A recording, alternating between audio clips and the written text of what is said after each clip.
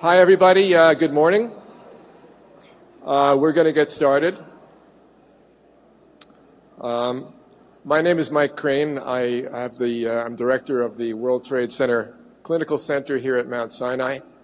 Um, I'm going to be sharing coordinating duties with our deputy, Dr. Laura Crowley.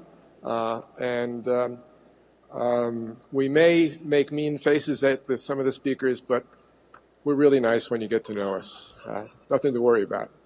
So, um, just to uh, to uh, open the the, uh, the, morning, I want to introduce uh, our chairman of environmental medicine and public health, Dr. Robert Wright.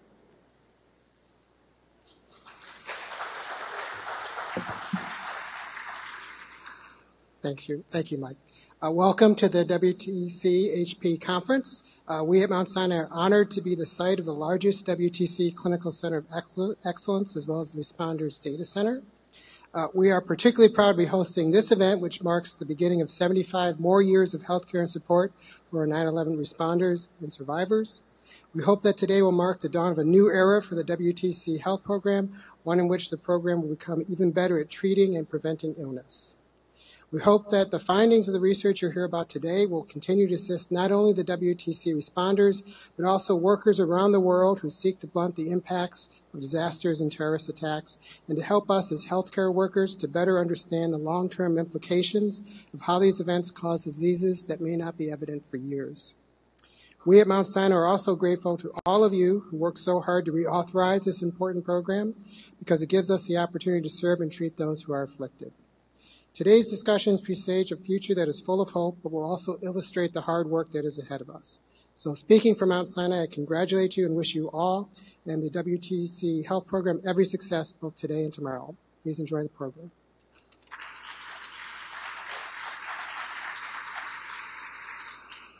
Uh, thanks so much, Bob. Um, is Reverend Hayes here? Father Hayes? Okay. So, um, we were going to have an invocation, but the, the Reverend was, has another pastoral duty to attend to.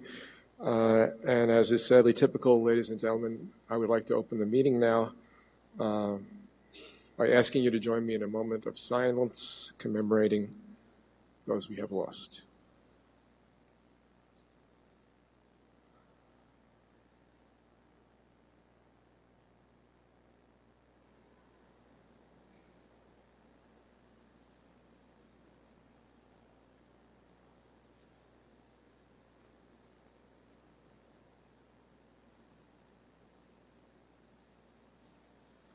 Thank you, ladies and gentlemen. Um, and now, before I uh, start the introduction of our keynote speaker, I just want to go over a couple of details. As you can see from the agenda, our speakers will be talking 15 to 20 minutes, hopefully to allow brief questions and, uh, and answers afterwards. Uh, we will pull out time cards when you have five and two minutes left. And uh, at the end of that time, I personally will charge the stage and take you down. Um, but don't worry.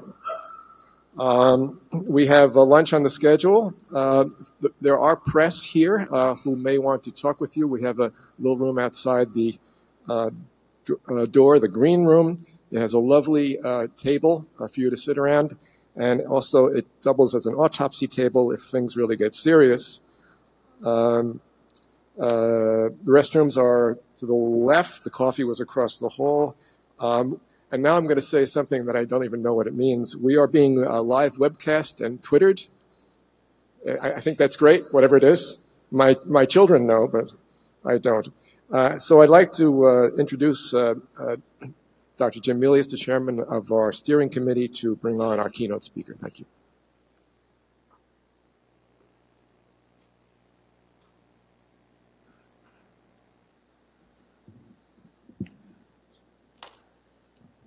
Thank you. Uh, thank you, Mike, and uh, welcome everybody. Uh, for those of you that the caffeine has not kicked in yet, I am not giving the invocation. This is not the Reverend Hayes, so, so don't worry. Uh, instead, I get the, uh, the honor of introducing uh, Dr. John Howard, who will be giving a, our keynote today. Um, I'm going to skip the usual NIOSH bio introduction for him at, at his request. Uh, though I am curious about the part about you know growing up in the wooden shack on the beach in San Diego and, you know, reading by the uh, driftwood fire. I don't know. It was something. I'll have to ask you about that later. But uh, uh, John is someone that uh, actually doesn't come up here, at least on, on, World Trade Center events that that often, and uh, uh, we don't get a chance to thank him for all his efforts. But we wouldn't be here today if John had not been as sort of, I believe, is the longest serving NIOSH director, uh, as administrator of this program from the beginning, but even prior to the beginning of the official uh, Zadroga legislative uh, program and authorization, John was uh, key in keeping this program going, keeping the, the, the, funding going. And we had some pretty rough times uh, with uh, you know, limited funding and people trying to take away funding. I think at one point, a high ranking official came and told us that he was going to uh, give us some money for treatment, but we had to send out immediately send out letters telling people that the money wouldn't last very long and you better find another source of, of funding and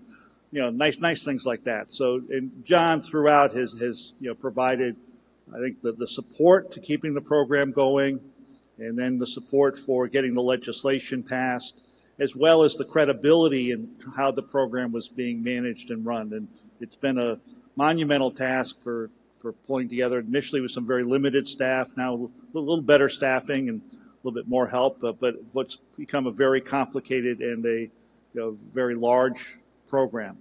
And uh, we owe uh, John a great deal of thanks for all of his efforts for uh, doing that over the years and for staying with us and for really uh, making sure that the, the people that are served by this program, which is what the program's about, um, are get the kind of medical services that they uh, deserve, and uh, now will have those medical services for uh, throughout their lifetime. So that, that's uh, very important, and, and we really uh, want to thank John for all of his efforts for doing that. So let me introduce John, Administrator of the World Trade Center Health Program.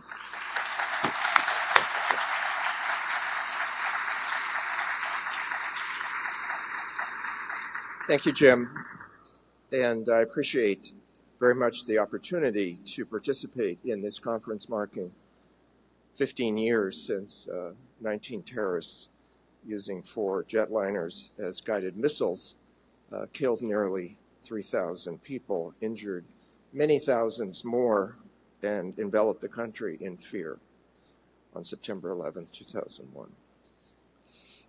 On the day that the World Trade Center towers fell, the Federal Aviation Administration had a watch list of 12 people.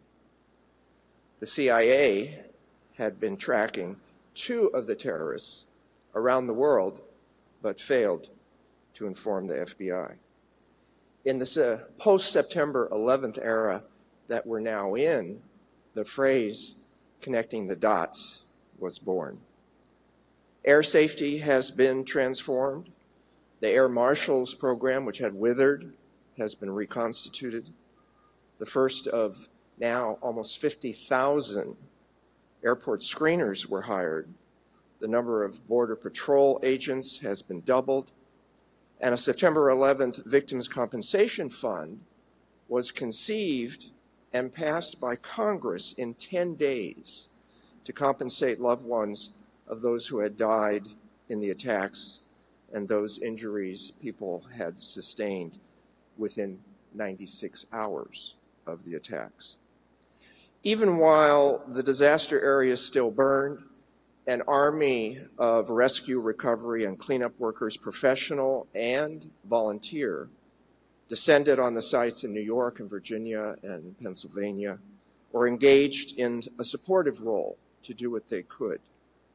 Many disaster business owners lost the source of their livelihood.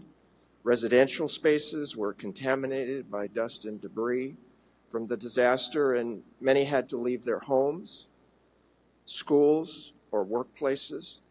Often, residents, including children, became cleanup and recovery workers themselves, trying to decontaminate their living spaces.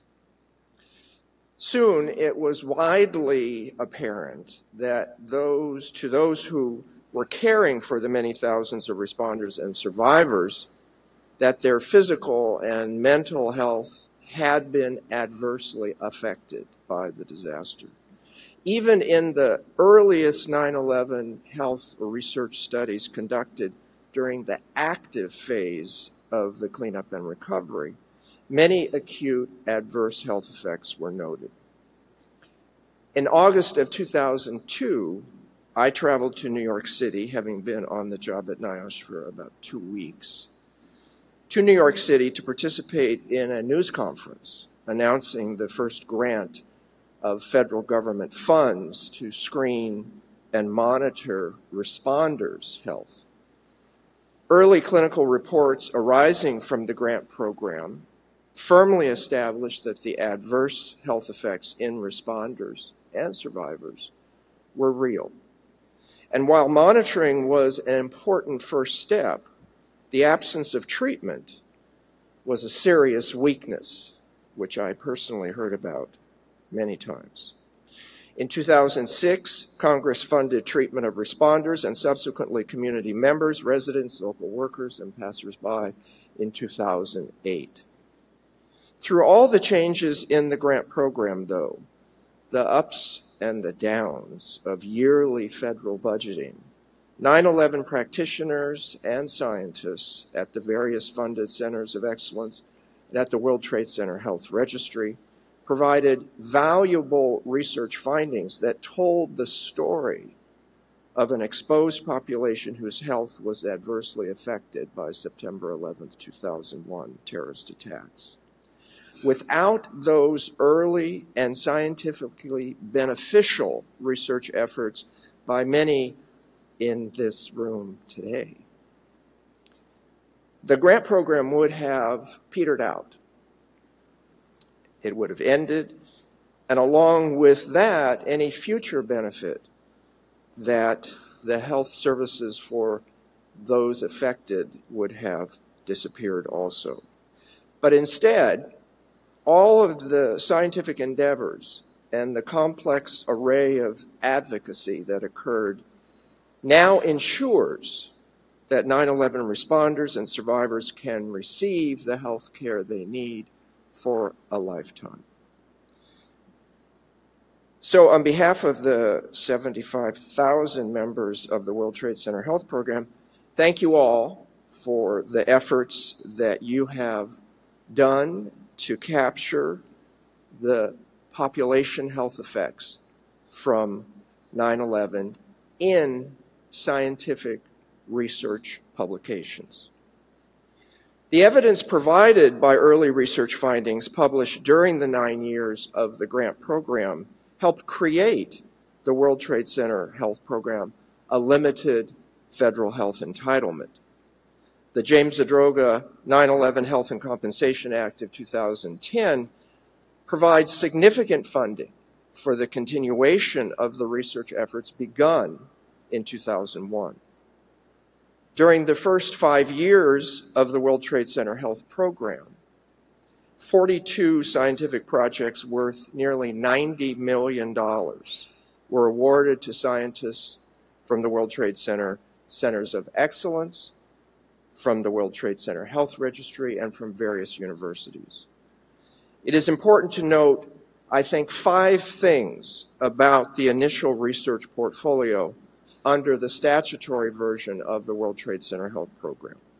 First, there is a $15 million annual funding that is specifically directed to scientific research and is a separate budget from the clinical services provided by the health program. Second, the areas of research are really much broader in the statutory program than during the grant program. Research areas encompass both physical and mental health disorders in both adults and children over their entire lifetime. Third, the development of the research agenda for the current program is a collaborative and transparent process in which, at the conception stage, input from the responder and survivor steering committees, from scientific and technical advisory committee to the program, from research grantee conferences, from medical forum meetings with the Centers of Excellence, from outreach and education, and from members themselves through the statutory process for filing a petition to add another health condition to the list of World Trade Center related health conditions. And since its inception, the program has added 24 types of malignant neoplasms, new onset chronic obstructive pulmonary disease, and the medical sequelae related to acute traumatic injury sustained during the disaster. Fourth, research results do nobody any good if they're not disseminated to practitioners and to the members. The program's strategic research to care model deserves, I think, all of our consideration. It emphasizes a community of practice engaging members and stakeholders, clinicians, researchers throughout the United States for the purpose of translating the new knowledge that we get from researchers into practice to optimize the health outcome of the members. Fifth, the research agenda continues to expand.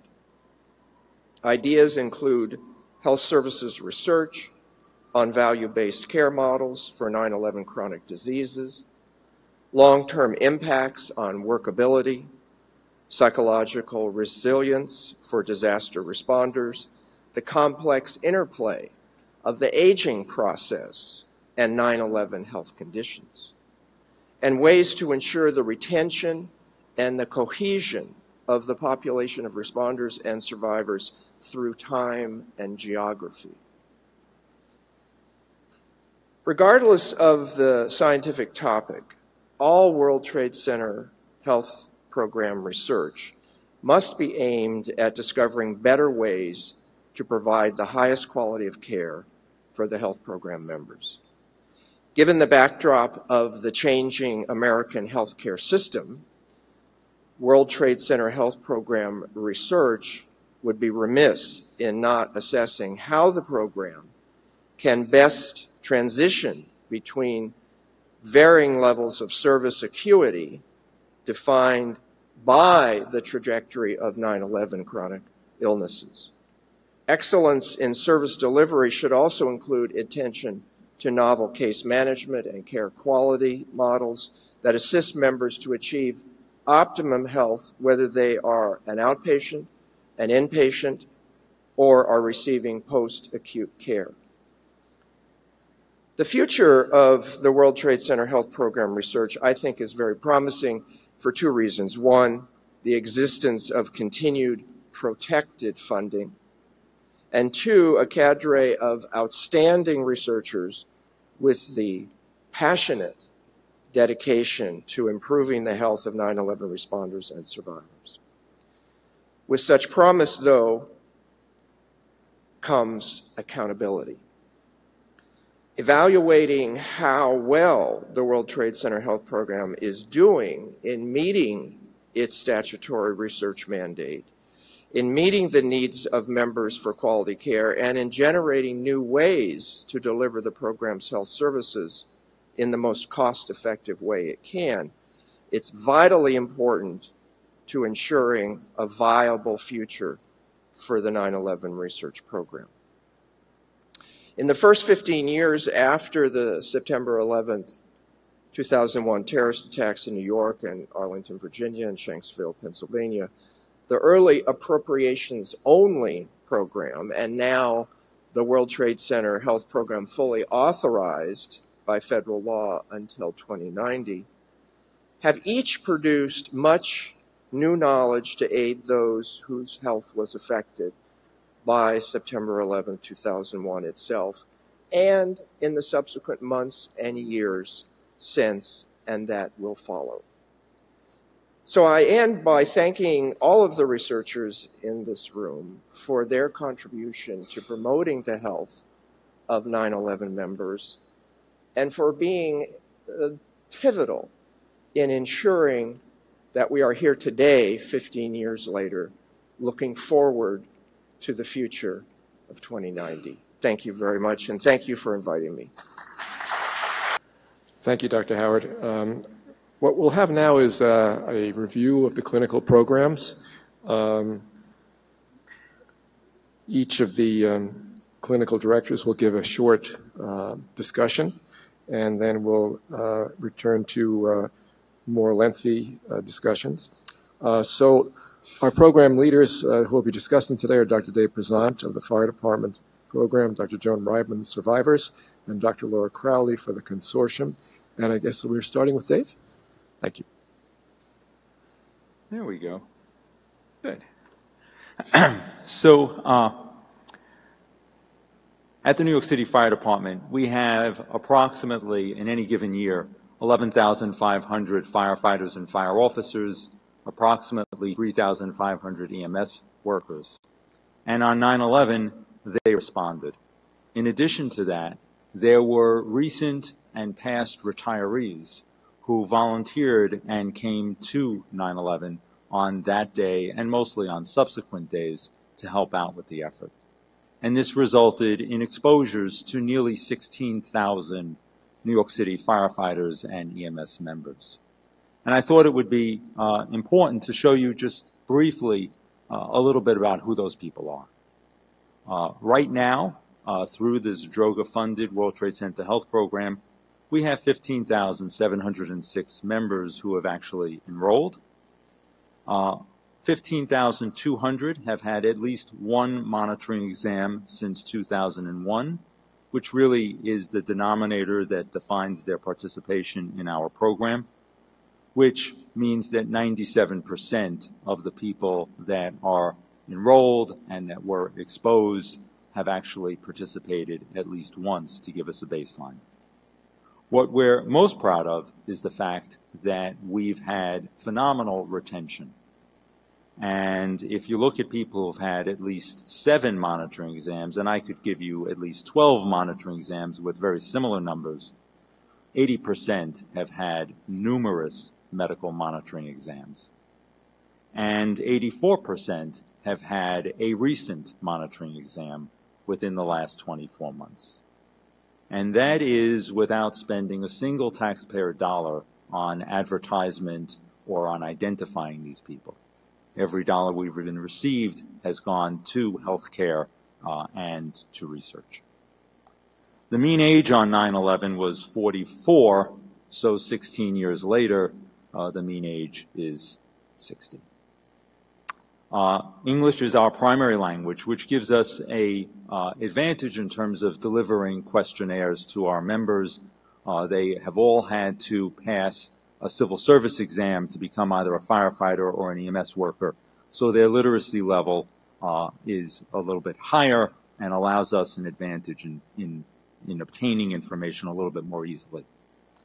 Uh, our firefighters are almost all male, 99%, uh, uh, and uh, at this time, almost all Caucasian.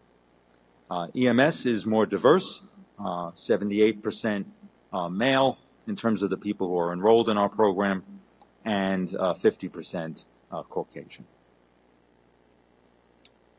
Uh, the initial arrival time at the World Trade Center Ground Zero uh, really uh, has been a way to categorize our workforce. And, actually, while it's probably uh, the thing that uh, we get uh, the least credit for, it, it actually was really the determining factor in figuring out exposure response gradients. So typically after an environmental or occupational uh, disaster, you think about the number of hours that people are exposed, the number of days, the number of weeks, the number of months, the number of years. Uh, and that works in the workplace because the exposure is typically constant as long as they don't change their job or there's some new protective uh, intervention. But here, uh, modeling the exposure was incredibly complex and remains incredibly complex because the exposure varied uh, tremendously after the first morning when the dust was so thick that you couldn't see your hand in front of your face. Uh, and then over the next three days until the rains occurred, uh, and then thereafter diminishing. But for individual workers, individual volunteers, uh, etc., uh, there was spikes of extreme exposure if they were doing digging or recovery. So very hard to, to model this unless uh, people wore personal uh, monitors, which for the most part they did not. Uh, we took uh, a simplistic uh, approach to this, informed by the fact that many of us were actually down there during the collapse and on subsequent days, and realized that uh, at least for our workforce, the massive acute exposure uh, could serve as a surrogate. Uh, the time, the initial time arrival there would be a good surrogate for exposure. And it's wound up, uh, thankfully, uh, that every one of our studies has shown uh, an exposure response gradient based on initial arrival time. So with that said, 15% of our workforce was there either during the collapse or during the morning of the collapse. 343 died that day, but nearly 2,300 uh, survived uh, and had that type of massive exposure. Over the next afternoon, another 44% of our workforce was there, and over the next day, another nearly 20%. So if you add all of that up, you wind up with somewhere between 65 and 70 percent of our workforce having been there first arrival time uh, during the first uh, 24 to 48 hours, which is uh, an amazing response, right, that way over 10,000 people uh, were able to arrive that quickly uh, to help New York. Unfortunately, uh, early respirator use was not something that we can be incredibly proud of. At the same time, it's understandable. Uh, firefighters had the best respirator on the planet Earth, the self-contained breathing apparatus, uh, but it only lasts about 15 minutes. During a regular fire, we take them out and we put in new workers with a new uh, respirator, but while we were under attack, uh, we could not do that. Um, and there was also self-responders, uh, as I said, some of the retirees, many of the active firefighters who were not on duty, uh, and they did not have a self-contained breathing apparatus. So if you look here, you can see uh, that none, which is the uh, first bar at each of the time intervals uh, in blue, uh, represents uh, over 50% of the workers who were there on the first day. but even more telling is if you summate all of the bars that are not yellow. The yellow bar represents a respirator. Everything else represents either none or something that really isn't acceptable. And when you do look at it that way, you can see that on day one, 90% of the workforce did not have adequate respiratory protection. And that is the basis for this huge exposure and was the basis for us starting our first monitoring exam using FEMA dollars and New York City dollars during the first week of October 2001. The New York City Fire Department is part of what I believe to be the greatest labor management health initiative ever came together uh, and started this uh, and had an immense uh, outpouring of support. And we designed this program similar to the way the entire program is designed, thinking that monitoring would help us and keying in on mental health, respiratory, and late emerging diseases.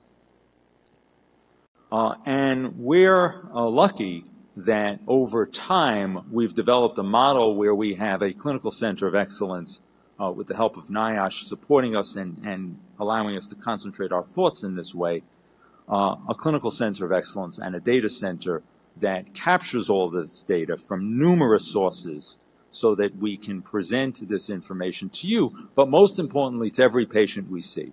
Because nearly every patient we see asks us two questions. Number one, how am I doing? obviously. But number two, how are my buddies doing? And this allows us to answer that question. So you can see here we're getting a wealth of data from the clinical center, but also from our pharmacy program, from claims processing, from patient coordination services, from tumor registries, all centers into one data center that is shared. So that our thought process has always been to provide information at both to provide and capture information, both at the micro level and at the macro level. At the micro level, we're determining or helping NIOSH to determine as the program evolved eligibility, we're monitoring, we're treating, we're doing diagnostic testing, all leading to allowing NIOSH to certify the various different illnesses. We're providing medications, and we're constantly thinking about quality assurance and quality improvement. And that's at the individual practitioner to clinician to patient level. But at the same time, the information that we capture allows us to think about this at the macro level, at the cohort level, where we think about these things in a broader basis. But bringing this information, that's why this bidirectional arrow exists here at the top somewhere, bringing this information back to the clinician and the patient. We've done numerous monitoring exams. Just this last year, we've done nearly 10,500 monitoring exams. And you can see that every year, especially in the last uh, years of the Zadroga Act funding, that we've done nearly 10,000 monitoring exams per year, over 10,000 per year. This translates into treatment. All right, monitoring identifies problems, and problems need to be treated. And as Dr. Howard said, one of the real problems with the program was a lack of funding for treatment. We were treating early on using city dollars, using philanthropic dollars, using Project Liberty mental health dollars. But once we received dollars from the federal government through NIOSH, uh, things really wound up uh, being an effective program. Uh, and you can see here the number of patients that have been seen annually uh, in World Trade Center treatment uh, for physical health. I'll show you mental health in a moment. And this has resulted in uh, certifications so that we can provide care to specific issues and also so that NIOSH and uh, us can track the uh, number of people that have uh, specific problems. So that we have over 5,000 with upper airway diagnoses, for the most part chronic rhinosinusitis, some with vocal cord problems. We have over 5,400 with lower airway disease, predominantly obstructive airway disease, asthma, chronic bronchitis, to a lesser extent, far lesser extent, COPD, emphysema. We also have some interstitial lung disease. Sarcoidosis is the largest one, uh, affecting nearly 100 of our people, uh, and uh, uh a small number of uh, idiopathic pulmonary fibrosis uh, patients. We have 5,300 people with gastrointestinal issues. For the most part, this is GERD, Barrett's, ulcers, things of that sort. And one of the things just got out of order, so I'm just going to jump to this one. And uh, over time, uh, as will be talked about in subsequent uh, talks, through research efforts, uh, we were able to demonstrate to NIOSH uh, that cancers, we and the other programs together acting collaboratively, were able to demonstrate that cancer uh, should be added as a World Trade Center covered program. And to date, we have 1,647 people who have been certified with uh, at least one cancer. Uh, and the cancers of note, uh, and I'll be talking about this more later, uh, thyroid, prostate, hematologic malignancies, colon cancer uh, are increased in our group. Uh, and then there are some other cancers that are important as well. In terms of mental health issues, uh, we treat over 1,700 people per year in terms of mental health. And, uh, and this has resulted in certification of uh, numerous people. Uh, our most numerous, of course, is post-traumatic stress disorder with about 1,700 people certified. Uh, but depression uh, is now actually our most common problem and we have about 1,500 people who have been certified for that. Here is a complicated slide, but I just want you to look at the top uh, line. The top line shows that over time, uh, we've been certifying individual patients with multiple conditions. So this demonstrates the complexity uh, of the disease process, of the treatment process. These patients do not have one disease they typically have multiple diseases. So you can see here that by 2015, uh, we have uh, a large number of treatment visits that are based on multiple certifications, the top line being four or more certifications. Our medication costs uh, are, are huge. Uh, in large part, we've moved to, uh, along with, with NIOSH's help, we've moved to a generic uh, primary uh, program, but many of the key medications that we use to treat uh, obstructive airways disease and cancer are still brand name meds, and therefore you can see large number of claims, you can see a large number of dollars on the far right hand side, uh, but uh, the prescription program accounts for at least half of the dollars that we spend in terms of monitoring and treatment. And I'm going to conclude with this slide because this is the most important slide uh, that we have uh, at FDNY. And this slide is the members themselves saying, has this program been of benefit to them in the most important way? Do they feel that their health has improved with the treatment that we've provided? And when we ask that question, you can see that 53% of the members feel that they've had an improvement in their health. Right? And that 40% have felt that at least their health has not deteriorated, despite some pretty complex diseases. And I think that is the single data point that we can be most proud of. And I thank you for your attention.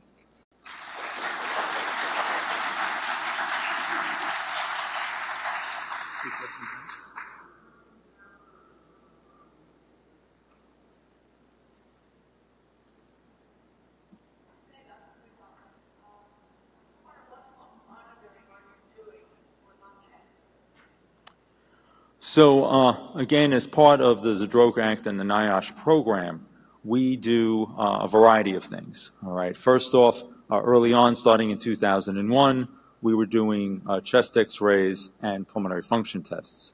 Uh, as the evidence uh, was provided through the National Cancer Institute in heavy smokers throughout America, we were able to add low-dose chest CT screening as part of our monitoring program.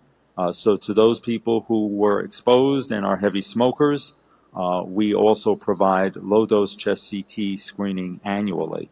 Uh, and that is the most effective screening program as been shown in the literature for the early diagnosis of lung cancer.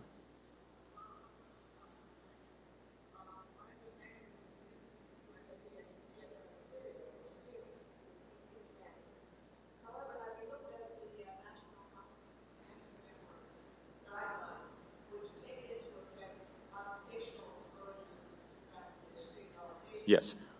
Let me repeat that so that everyone else can hear it. The, the question was uh, the NIOSH program uh, uses the USP blah, blah, blah, uh, task force recommendations for uh, screening for cancers, uh, and we do follow that. So that would be uh, that low dose chest CT screening annually should be provided to people with a 30 pack or greater year smoking history, and typically this is above the age of 55 and if they are an ex-smoker, they should have uh, stopped smoking less than 15 years ago, and that is what we what we do. As, uh, but your question was, uh, how have we tried to implement the National Cancer uh, Network (NCCN) uh, guidelines? The problem with the NCCN guidelines is they don't provide specificity. So while they say that additional cancer risk additional lung cancer risk is related to abnormal lung function and related to occupational or environmental exposure. They don't allow you to quantify this. So if they had said something like increased lung cancer occurs with a FEV1 lung function of less than 45% of predicted and with a occupational exposure to the World Trade Center of arriving during the first day or more than 30 days there, uh, that would have provided us with some quantitative guidelines that we might have considered implementing. Right now, we're sort of trying to find out from our own studies what would be thresholds that we could uh, suggest to NIOSH to broaden this coverage. And those studies are ongoing.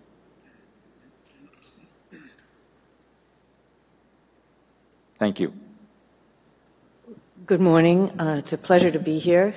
Um, and I usually follow all the responders and firefighters, so I'm sort of a little bit uh, discombobulated here to be presenting right after David.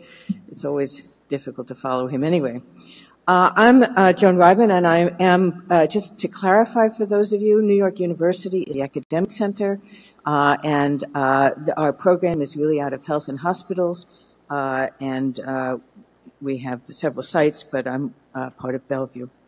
So let me start by saying I, I always feel that I have to explain uh, the exposures that we're talking about in the community population compared to the responder and um, firefighter population so that you understand the terminology that we're using and the difficulties in exposure modeling, just like David said for the firefighters, which are even more complex uh, in the community population. So when we're talking about the community population, we're really talking about a potential exposure to approximately 60,000 individuals who live below Canal Street on 9/11, 300,000 individuals who are working um, including tower evacuees on 9/11. We think approximately 15,000 students and some numbers of individuals who were passing by as commuters or tourists in this very busy hub at that time. So potential for enormous exposure to a very disparate community. When we think about, at this point, when we start to think about exposures for this community, we, we have simplified, uh, just because of necessity, uh, the type of exposures we think about. And those include acute exposures, which could have been from the debris. Um, let me just fix this. From the debris uh, at, from the collapsing buildings on 9 11, or massive inhalation of the dust from the dust clouds from the collapsing buildings. And uh, this is an area here. Uh, these are individuals who, uh, this is a now very famous picture from people who were caught in the dust cloud on 9 11, uh, making their way out. Trauma, injuries, and burns suffered during escape from the towers and the surrounding buildings. Many individuals were trampled, many people fell. Uh, individuals also had burns. And then also, uh, as shown in the lower picture, exposure and inhalation of dust on 9 11 after the dust cloud dissipation as individuals were um, trying to escape from their apartments or their workplaces. So just on 9-11 itself, there's quite a varied potential for a, a, whole slew of different types of exposures. We then understand that many of these individuals also had potential for chronic exposures. Those include exposures to the local workers who returned on 917 amid resuspended dust both outdoors and inside the workplaces, and I show you a picture of the streets uh, covered in resuspended dust. They included uh, exposure as residents uh, who returned, whoops, sorry, uh, to their homes, uh, most of which had not been cleaned, either to come and clean their homes, uh, some individuals had to shovel out the dust, or to come and get their belongings while they were um, evacuated from their homes. It includes exposure of a population that is actually shared between the programs of cleanup workers who are exposed to the outdoors and indoor dust in the homes and commercial buildings. And then for many individuals who worked or lived down there, exposure to the fumes from the fires that burned through uh, December 2001. So again, a very complicated way to model exposures. And for most of us, we haven't actually gotten our hands around it, but have tried to simplify it just for initial uh, evaluations. In addition, for the community population, there are a variety of exposures that we consider mental health exposures. And that includes, for many, fear of one's death, escaping the collapsing buildings, being overwhelmed by the dust cloud, individuals not knowing what was happening, feeling the end of the world had come. Many uh, were caught in tunnels and had no way of communicating. Many either lost or feared for loss of their loved ones or colleagues. Many witnessed death or dismemberment. Uh, many were exposed to the extended rescue and recovery efforts uh, as they returned to their work or homes. Uh, there was continued aural, olfactory, and visual stimuli for months after the event. Many were displaced from their homes and their workplaces. Uh, something we rarely talk about, but the guilt of potential endangerment of others. Should I bring my children back? Should I not? Uh, very, very important for many individuals. And also for very many, loss of work and income. So again, a very complex exposure to mental health risks uh, that are very complicated to understand.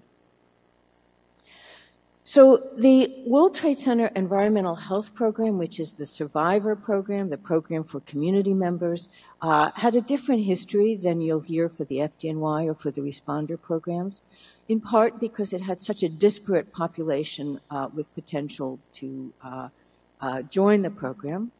We started really first as a treatment program in Bellevue Hospital, an ad hoc treatment program uh, with the community coming and bringing patients into a asthma program that uh, was not set up really to deal with this type of population. We then were very lucky to obtain uh, uh philanthropic funding in 2005 uh, for treatment. So again, I'm focusing on the concept of treatment in this program. We uh, were given funding in 2006 from the City of New York, and in 2008 uh, we obtained federal funding from CDC NIOSH, our first federal funding.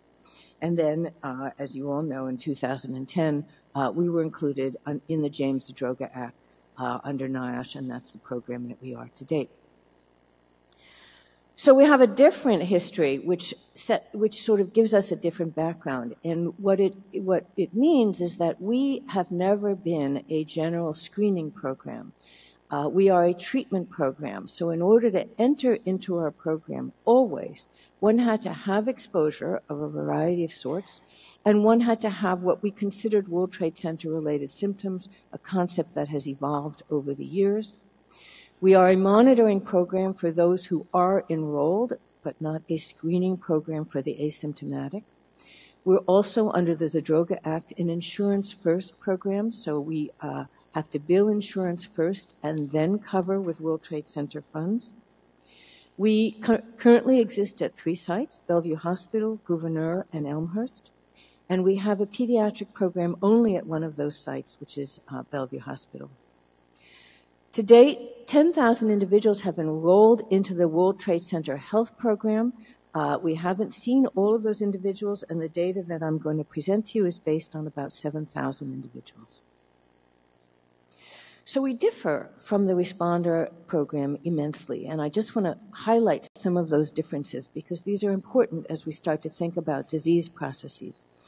First of all, our program is 50% women, so very, very different than uh, firefighters and very different than the responders.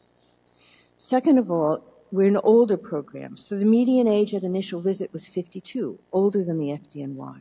But we have a huge spread with individuals who, in fact, were born on, in 2001 uh, and individuals who were more than 60 years old, in fact, 70, 80 years old. I don't think we had any 90 year old people uh, who were uh, in our initial visit. So that means that we have to think about illnesses a little bit differently uh, as well, and we have to consider illnesses across all age groups. We have a very diverse race ethnicity. So in our group, about 30% self report as Hispanic, uh, about uh, 18% black, 15% Asian. So again, uh, a very different uh, type of population uh, than we think about in many of the other groups. We have a huge extreme of incomes. So we have about 10% uh, who actually have only completed grade school, that is up through sixth grade, 65% who had more than high school. I'm not showing you the range of incomes here, but we have many, many individuals who earn less than 15,000 for an individual income. So a very, very diverse population in terms of socioeconomics. We tend to group people in terms of exposures in different ways. Simplistically, we group people as whether they were a resident, a cleanup worker, a local worker, uh, or uh, uh, other, which would include here students, commuters, and passersby. And as you can see, 50% of our group were individuals who were working or local workers uh, on, uh, in the area. About 30% were local residents, and 11% are cleanup workers, with a much smaller group of students, commuters, and passersby. We also ask, were you in the dust cloud or not? And about 50% of our population reported having been in the dust cloud on 9 11. So that's a huge group of individuals with a acute high intensity exposure. We do think that these exposures mean something. I'm not going to give you detailed data, but for example, we think that there, and I'm showing you here, odds ratios or risk, whether dust cloud puts you at risk for developing wheezing. Here's an unadjusted odds ratio, very significant.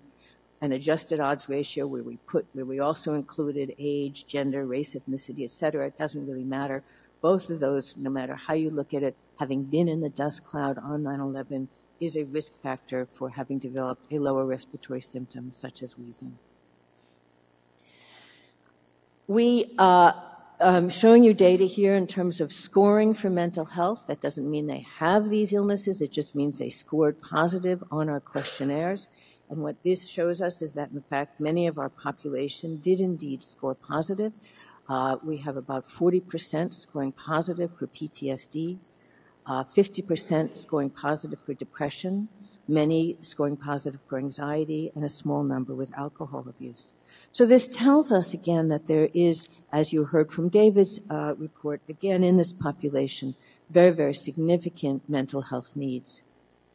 Again, if you look at was exposure related to these, and this is again very simplistic, I'm just showing you to, to as an example, that um, in fact uh, this is asking whether dust cloud was a risk for developing PTSD, and certainly whether one looks at this as an unadjusted odds ratio, the p-value is very significant, or an adjusted odds ratio, the p-value remains very significant. So again, we can look at exposures and risk. This doesn't mean dust cloud is the only risk. It just means it is in and of itself a significant risk for developing PTSD in this population.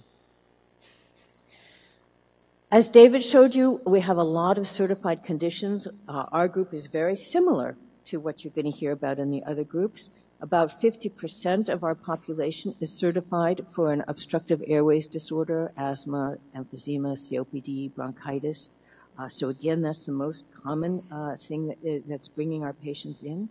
We have a lot of people also certified for upper respiratory disorders, rhinitis, sinusitis, sinusitis, again very common huge number with uh, certified for uh, the GI disorders such as GERD, a smaller number with interstitial lung disease, uh, and again, we're going to talk a little bit about cancer. So similar to what you're going to hear. So despite differences in populations, differences in exposures, we're seeing a lot of the similar, similar uh, illnesses that you can hear about, uh, that you heard about in the firefighters, that going to hear about in the, in the responder program.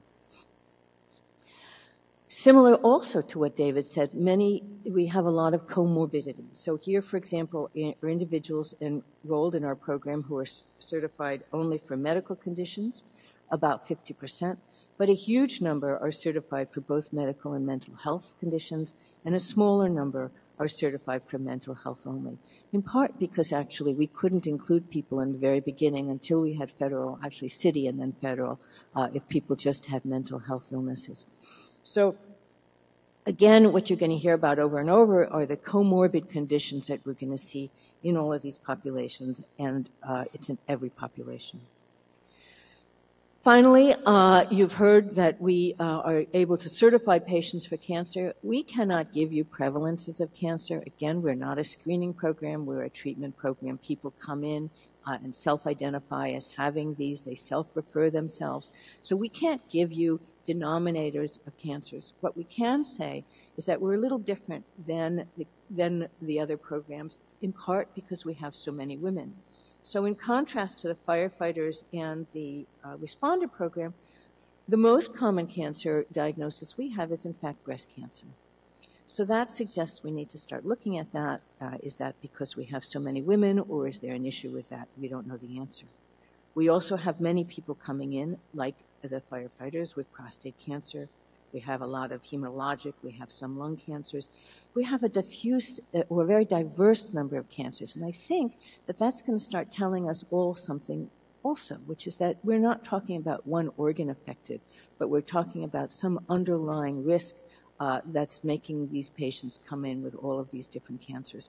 And I think over the next, hopefully not 75 years, but next many years, we're going to have to start teasing out what is putting people at risk and what risks are they at and for which cancers.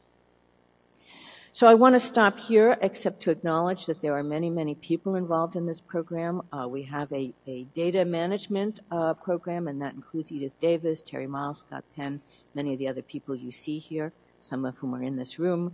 We have a clinical oversight committee. I'm only giving you a few of the people. It's just been a long-standing program with many, many people involved.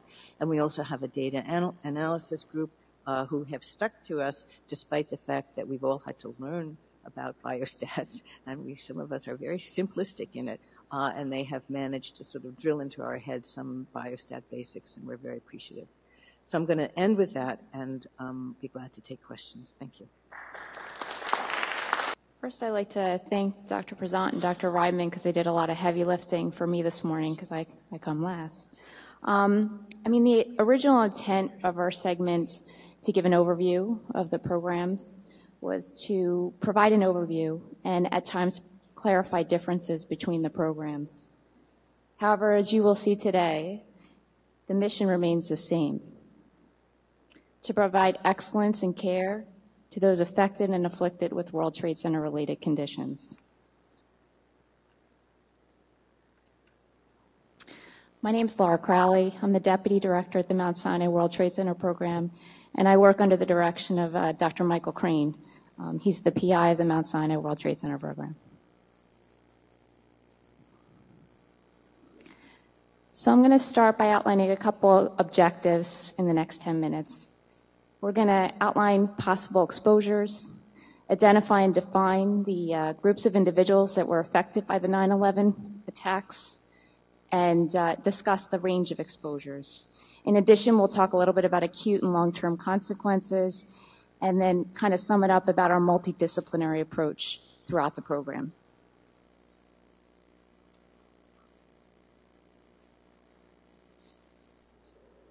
Many of you are very familiar with the pictures that I've just shown, especially uh, they tend to resurface around this time of year. Unfortunately, many of our patients, these, these photos are ingrained um, in them and uh, are reminders on a daily basis due to their World Trade Center illnesses that, are, that they're afflicted by today. The dust. The composition, quite complex. It was a toxic brew filled with asbestos, cement dust, glass fibers, PCBs, lead, many toxic compounds, including benzene, dioxins, diesel fumes, and sulfur dioxide. Certainly a toxic brew. An estimated 90,000 people responded to the hazardous sites and were afflicted in different ways. Some had the acute exposure, where they were caught in the dust cloud that was created by the collapse of the buildings, or were exposed to the debris on that day.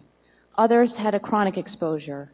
They participated in the rescue and recovery efforts and were there day after day, month after month, participating in cleanup and continuously exposed to either resuspended dust or in small areas where they were cleaning up buildings. The responders included many the firefighters, as Dr. Prezant outlined, paramedics, law enforcement, construction, operating engineers, those folks from OME, and volunteers, and the responsibilities were diverse. They went from rescue and recovery to restoring essential services to cleanup and certainly deconstruction of the materials. Traditional responder. I mean, it's important for us to really recognize that this was a unique experience. We had those folks who were trained and those who were, who, who were untrained. The trained responders were the firefighters, paramedics, and law enforcement officers.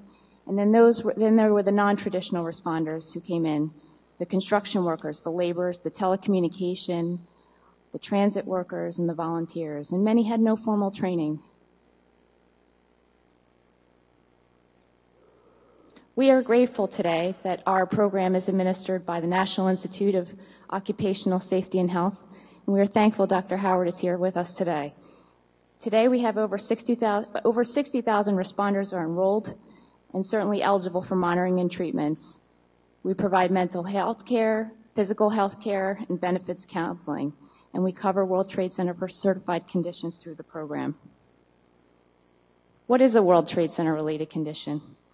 Well, the definition for our program is it's an illness or a health condition for which exposure to airborne toxins or any, any other hazard or any other adverse con- condition resulting from September 11th is likely to be a significant factor in aggravating, contributing to, or causing illness or a health condition. We think about that question every day when we see our, our patients in the office to determine if what they're indeed experiencing is a World Trade Center related condition. And when we think about that, we compile documents and we make a case. And then we present that to our World Trade Center program administrator for them to review and approve. When that review and approval goes through, they become certified for a World Trade Center condition. The conditions. This slide was newly created. It's kind of a cartoon that outlines what many of our responders are experiencing today. They're afflicted by aerodigestive diseases like reflux, asthma, rhinosinusitis. Some of them have interstitial lung diseases like sarcoidosis. Some of them, unfortunately, have cancer. In addition, they have mental health illness like PTSD and anxiety. This slide 15 years ago would not be possible, but today we're in a position where, in a central location, we can actually provide diagnosis and potentially prevent disease. This is a list of the World Trade Center related physical health conditions. As I mentioned, we have the airway and digestive disorders. We also have musculoskeletal disorders due from repetitive injury and in some cases traumatic injury. Covered cancers. Thankfully, our group now is covered for particular cancers. The list is long, but our responders are eternally grateful.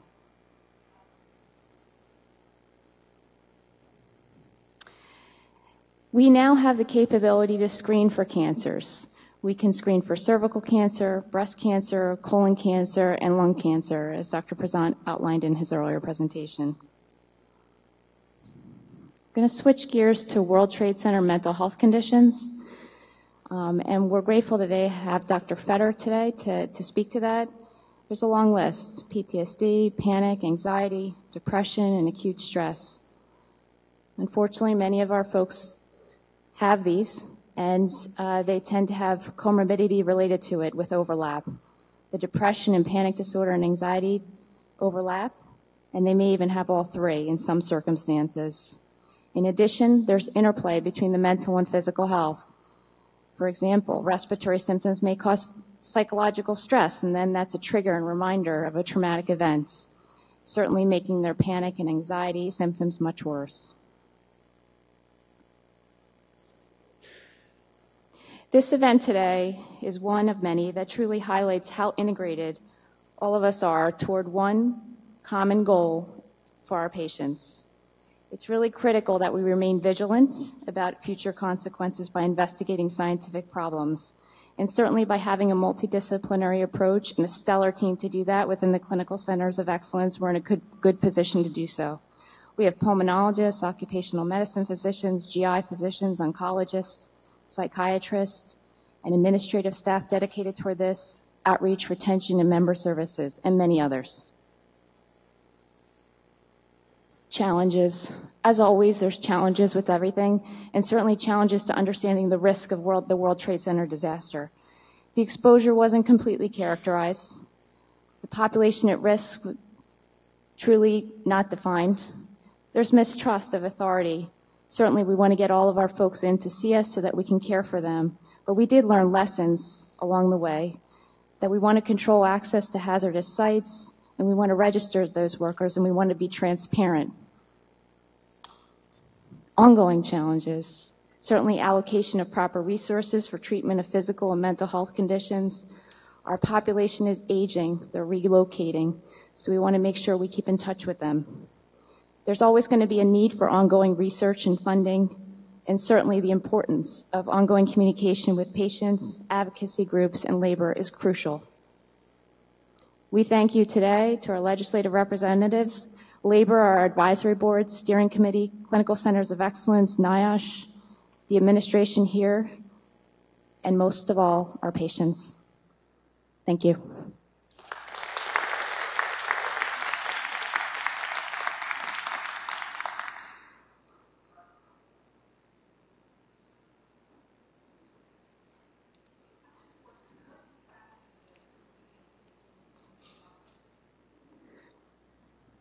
Excellent question. Um, fortunately, we have colleagues here at FDNY who've kind of started that process for us by looking at autoimmune disease. Um, and recently there was a paper published to that. I know our group at, at Sinai has a special interest in that and is looking at that to date, to date now.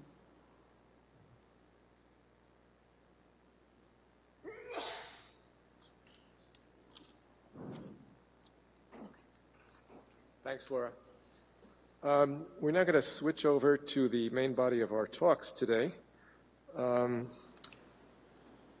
uh, looking at the lineup of speakers, uh, there's something that strikes me uh, right off the top. Um, supposedly, right, you're not supposed to find people anymore who excel at teaching, at patient care, and at research, the old triple threat, right? You can't run, pass, and kick. Um, patient care is the running part, in case you have any questions about that. But the next five people who are going to talk to you this morning and into the afternoon excel in those things. And it's just remarkable that our program has attracted the interest and maintained the interest of such an incredibly dedicated and talented group of physicians researchers and practitioners. I am so proud every day to know each and every one of them and to work with each and every one of them. Um, and the next speaker, uh, especially so, Dr. Dave Prezant, I, I just noticed uh, a few minutes ago that we're really running kind of delightfully ahead of schedule, you know, by 10 to 15 minutes, and um, that's just about enough time to introduce Dave. Uh, it does take a while. Um, he's extraordinary. Uh, the chief medical officer of the Office of Medical Affairs for the Fire Department, co-director of the FDNY Medical Monitoring and Treatment Program. He responded on 9/11 to the World Trade Center, was present during its collapse. Uh, he and Dr. Kelly uh, have initiated the medical monitoring and treatment for FDNY. Um, he's the principal investigator for the FDNY Data Coordinating Center. Uh, he served as a member of the EPA WTC Technical Advisory Committee, the New York City Health Department World Trade Center Registry Scientific Advisory Board, and the Governor's WTC panel and the Mayor's Advisory Board. Uh, he's written extensively. Uh, he writes extraordinarily well, uh, by the way. His papers are absolutely a, a pleasure to read. Uh, on, on, pulmonary physiology, firefighter health, and safety since 9 11. Uh, his group was the first to describe the WTC cough syndrome and he has published on the topic since. The cough paper uh, is one of the most extraordinary labors of love uh, that I have ever seen. Uh, it, is, it is a masterpiece of the disaster literature. It is really a model for all others to follow. Um, he's not quite that much of a model himself, um, but I want you to welcome him anyway. Please greet Dr. Dave Prezant. Okay, thanks for that little technical timeout. Great intro, but I think the thing to stress there is uh, the collaborative effort amongst all the people within our programs and uh, our patients themselves. And, and also the unique partnership that we've had with, with NIOSH. Uh, I, I, don't say this just because they're here today, uh, though I am hoping to get a little extra funding because of it.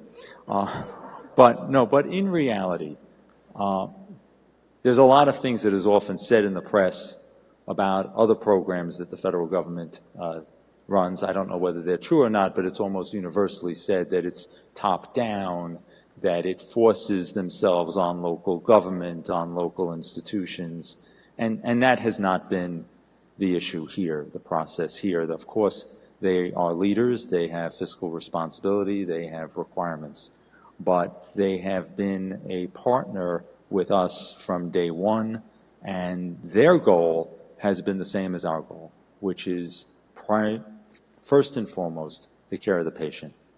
Uh, and th- that's just an amazing thing. So I, I think it, it really deserves noting. None of this would be possible otherwise. So, as I said to you before, we, we are unique in that we are a single clinical center. We have multiple sites, but we're a single clinical center uh, and a single data center that's fully integrated together. Uh, and because of that, every patient that we see, every clinician that practices is actually part of the data center as well. The other thing that is very unique about our group is that we had done some research before, mostly in terms of healthcare surveillance. Uh, we were the first to show that sarcoidosis was increased in firefighters before 9 11. Uh, we did some work with uh, firefighters, uh, management, and unions in terms of uh, protective equipment. Uh, and therefore, before 9 11, we had a really credible relationship with our workers, both as patients, because we were treating them, as well as a growing understanding of the value of being able to ask questions and then provide answers. And when 9 11 hit, on all of our minds, first and foremost was assessment and treatment.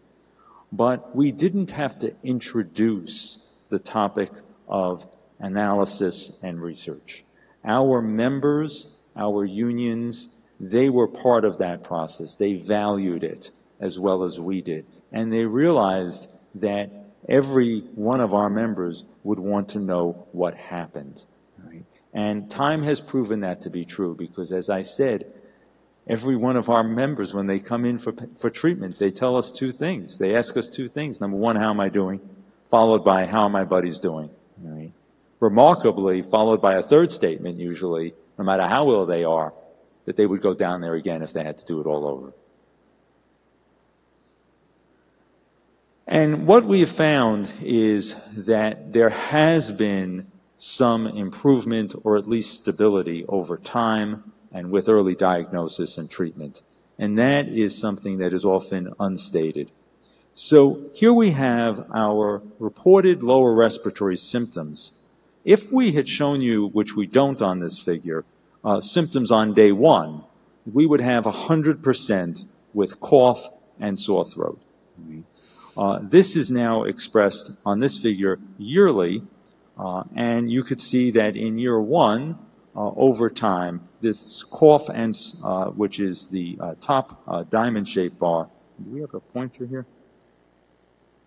Yes. There. cough is at over 55%, but that over time, by year 13, and this is true for 14 and 15, but not shown here, uh, cough has actually been the one that's decreased the most. The 9% that are left with cough, we're talking about very severe coughing here. Uh, also, you can see that uh, in here for lower respiratory symptoms, that the other two symptoms, shortness of breath and wheezing, have not had much of a change over time. They were roughly about 35% of the people that were exposed, of the 15,700 that are in our program. Uh, and now they're about 25 to 30 percent. Some decrease, but still much more persistent than cough itself. We can see the same thing with upper respiratory symptoms and acid reflux. Right? Sore throat, which was dramatic in year one, has actually decreased to about 25 percent, where the other two symptoms, uh, nasal sinus congestion and acid reflux, have been pretty steady despite treatment at around 40%. Acid reflux has improved dramatically, but is still persistent. Sinus uh, symptoms uh, have not improved dramatically. And I think that is more to say about the efficacy of treatment than anything else. The sinus medic- medications are not as powerful as uh, the acid reflux medications or uh, the lower respiratory disease medications. Now, our major finding uh, was uh, right from the onset the reduction in pulmonary function.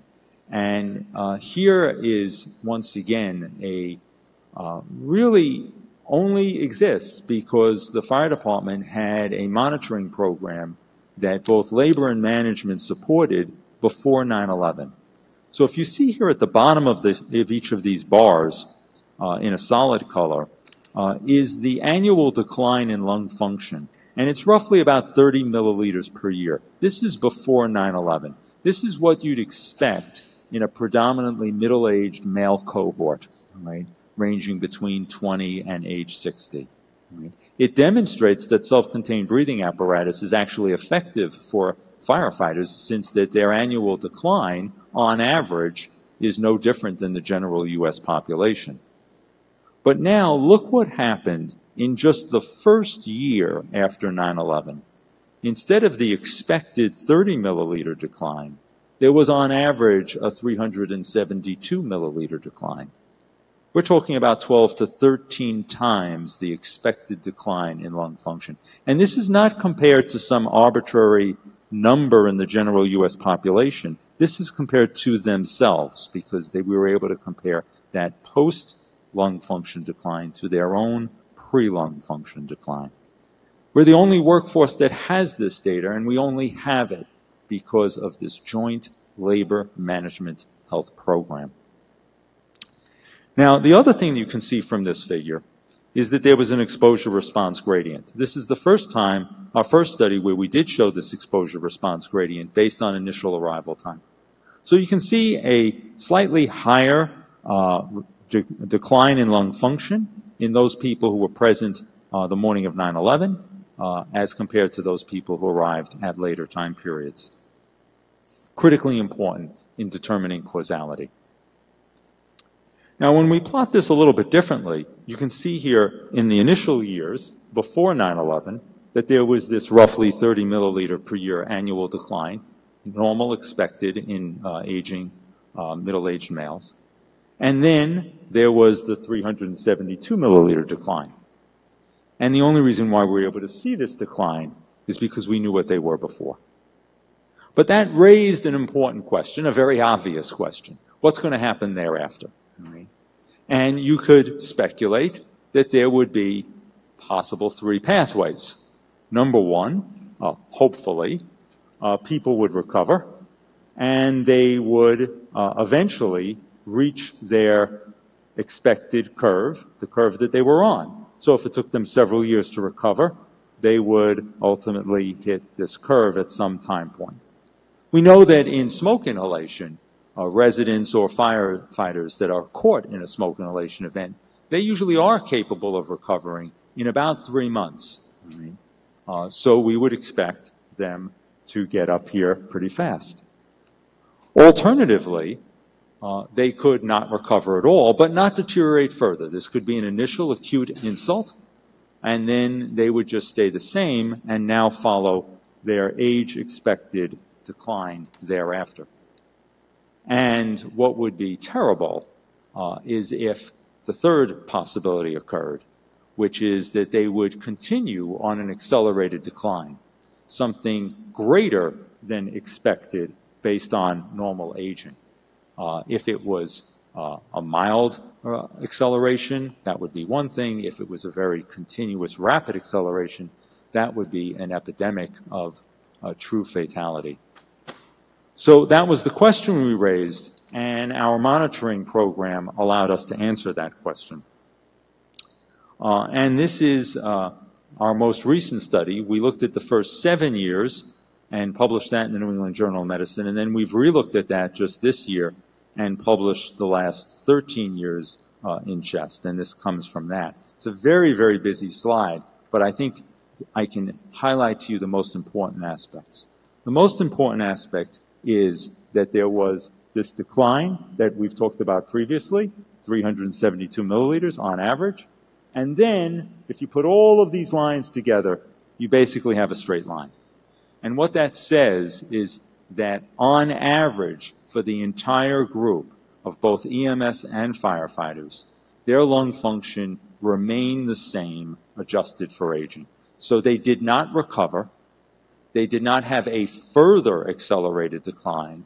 They were that middle group. They were the group shown here that would not recover, but stay, have this persistent decline in lung function. So that this line if you put them all together, is straight. Why are there multiple lines here? Because we try to uh, differentiate firefighters from EMS workers. EMS workers had a dramatic decline, but not as large as firefighters. They started at a slightly lower level because they don't have the same health requirements for entry into the workforce. But amazingly, even though they are not firefighters, they had a dramatic decline in lung function of way over 250 milliliters in the first year. And then thereafter, like the firefighters, they had this persistent abnormal lung function. And we also tried to look at uh, on uh, initial arrival time. And while initial arrival time explained much of what was going on in the initial drop, it does not make a difference in the subsequent years. And that's to be expected because the initial drop is based on acute inflammation, and you might understand that there'd be more acute inflammation with a greater exposure. But the subsequent lung function trajectory is based on the host response. Right? How does that host deal with inflammation? And that really shouldn't be impacted by their initial arrival time. Right? And how they deal with that inflammation is going to allow us, once we understand it better, to be able to separate out this average curve, right, to finding those workers who are not following the average, right? Because while the av- while this curve represents the average, the average of all 15,000 workers, there is a group, all right, that is having an accelerated decline, and there is a group that did have full recovery. And we now want to tease out those differences to look at this more than just a compilation of averages, but a compilation of specific groups at risk.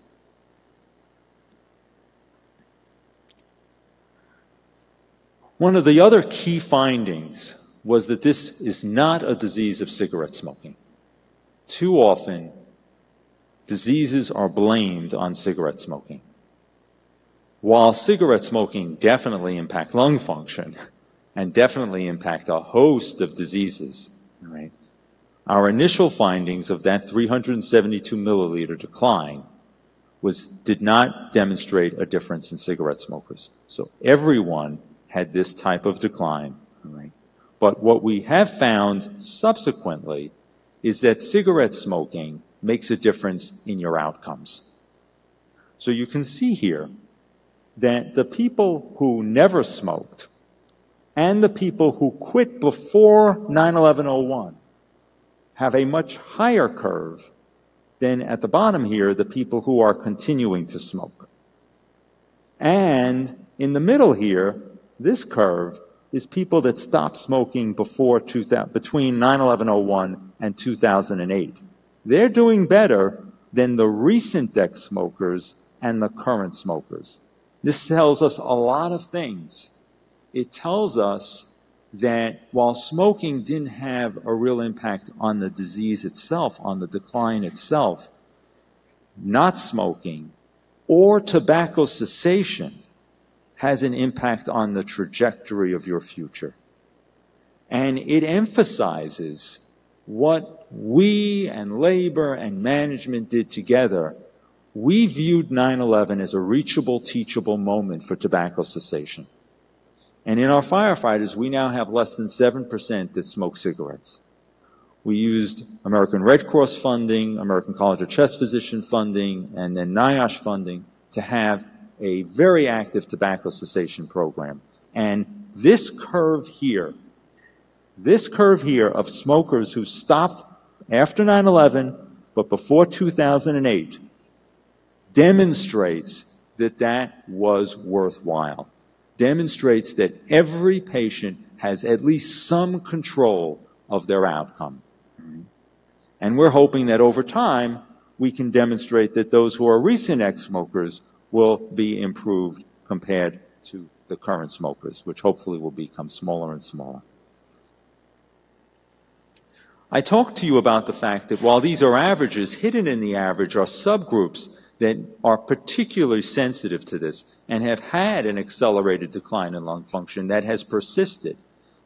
We need to tease those people out so that we can identify them and provide them with more aggressive treatment. Right?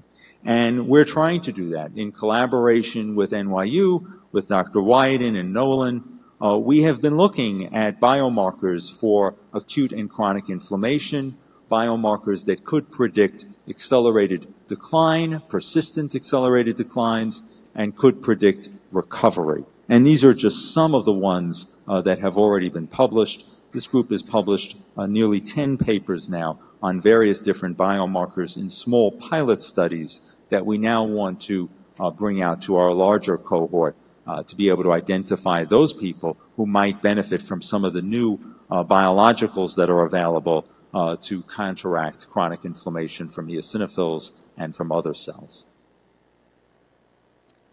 Now, with this lung function decline, there's the question of what diseases are actually present. What's the, the, the, mechanism, the physiology behind this? Because that also helps us to treat these patients. If you had predominantly what we call interstitial or restrictive disease, scarring, diffuse scarring of the lungs, that would be really, really bad. Right? Because there's really no treatment for that currently except lung transplant. And we've had a few patients with idiopathic pulmonary fibrosis, but thankfully only a few. Right? There are certain things in the lung function exam that would make you suspect that there would be a lot of people with restrictive disease. So we had to do further testing to identify this. And this is, again, a complicated slide. But what it shows with some of our other studies in concert is that predominantly this is not restrictive interstitial lung disease. This is obstructive airways disease. And obstructive airways disease, whether it's due to asthma or chronic bronchitis or some combination of it, which we typically call COPD, uh, is amenable to treatment with bronchodilators, with inhaled steroids, and with other uh, anti-inflammatory agents. And what this slide shows on the y-axis is the FEV1, which is the forced expiratory volume in one second. It's a measurement of lung function. Uh, and what it is is on the y-axis is a ratio of the FEV1 measured immediately after 9-11 divided by the FEV1 that had been measured immediately before 9-11 as close as possible. So if you're less than one, you've had a decline in lung function. So if you're less than one here, your lung function has declined. And then on the x-axis is bronchodilator response.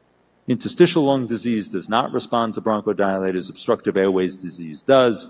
As you can see in this figure, the greater the reduction in lung function after 9-11, the more likely you are to respond to bronchodilators. Similarly, the greater the reduction in lung function after 9-11, the more likely you are to have air trapping. Not shown here are some CAT scans that we've done on over 3,000 people that demonstrate the same thing. Air trapping rather than interstitial lung disease. And we've also done methacholine challenge testing.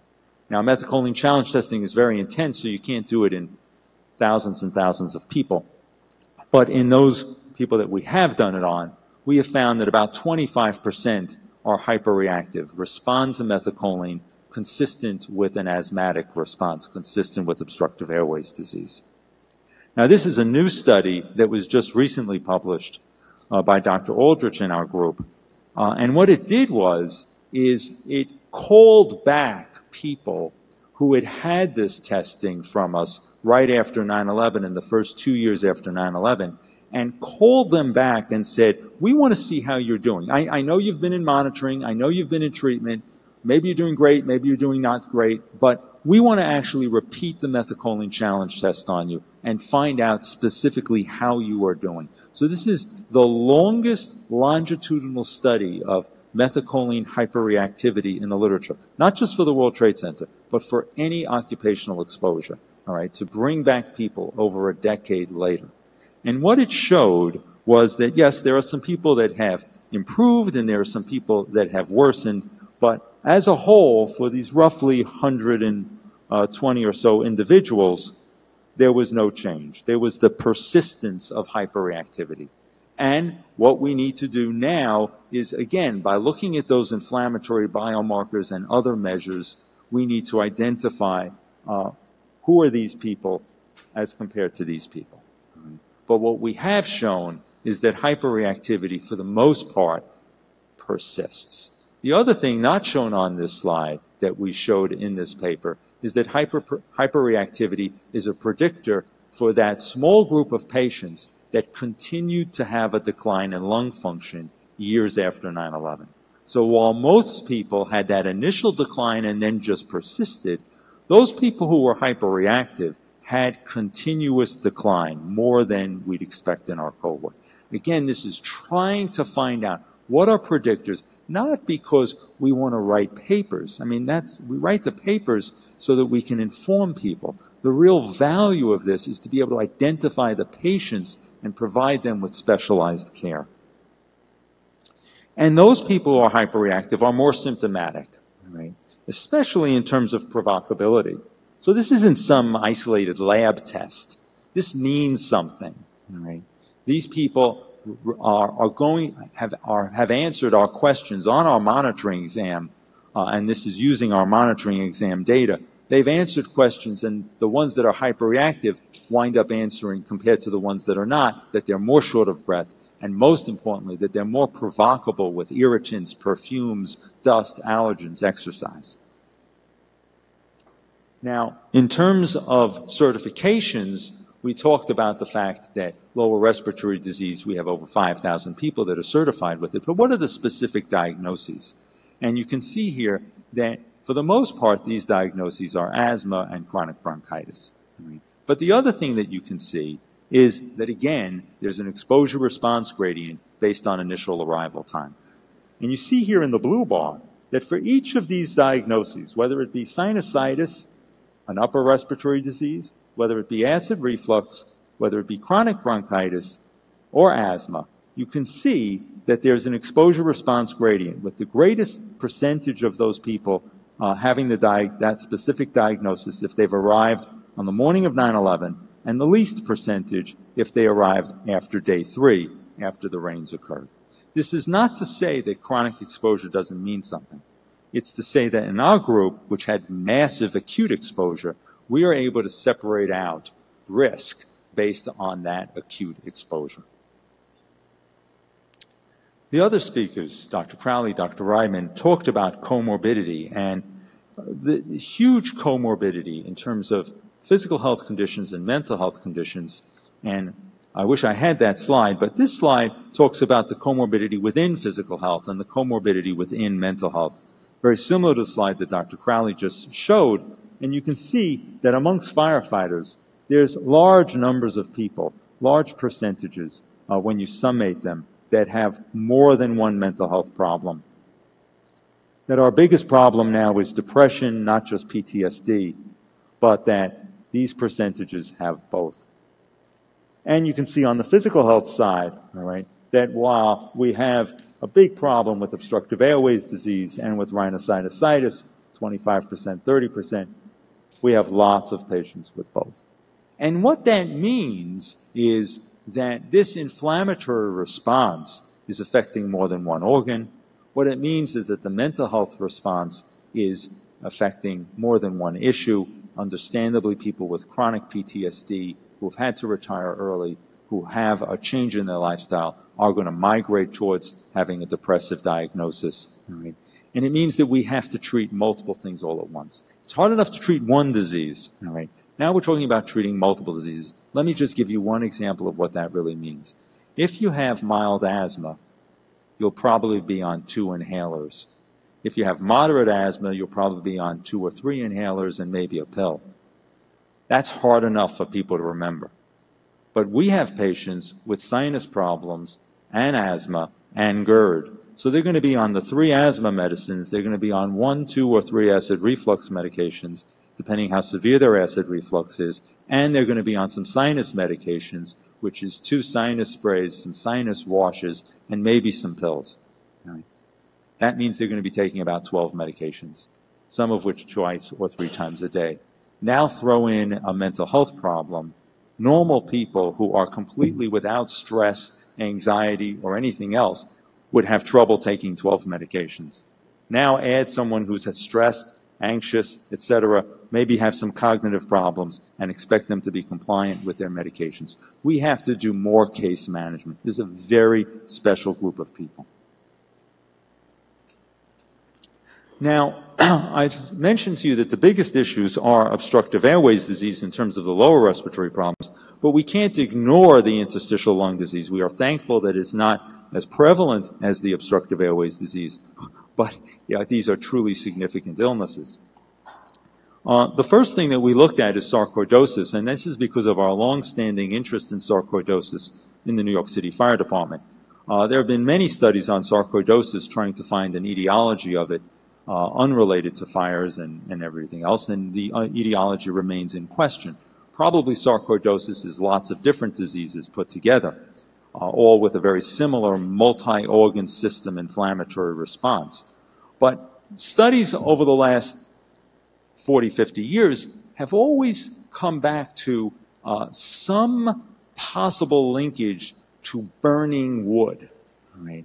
Uh, in Georgia, burning pine trees. Uh, in various different countries, people that have wood burning stoves. Uh, this is probably sort of like the first biomass uh, disease that people were really aware of uh, in a way.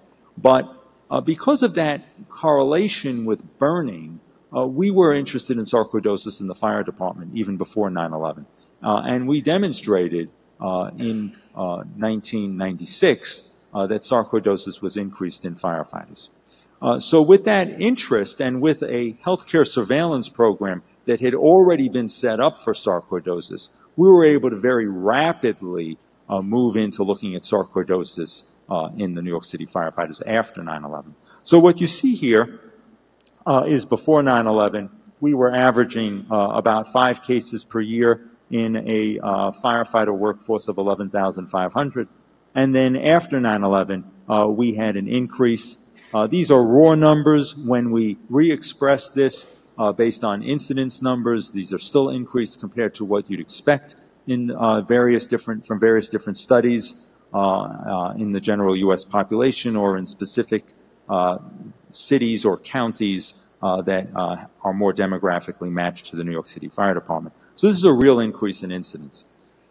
But for a lot of people, sarcoidosis, after they get over the anxiety of the diagnosis and realize that it's not lymphoma, for, for a lot of people, sarcoidosis, uh, while it affects them, has very minimal effect on their quality of life, thankfully. Uh, so we wanted to find out uh, not just about the incidence of this disease, but what organs are being affected, and is this a continuous problem or is it resolving? The literature suggests that in non-firefighters, non-World Trade Center, that sarcoidosis resolves in about 30% of people, and that it doesn't have a major impact on serious life-threatening uh, organ systems, uh, except in about maybe 5 to 10% of people. So we wanted to look at both of those issues.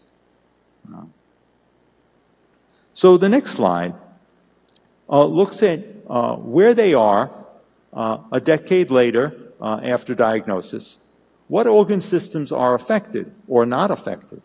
Now, all of these people were diagnosed with intrathoracic sarcoidosis. It was involving their lungs and or the lymph nodes in their chest. And that's the most common site for sarcoidosis, the most common site for its diagnosis.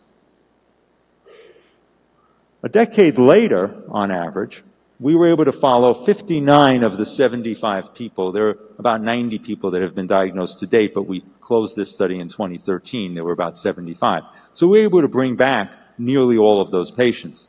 And we did uh, very extensive examination, not just uh, self-report or, or a history, but actual imaging on these patients to determine which organ systems are involved. Uh, we repeated their CAT scan to see if it was still involving their lung or lymph nodes.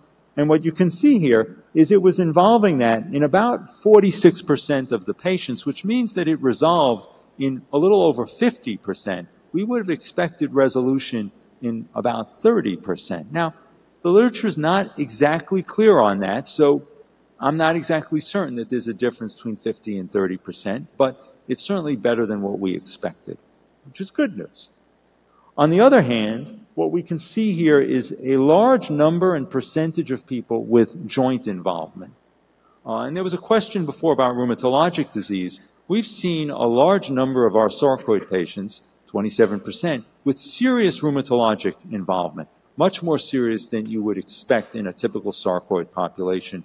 And we've published separately on this, showing that they really res- didn't even respond to standard therapy like Plaquenil or steroids, but they required uh, biologicals and more expensive meds.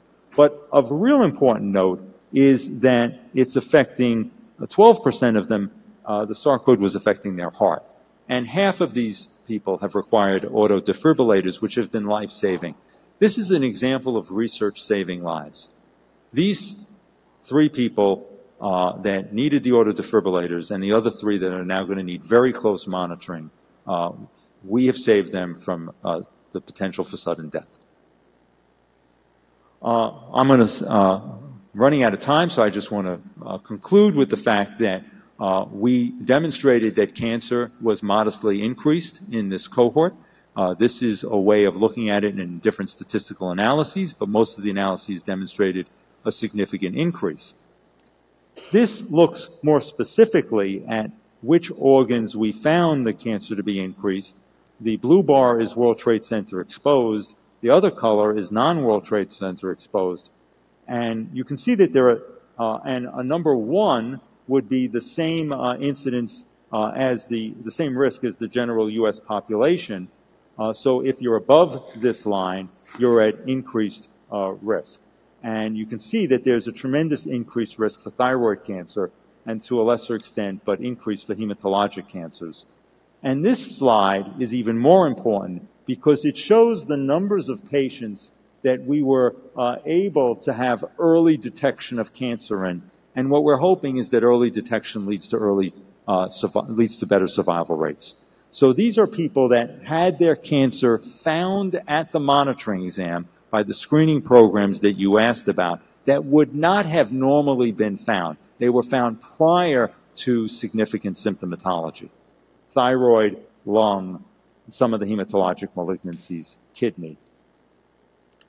And then uh, my final slide speaks to the rheumatologic question that you had, which is we've looked now uh, in two different ways uh, comparing our cases of rheumatologic disease uh, with uh, similar uh, case matched controls and also comparing it to a similar demographic population in Olmsted County. And both ways of comparison have demonstrated an increase uh, odds ratio for um, rheumatologic diseases when you combine all the rheumatologic diseases together, other than sarcoidosis, which we had already shown to be increased. Uh, and specifically, we're seeing an increase in rheumatoid arthritis, uh, myositis, uh, lupus, uh, and possibly some of these other diseases. So, what have we learned? We've learned a lot of things. Uh, but for the most part, what we've learned is that you have to fully integrate monitoring, treatment, and research. Research is not a dirty word. We would not know about these illnesses if we hadn't been doing this research we would not have been able to change from advocacy to data-driven advocacy if we had not done this research. And we would not be able to identify what treatments are necessary for the members that have been exposed if we had not been doing this research. And as Dr. Crowley said, once you identify this, you need to provide treatment in a multidisciplinary approach. But none of this would be possible without broad support. And luckily, we had that broad support from labor, from management, and from, from normal citizens uh, who spoke to Congress and said this funding needs to be done. I'd like to conclude then with saying that uh, what you see here is the greatest example of plagiarism known to mankind. Uh, none of this is my work, it's all my people's work. Uh, so, uh, there have been a lot of people who have been involved with this, uh, many of whom are in this office, uh, in this auditorium today. We have people from the New York City Fire Department in collaboration with Montefiore and Albert Einstein College of Medicine. We have people at NYU who have been doing some of our biomarker research. We've been expanding our research for cancer biomarkers uh, with Sloan Kettering and with Albert Einstein. it's just a phenomenal group of people. Uh, there are many that I haven't even mentioned here. Uh, and this is a research uh, driven program based on a clinical driven program. So if it wasn't for Dr. Kelly and Dr. Ortiz and Dr. Koffler and Dr. Marchesano and every doctor that we have and every nurse that we have and a phenomenal case management group of nurses for respiratory disease led by Ms. Turns and for cancer led by Ms. Wilson, the patients wouldn't even been coming, and we wouldn't be able to know this or apply this. So I thank them more than anyone else. Thank you.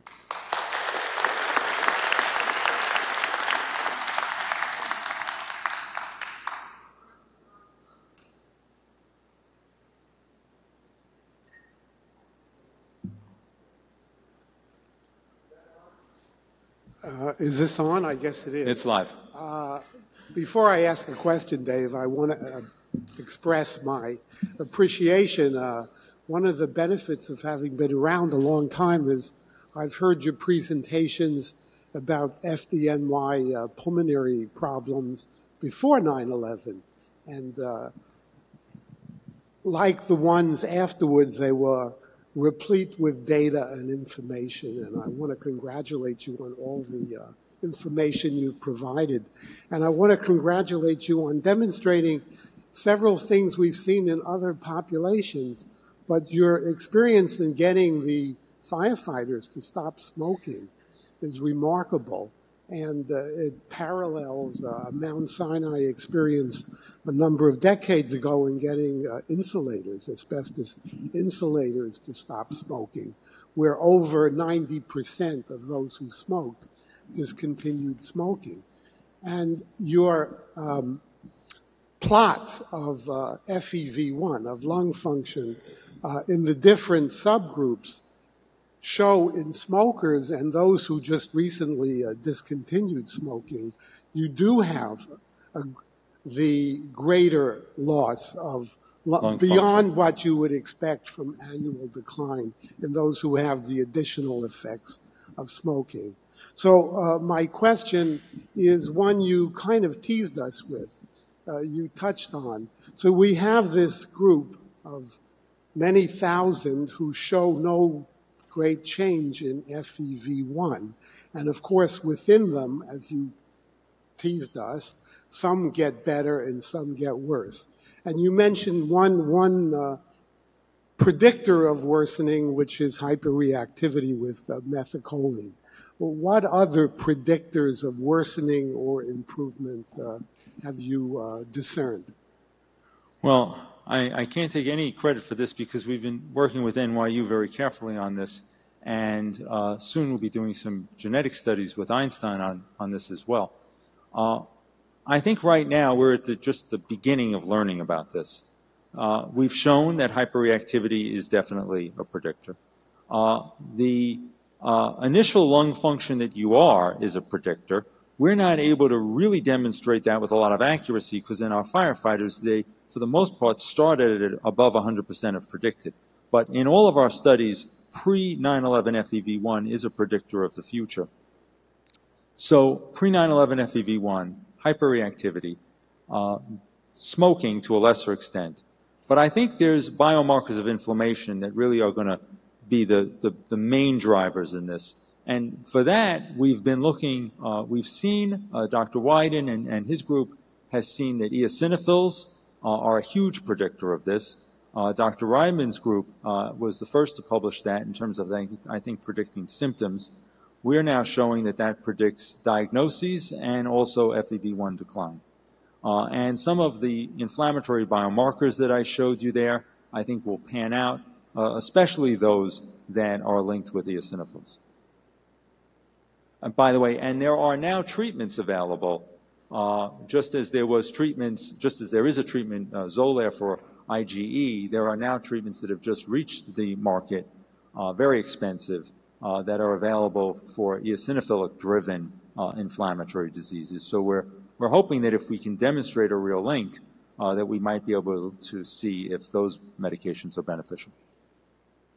So, David, it's Stephen Markowitz. Um, I want to return to Ms. Ross's question about lung cancer screening, uh, use of low-dose CT. Currently, the program, and, and, this is not, I understand you don't make this decision, but it's a good opportunity for discussion. Sure. Currently, the program uses two risk factors, age and smoking.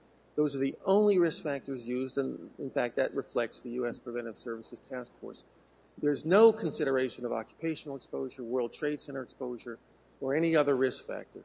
There is an alternative set of guidelines which incorporates some of those other risk factors. And one of the impressive things about your presentation is that you very clearly demonstrated a major inflammatory event in the lungs for many firefighters, and you demonstrated uh, the uh, persistence of obstructive airways disease, both of those being risk factors for lung cancer. And my question is, why, why can't the program take a broader approach in the use of low-dose CT, particularly going forward, because we're past the 15 years of latency, going forward and moving beyond age and smoking as the only risk factors for consideration of low-dose CT?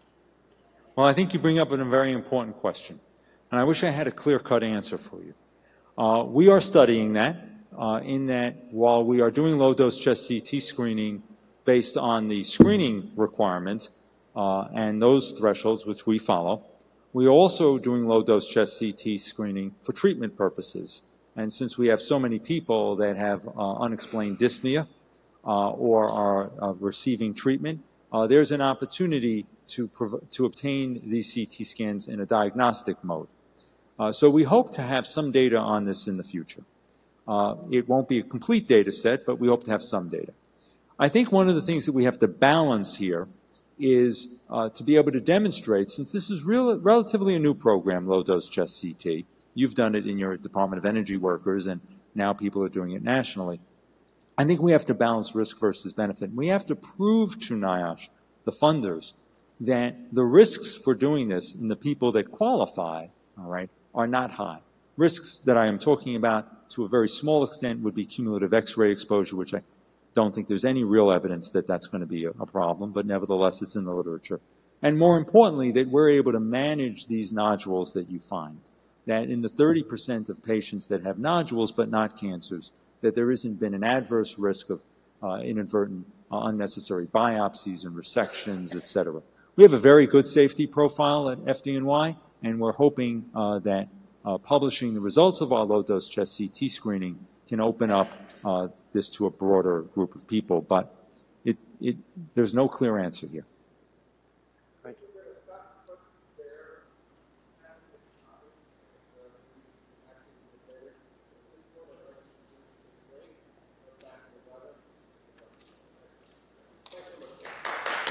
We're delighted to have uh, Dr. Adriana Feder from the uh, uh, Icahn School of Medicine talking about risk coping and PTSD and WTC responders.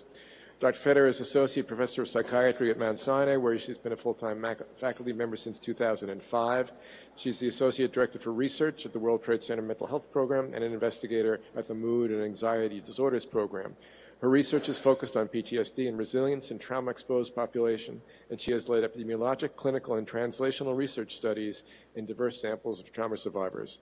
Dr. Feder has been principal investigator of three CDC NIOSH funded studies on the longitudinal course and biomarkers of PTSD and resilience in, in WTC rescue and recovery workers, working closely with co-principal investigators, excuse me, Dr. Bob Pietrzak and uh, Steve Southwick at Yale. Together with Bob, she was recently awarded a new CDC NIOSH grant to conduct a randomized controlled trial of internet-based psychotherapy in WTC responders with PTSD and investigate genomic biomarkers of treatment response. She's also received a NARSAD, I guess that's NARSAD, right? Uh, Independent Investigator Award from the Brain and Behavior Research Foundation to conduct a trial of repeated ketamine administration in patients with PTSD, which is currently in progress. And if that's not enough, folks, she sees patients too. Another triple threat coming your way. Please welcome Dr. Adriana Feder.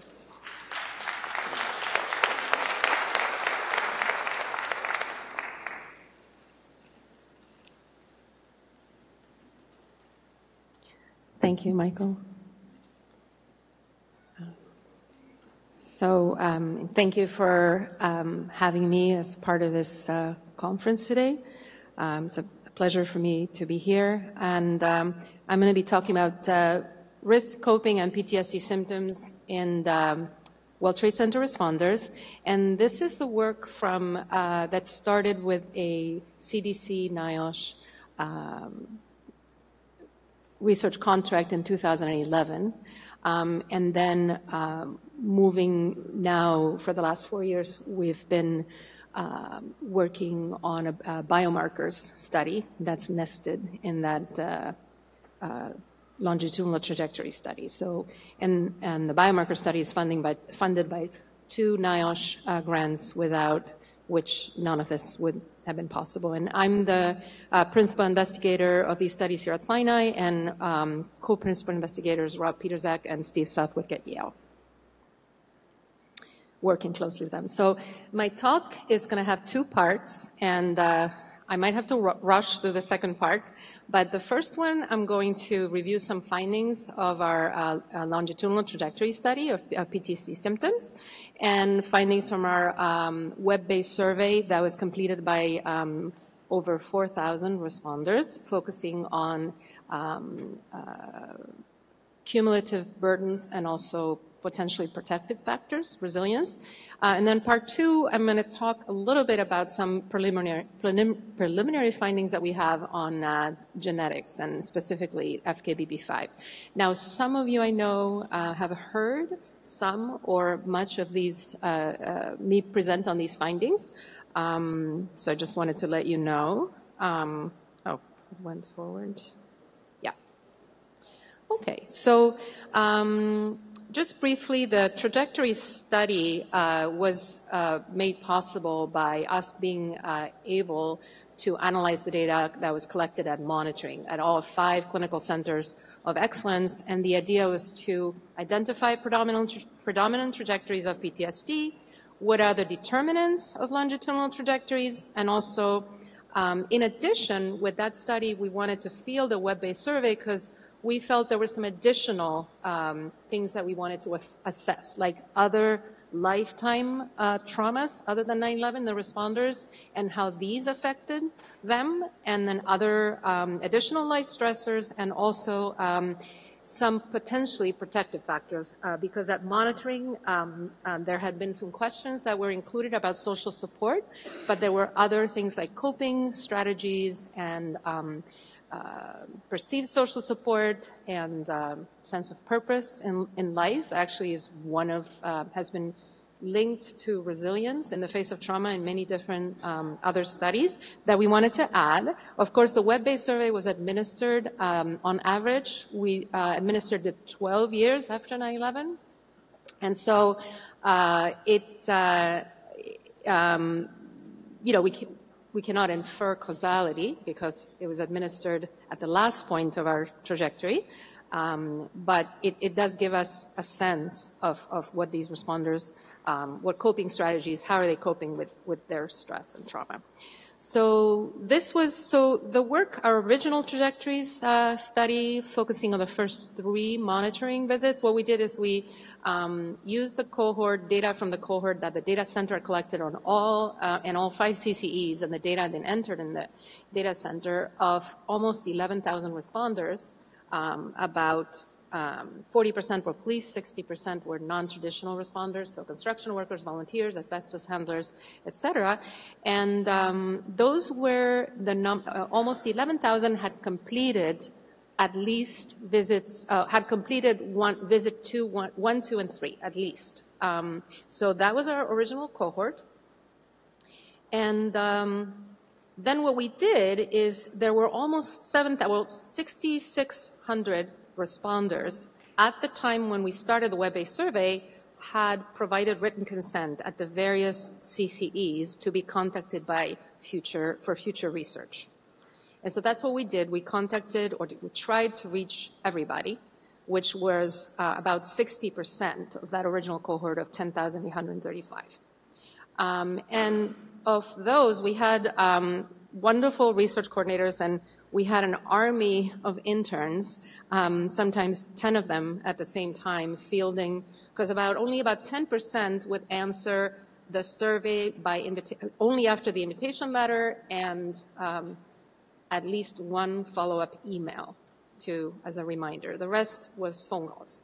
And so the rest of the 90% of those who did answer was because of these interns that were calling and saying, hi, um, remember and did you receive our letter, et cetera. And so we had actually, given that we were restricted by only 61% had agreed to be contacted, but of those, I, I always learned that epidemiologically the gold standard for a good enough survey is 70%, and uh, 68% um, uh, we were able to get uh, to participate. So we were quite excited. It took a lot of work.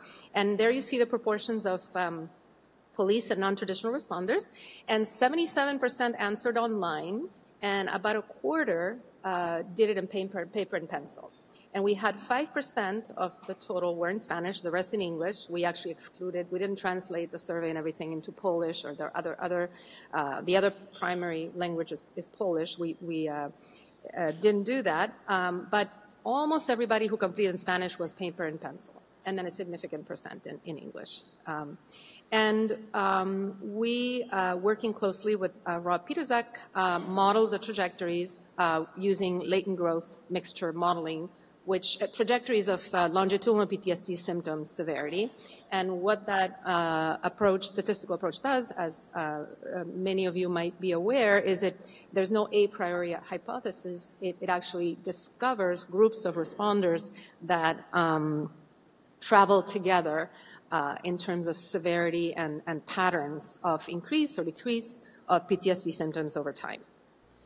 Um, so in order to model the trajectories, what the World Trade Center, the CCEs had always used from the beginning was the PTSD uh, checklist, uh, the specific version, specific for WTC related trauma. So uh, we were, you know, so the question was, um, please, uh, you know, uh, below is a list of problems, and please mark to what extent you've had this in the past month, each of these symptoms or um, concerns in relation to 9-11 2001.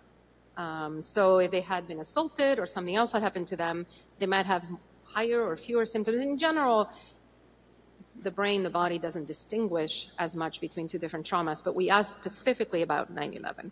And so because the data center and the CCEs had collected with this instrument, then this is what we use to measure PTSD symptoms um, at time four, which was our web-based survey in this subset of over, over 4,000 responders. And um, one thing I was to say now we have DSM-5. This is the DSM-4 version that, that we were using at the time. So this paper has just been published in July in the Journal of Psychiatric Research, and so all the things that I'm going to talk about um, before I talk about the biomarkers preliminary findings are published, and it's it's sort of very um, compressed. There's a lot of information there, so I won't be able to uh, talk about everything, but I'll just give you a, a, flavor. And so, sorry that it's a little bit hard to see, but um, the top one are the police responders, and the bottom one are the non-traditional responders. So the non-traditional responder group is a very heterogeneous group. Um, the largest subgroup in that set is, are the construction workers. But there are all kinds of less trained, less prepared, or not, not prepared, not untrained. So we see, as many other groups have, other groups have shown, that, and now that at 12 years uh, on average, uh, after 9 11, that still the police responders, uh, the um, three quarters of them, the majority, have no or low symptoms. But still, almost 25%, almost a quarter, um, are in the symptomatic trajectories, either very high chronic and a cutoff of 44, as has been shown before, and as you probably know, is a screen positive for PTSD. So you see that the, on average, 52 up there and going up is very high symptoms.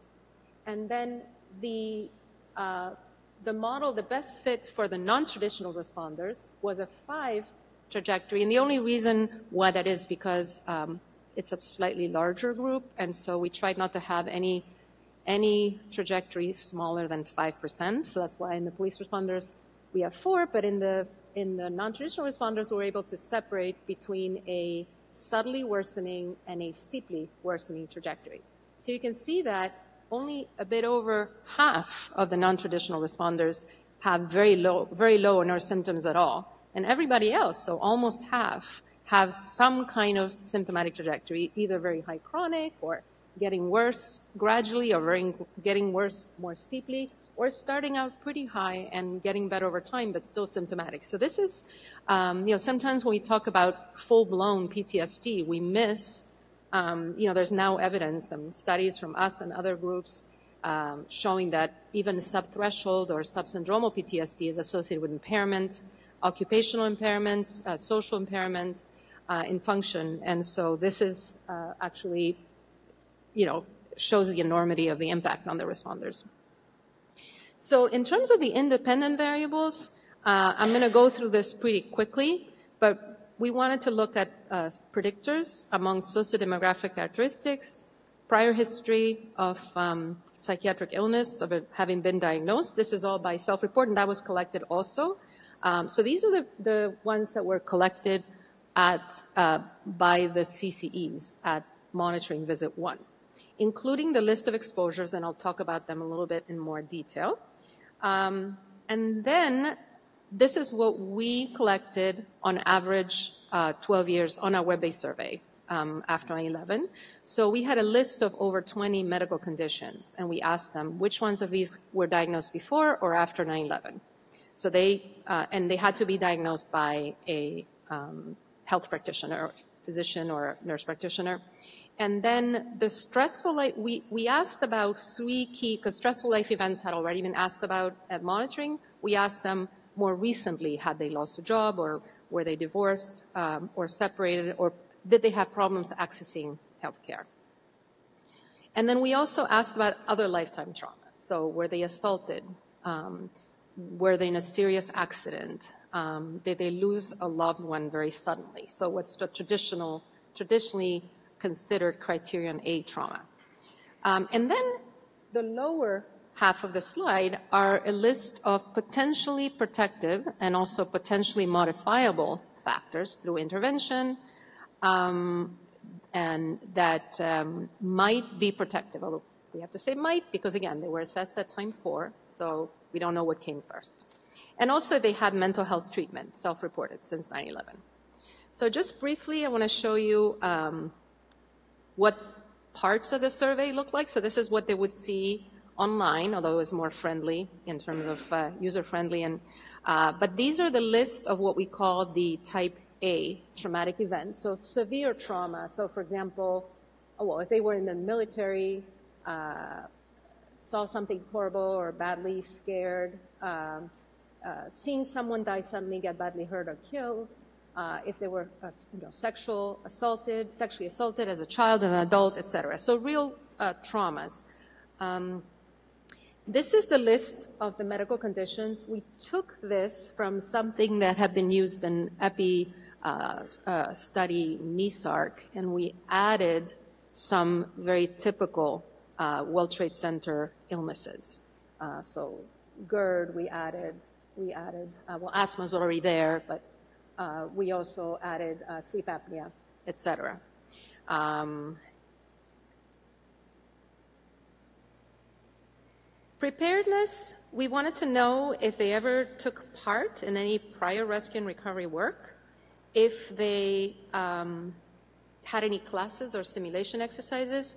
And then from a deployment risk and resilience inventory used in the military, we adapted four questions about how well prepared they felt. But this is asking them many years after 9 11, so of course it's influenced by the current level of symptoms. How well prepared were you, did you feel at the time of your recovery effort for the work that you were um, doing? Perceived social support, this is from the uh, abbreviated version of the MOS Social Support Survey. Um, purpose in life, uh, again, this has tracked in other studies of resilience the most strongly with resilience and low symptom levels. Um, so um, my personal existence is from meaningless without purpose all the way to purposeful, meaningful. And then the brief cope, we actually modified it. I, you'll see that I like to color code things. We used factor analyses from prior um, that had been previously published of the brief cope. So, so, for example, the light green ones are actually um, emotion focused, positive, positive emotion focused coping. So that has to do with positive reframing. So trying to see the positive in, in, in bad things, like, well, this was a terrible event, but I, I felt like I got closer to some of my peers, for example, or trying to see something and like I discovered that I was strong, or that's also closely related to uh, post traumatic growth. The use of humor, and also acceptance for things you can't change. Um, you've lost colleagues or you now have an illness. So that's actually been um, shown in, in, prior studies of trauma survivors to, to really uh, be adaptive and be associated with lower symptoms, symptom levels. Those three together, we called positive emotional coping. And then uh, I'm not going to talk about all of them, but the ones in, in brighter in brighter orange, self-distraction, denial, and giving up on trying to deal with it. So trying to avoid, to a certain extent, turning to work or other activities to take one's mind off things. It, it not necessarily maladaptive, but if that's one uh, mechanism that one uses exclusively, trying to forget that it happened, or um, it's actually usually tracks more in other studies with PTSD.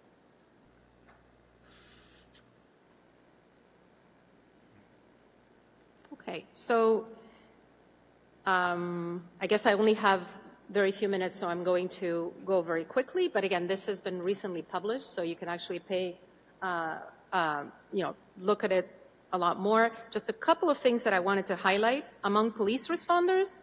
So these are predictors of the improving, worsening, or chronic trajectory compared to the low or no symptom trajectory. So as you can see, anything that is significant with stars and over higher than one, um, all the, the burden of um, life stressors, traumatic events, especially after 9-11, um, and then number of medical conditions after 9-11, as well as WTC-related exposure severity. The potentially protective factors are in green, and when we put all the types of preparedness that we measured, it was perceived preparedness after adjusting for everything else. This is after adjusting everything for everything. Um, and very important, coping by using substances as uh, it was presented before. I think you, you had actually those nice overlapping circles that in those patients of yours who have elevated PTSD symptoms, as you know, really, really important to check for um, alcohol, alcohol use, uh, maladaptive alcohol use. Not necessarily everybody has alcohol use disorder or dependence, but higher. Using these were this is what they said were the three most common coping strategies. And avoidance coping was also a predictor of all the symptomatic trajectories. In a couple of things I wanted to highlight in the non-traditional responders that lower education made uh, a difference in terms of increasing risk. And um, again, I won't be able to go over all the details, but perceived social support, purpose in life, um, preparedness uh, made a difference, a feeling of preparedness, and active coping was potentially protective, and also positive emotional coping. And that's important because we're about to start uh, a randomized control trial of um, internet-based psychotherapy where we're going to focus on, on these things. Okay. So so again, these things, additional things that we measured, uh, have a potential buffering effect and are potentially modifiable. And so there's implications for screening, prevention, and intervention. Briefly, two minutes on the biomarkers study. It has several aims. Right now, we've completed uh, about over, we, we um, uh, bring them in in person, uh, our research team, and they um, it's, we are recruiting participants from each of the main four trajectories, and we've already, uh, 300 respond, over 300 have completed, and we, we're gonna, we aim to finish 400. And um, so basically, from the trajectories, they're selected. And so just very briefly, th- these are the first 307 that came in. And you see that we're measuring additional things like childhood trauma and the, these are, this is with the CAPS, a clinician in-person interview, clinician-administered uh, PTSD, and um, we've broadly grouped patients into current PTSD, past PTSD, now better, at least they're subsyndromal or not fully recovered, and then never PTSD, but that includes a sub-threshold group. And um, you can see one thing that, again, the police responders you see fewer of them. There are many more of them in the no PTSD group. And so I'll, I'll just leave you with a brief, interesting finding that we have with FKBP5, which is a chaperone protein, as many of you know, that regulates or modulates the sensitivity of the glucocorticoid receptor. So when cortisol is secreted during stress or released during stress, it binds, um, it, it, uh, binds to the glucocorticoid receptor and it, it sort of tries to shut down the stress response appropriately after it starts. And FKBP5 modulates that. And if there's too much FKBP5, there's um, it, there can be a, a prolongation of the, of the, stress response. And FKBP5 relates to multiple targets, including PTSD, medical illnesses, Im, immune response, depression, psychosis, and even potentially dementia. And so what we found, um, these are the exposures that we measured. So this, the gene, this is just one gene. We're, we're actually going to be looking at many different candidate genes. But basically, these are the exposures that were assessed at visit one at monitoring. We're assessing them now also, but now there's a maybe a recall bias. Um, so it's good that they were assessed at time one and extremely careful, as you all know.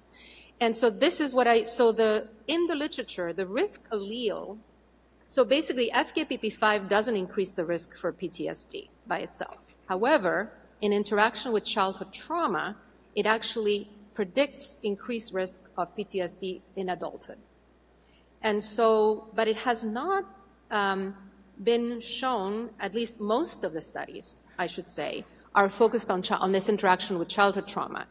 What this can do, having a, a sample of responders who all were affected by the same trauma but with different histories and different um, genotypes, is what we see is um, the, the risk allele is T. So if you have no risk alleles at that particular SNP or single nucleotide polymorphism, it's almost flat. You have one T allele. It, for every exposure that was measured, your risk of having PTSD of 50, a cutoff of 50 on the CAPS, is uh, PTSD. And then if you have both risk alleles, by about three exposures, or you're already hitting the 50 on the CAPS. So um, that's pretty much all I have to say. And I really wanted to thank the, the team, um, especially uh, coordinators Leo Conselmo and currently Olivia Diab and Leah Khan, um, who's, who's, also here, uh, has done single-handedly most of the interviews um, along with Cindy Aronson and all our wonderful collaborators also from the World Trade Center program.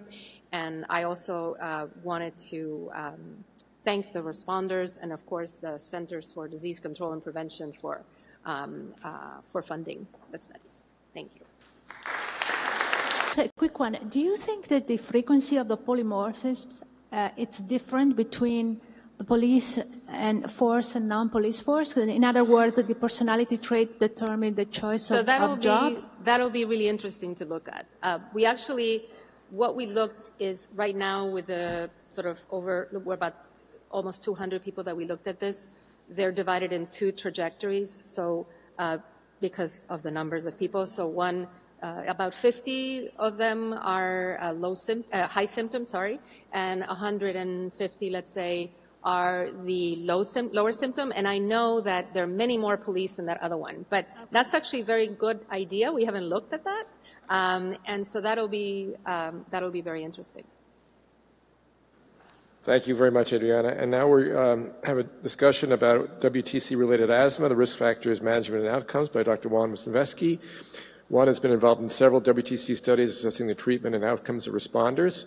He is currently PI of two U1 grants evaluating factors with asthma control among WTC rescue and recovery workers with a focus on the role of mental health and self-management. He has expertise in asthma and COPD behavioral research. His work as a pulmonary internal medicine researcher has translated into greater than 160, 160 original publications, including first author papers in high-impact journals. More triple threat folks. Here he comes. Well, thank you for the invitation and for the nice introduction. Um, and so we're going to move from the brain to the lungs, uh, but hopefully by the end of the talk, uh, you will uh, be convinced that there is a strong connection here. So, um, okay, so uh, as you know, and from the prior uh, presentations, asthma is a very a prevalent condition in WTC workers and responders and volunteers. Um, this is data we published like 10 years after 9/11, showing that you know over time the prevalence of you know lifetime asthma you know goes up to around you know 30%, over 40% in those groups and some groups, and there's a strong relationship here with uh, exposure uh, during 9/11 again with our crude measures of exposure, but you know, uh, strong association. Um, you know, despite these high risks, um, you know, there was a lot of interest uh, in the beginning to show whether you know these rates are really reflect you know uh, higher um, prevalence compared to the general population. Um, obviously, many of the workers uh, were self-selected because uh, uh, to enter in the workforce, so you expect rates that will be lower than the national population. In this study with the Hyun Kim, um, uh, we look at the National Health Interview Survey, um, and as you can see here, these are the rates of uh, lifetime asthma in the in NHSI, which is a national population-based sample of a U.S. Individuals. And uh, over time, you see a pretty flat rate with around 10%, which is a described prevalence of asthma in the United States. But if you look at the uh, population of uh, rescue and recovery workers in the Trade Center program, you see a sharp increase, you know, after 9/11, and then you know with slow rise over time. This is also true for you know uh, asthma symptoms in the last 12 months, you know, showing that depending on the groups, there was a three to four, even up to five, uh, five times the risk of asthma.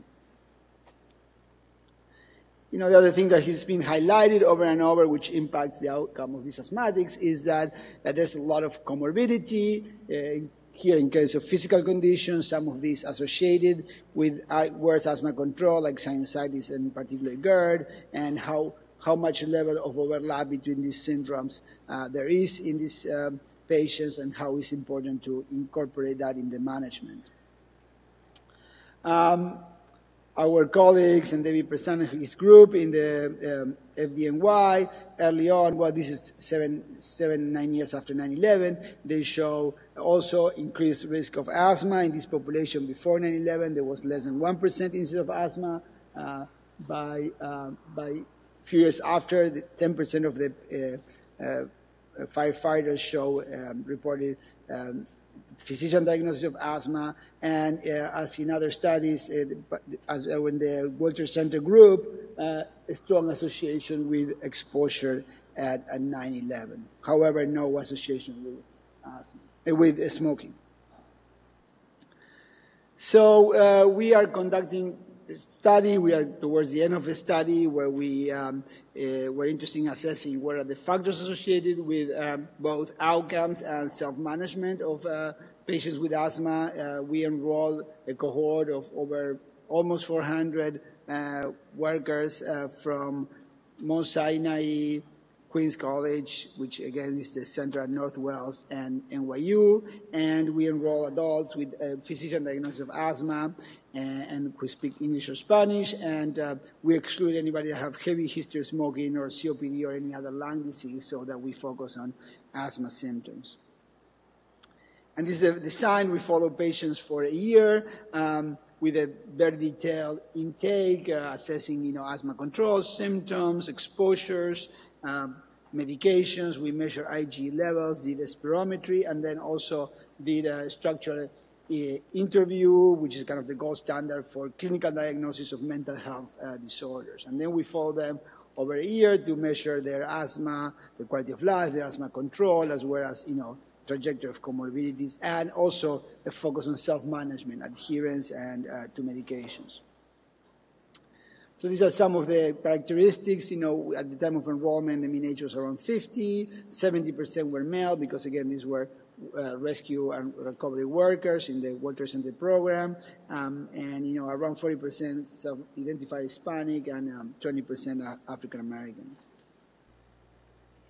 And you know, consistent we have found in some other studies in the um, New York City, uh, non-WTC asthmatics, there was a significant uh, rate of allergen sensitization in the group, with you know over 30% being sensitized to dust mites, and also cockroaches and cat being uh, frequent um, allergens in this group. this is in terms of uh, the levels of asthma control and you know treatments that these uh, patients are receiving. Um, and as you can see, um, 25% a quarter have a good no report no no symptoms of asthma would be like you know well controlled where the majority particularly 50% having you know reporting symptoms consistent with having very poorly controlled disease. Um, good news is most patients are on treatments primarily inhaled corticosteroids or combination of those but it is a subset of patients are, are you know reported not being receiving any medications. Again these may be some do- patients have not seen a doctor recently or that may have been prescribed but they, they, they don't report it um, small percentage, particularly in those who have poor control disease. Interestingly and not surprisingly, with as any patients with chronic diseases, uh, almost half of them reported not being adherent to uh, their chronic asthma medications, which clearly will like have impact on uh, their symptoms.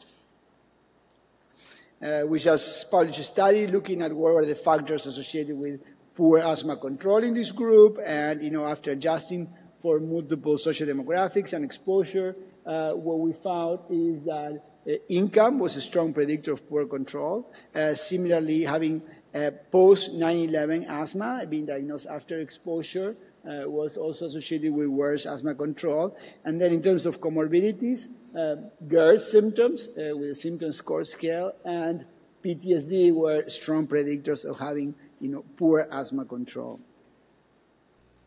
And this is consistent with a study published by Hannah Jordan and her group from uh, the Trade Center Registry in the Department of Health, where they also show, you know, other factors, but, you know, education that could be a proxy for a, a socioeconomic status, but also, you know, G, uh, symptoms and, um, and mental health conditions, in particular PTSD and depression, that were strongly associated, independently associated with uh, worse out, asthma outcomes, suggesting that obviously, again, uh, mental and physical health comorbidities clearly likely have a strong impact on these patients and need to be co-managed with their asthma.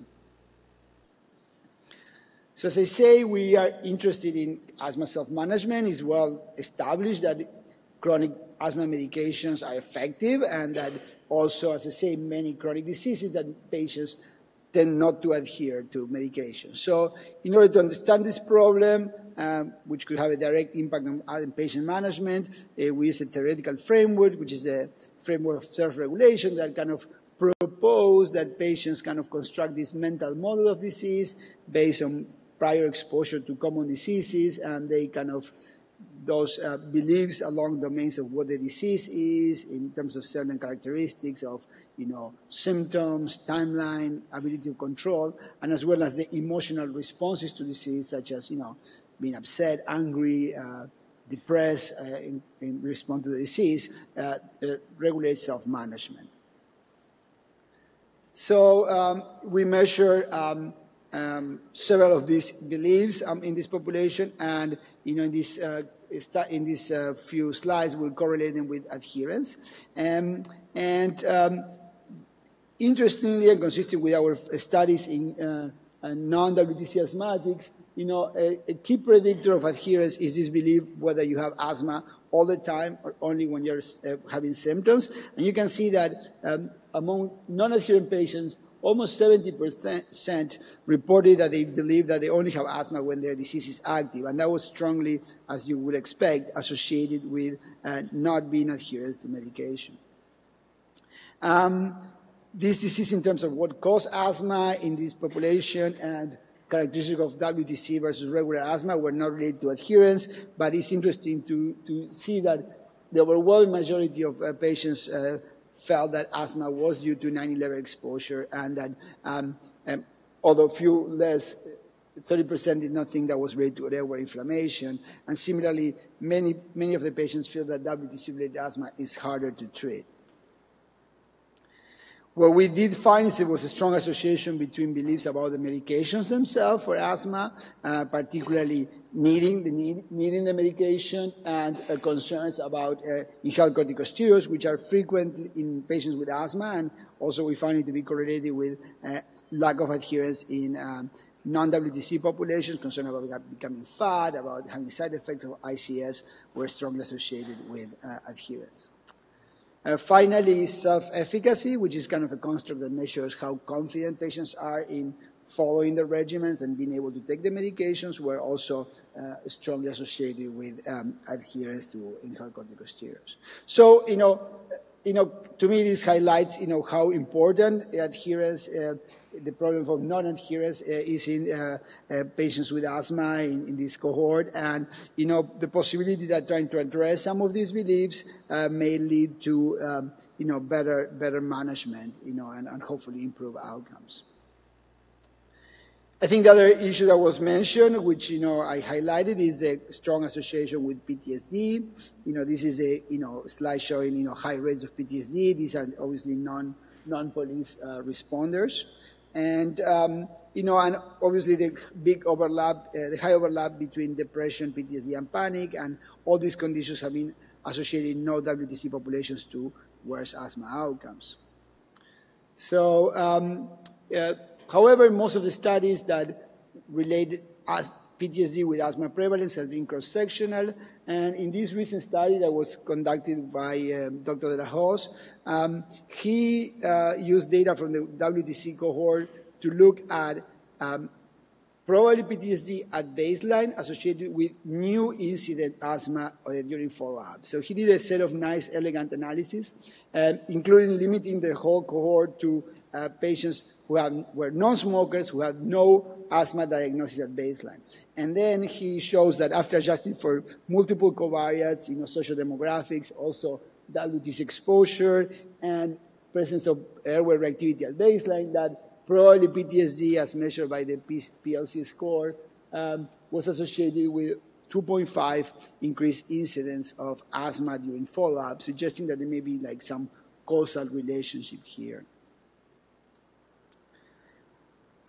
Using our data, we uh, were interested in looking at uh, PTSD and also subthreshold PTSD, what was mentioned in, the prior uh, talk, and uh, asthma control. And, you know, also remember that this was done by structural interviews, so these are, you know, equivalent to clinical diagnosis of PTSD. And as you can see, you know, PTSD was associated with most measures of asthma control, including, you know, worse uh, uh, scores of symptom scores, worse quality of life, and increased resource utilization. However, subthreshold PTSD was not uh, significantly associated with any, any outcome. In terms of, you know, what symptoms of any PTSD, we found that uh, re-experiencing was kind of the stronger predictor and strongly uh, associated with all asthma outcomes. Um, and where some avoidance was associated with some uh, increased uh, symptoms as well. You know, interesting also, you know, when you exclude and we look at the patients without full PTSD, we still found that symptoms of re-experiences was associated with certain measures of uh, poor asthma control, suggesting that, you know, there is some role for potential isolated symptoms even without full PTSD as a, you know, driver for worse asthma um, symptoms. So we are, you know, launching a new study that, um, you know, to try to assess what are the potential pathways that explain this relationship between PTSD and asthma outcomes.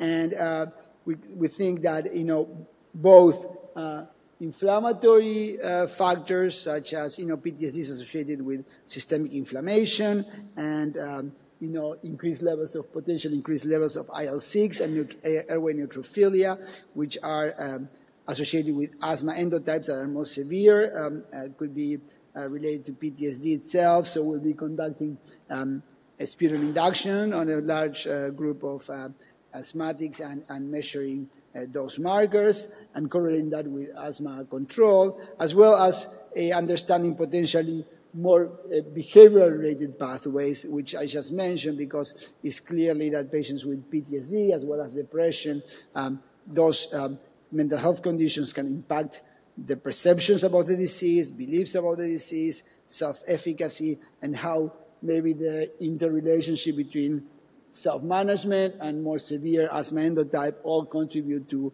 you know, the findings that we keep seeing in terms of uh, PTSD being associated with worse asthma control and how we can then integrate those all these towards the end of the study to do a pilot intervention to you know co-manage you know both conditions.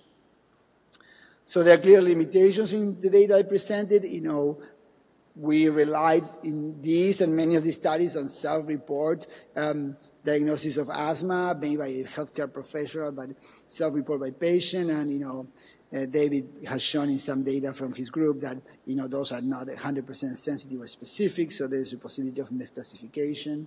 Um, we have the lack of detailed data about exposure that was mentioned over and over in the prior presentation. So assessing the relationship, you know, causal relationship between exposure and outcomes is difficult. And then, of course, you know, most of these are association studies, so, you know, it's difficult to show causation. So I think in summary, um, well, we I think over and over we know been presented that asthma is a very common um, condition affecting WTC responders and all the other population exposed to the WTC disaster. That there is considered comorbidity, both mental health and uh, physical conditions, and particularly GERD and PTSD seem to be associated with symptoms. So um, it's important to co-manage those conditions. Um, I think based on the data that we show, it's also important to focus as any patient with chronic conditions on the fact that, you know, adherence may be a problem and that achieving good outcomes or improving their outcomes uh, is important to, you know, tackle these issues, which are not simple, but, you know, it's still critical. And that I think uh, we are learning more and more that managing comorbidities, particularly managing mental health, physical comorbidities, it will be critical for you know achieving good outcomes in this population. Let me finish by acknowledging that this is obviously a team effort. Um, Steve Markowitz has been our partner in crime in uh, all these studies, uh, so as well as the group at um, uh, NYU, um, some other collaborators here, particularly um, Emily, which has been um, the project manager, has been really driving all this work, um, and many others, which you know, obviously make it uh, interesting, and of course, uh, NIOSH for their funding and support. Thank you very much.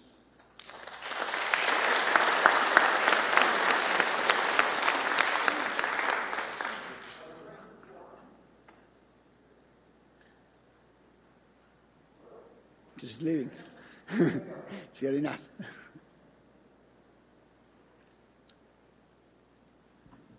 Juan, among the outcomes in patients with asthma are the pulmonary function measurements and such uh, hard clinical uh, statistics as ER uh, visits and admissions. So, could you comment on what the range of the pulmonary function is? Many asthmatics seem to have normal pulmonary function when we measure it.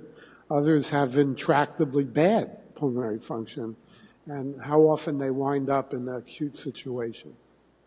Yes, so I think you're raising a good point. Uh, we, we had done spirometry, but you know, again, these are not considered as standard you know, the same quality as uh, spirometry is done in clinical settings. We see that, you know, FEV1 is depressed, but is, we, there's many patients that have diagnosis of asthma that have normal spirometry. We are retrieving the lung function from the WTC, so to look at uh, the, the Trade Center monitoring program to look at more detail of this. But, um, you know, it's a mixed group. Some have abnormal, some have within normal limit as, as spirometry.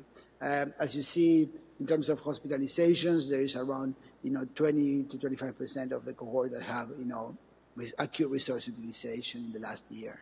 So, and I think the group at the DOH is working on a manuscript that they have linked their data to SPARCS uh, to look at uh, hospitalization and ED visit in the cohort over time. So they, they, they're already ready to publish that. All right. so much.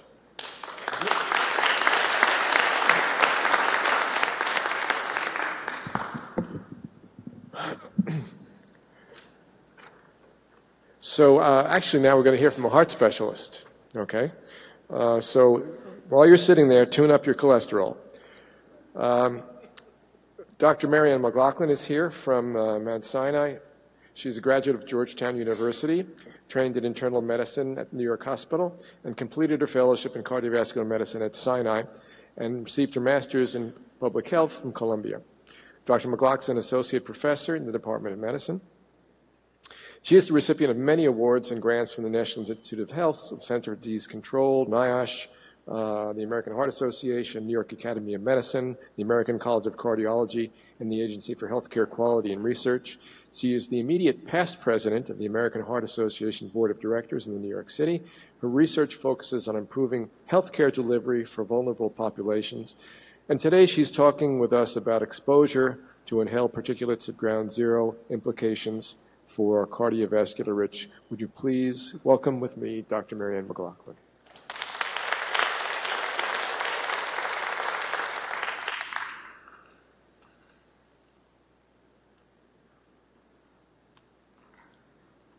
Thank you for having me today. It's a pleasure.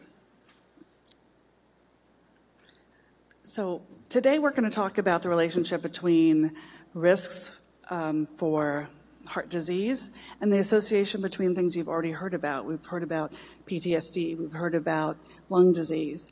And the reason I was became involved in this was when Dr. Jackie Moline was here um, several years ago. She came to me and said, you know, there's the Fraternal Order of Police was interested in looking at heart health in their individuals, and not only just as a research perspective, but really more as a clinical perspective. Um, and the theory is that they were short of breath. A lot of people are short of breath. And sometimes cardiovascular disease actually presents as shortness of breath. So maybe some of the people have comorbid conditions or multiple conditions. So we're going to talk today about what the physiologic perspective is, like why uh, heart disease could be affected from exposure to particulate matter.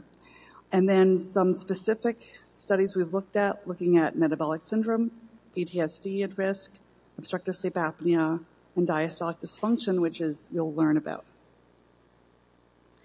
You've heard that there are several different groups, and my research is really focused more on the law enforcement officers. You've seen these pictures. So, interestingly, air pollution is a risk for cardiovascular disease and mortality. You don't hear it talked about so much because when we talk about risk for heart attacks, we say, okay, cholesterol, smoking, diabetes, hypertension, family history are all risks for heart disease. And then at patients in my office, I'm not going to say, oh, you live in New York City or exposed to air pollution, that's another risk. But it is. And if you look back, and starting in 1993, there was a large study of six studies, six cities, showing this relationship between the um, higher day, number of days exposed to air pollution increased overall mortality. Subsequently, several years ago, there was a group in Germany who actually um, noted that patients who lived closer to more near higher air pollution levels had higher deposits of calcium in their hearts. So we have that as a background. And what I say is that people who were exposed to ground zero received like an exorbitant amount of air pollution or a bolus of air pollution potentially in their lungs that day. These are three uh, mechanisms that are potential mechanisms of how the air pollution or particulate matter from 9-11 can cause cardiovascular disease. And number one on the left is looking at directly at pulmonary um, into the lungs, uh, pulmonary reflexes being exacerbated, leading to autonomic dysfunction and arrhythmias. We know if you take a mouse and you put it in a, in a little um, room with a fan blowing dust into that face of that mouse for, uh, for days, three things can happen. They can have an acute arrhythmia, they can have a cardiac arrest, or they can survive and then have ultimate problems down the road. Um, and so what we're looking at is this theory of pulmonary inflammation. So there's inflammation that leads to oxidative stress, it leads to unhealthy linings of the arteries or endothelial function, and then ultimately could lead to acute coronary syndromes and heart disease. Again, early on in my relationship with this group, we did a small pilot study, okay, because looking at this, the relationship between the trajectory of what happens when an artery gets, becomes unhealthy and leads to atherosclerosis or heart attack risk. So we see that here we have particulate matter, endothelial dysfunction leads to inflammation in the arteries And plaque, the little cholesterol plaques form new blood vessels. So neovascularization of the plaque, they accumulate debris, foam cells, lead to little hemorrhages within the artery, and that's when you lead to heart attacks. So what we did is we um, we used a method called DC MRI, which is dynamic contrast MRI, which is relatively new look into those arteries to see if we could see things like that. And this is what one looks like on the left when you see the red under the area of the curve, which shows increased plaque formation. And we took a total of 31 um, exposed law enforcement officers, 19 with high exposure and 12 with low exposure, otherwise completely matched on every other risk factor, equal levels of high blood pressure, diabetes, etc. And when we did that, we found that there seemed to be a higher amount of this neovascularization on these MRIs. Now, this is just a hint. It's a small study just to look at the physiology to say, oh, could there be something in this group? And so now those are all sort of physiologic background. I want to talk about the real health effects that are observed. And we used exposure scores that Dr. Wisnivesky published in this group here um, several years ago. And again, you've seen this slide um, from Dr. Crowley with, with the added um, in bold that upper respiratory diseases may contribute, we know can contribute to sleep apnea. Sleep apnea is a risk factor for heart attacks. So lower respiratory disease, when people have chronic lung disease, the right ventricle becomes strained or enlarged, right? So the right ventricle of the heart pumps the blood to the lungs. If there's resistance in the lungs, it can result in stress on the right ventricle and it can result in pulmonary hypertension or increased pressures in the pulmonary arteries. Um, so uh, now we're going to talk a little bit about obstructive sleep apnea and its relationship to inhaled particulate matter, PTSD, and I'm not going to talk about autoimmune disorders or inflammation, but someone mentioned it before, um, that that's very important, that now everyone's looking more at the rheumatologic disorders because we know that inflammatory responses increase risk of heart attacks. We know aspirin helps prevent heart attacks. We always thought it's because it thins the blood, and there's some theories that it's also an anti-inflammatory. So that might be what's also having its effect. So um, the first group we looked at was 2,497 law enforcement officers. Um, we did um, medical history tests, we did physical measure tests, we measured their weight, their height, their waist circumference, we did echocardiograms, and we did laboratory tests. And in this particular look, we decided to look at metabolic syndrome. Now, metabolic syndrome is a conglomeration of risk factors that has been shown to increase risk for diabetes and then ultimately cardiovascular events. So, and this is going to be a little bit busy, so I'll just try to focus your attention on the second column, the overall column. Um, at the time of the study, the average age was 47. Um, let's see. Smoking rates, I just wanted to point out, are very low in this cohort, 5%. Um, most people, 70%, were never smokers, which is important. Next, we see um, on average, um, the men and women in this group were law enforcement officers for 20 years. Um, most of them were still active, 58%, um, and education was mostly college educated. And then we looked at their other risk factors. In this cohort, around half, a little more than half, had a diagnosis of hypertension um, and high cholesterol. Uh, only 14% had diabetes, Body mass index, most were in the above average weight, and a smaller percent were obese. Importantly, I'll direct you to the last level here, the C-reactive protein. C-reactive protein is a marker of inflammation. It's been shown to be associated with increased risk of heart attacks, no matter what it's from. So if you look, if, you, if your doctor does a test or if you're doing research, if it's less than one, it's a low risk for heart disease. If it's over three, it's been shown to correlate with incre- increased risk. So in this group, um, the average is over three. So we know that whatever causes that inflammation doesn't matter. The risk is still greater for heart attacks. And now we're looking um, what what is metabolic syndrome, and I said it's a different group of symptoms the, or, or physiologic changes. So the things that we look at, we look at abdominal obesity, cholesterol, whether the HDL cholesterol is low. We look at triglycerides in the blood, and we look at glucose levels. And that's the group of this, the um, syndrome. And I'll put your attention to the bottom if you have three or more of those components, is considered a diagnosis of metabolic syndrome. And in our overall cohort, is 27% of our law enforcement officers met the criteria. And again, this is looking at, we were comparing men and women in this group. Um, our women tended to have um, higher rates of um, obesity, actually. Um, and interestingly, those who were retired were more likely to have an increased risk of metabolic syndrome. So when we know that um, we compared this with the, the national NHANES cohort, which is the United States representative sample. And interestingly, the police officers, our police officers, had less metabolic syndrome compared to the national um, levels. And I'll show you where to look in this last column on the right. In the green, this is the our, our cardiac program, our LEX program. Um, and then that's the females. And then in the dark green is the males. And the blue is the national sample size.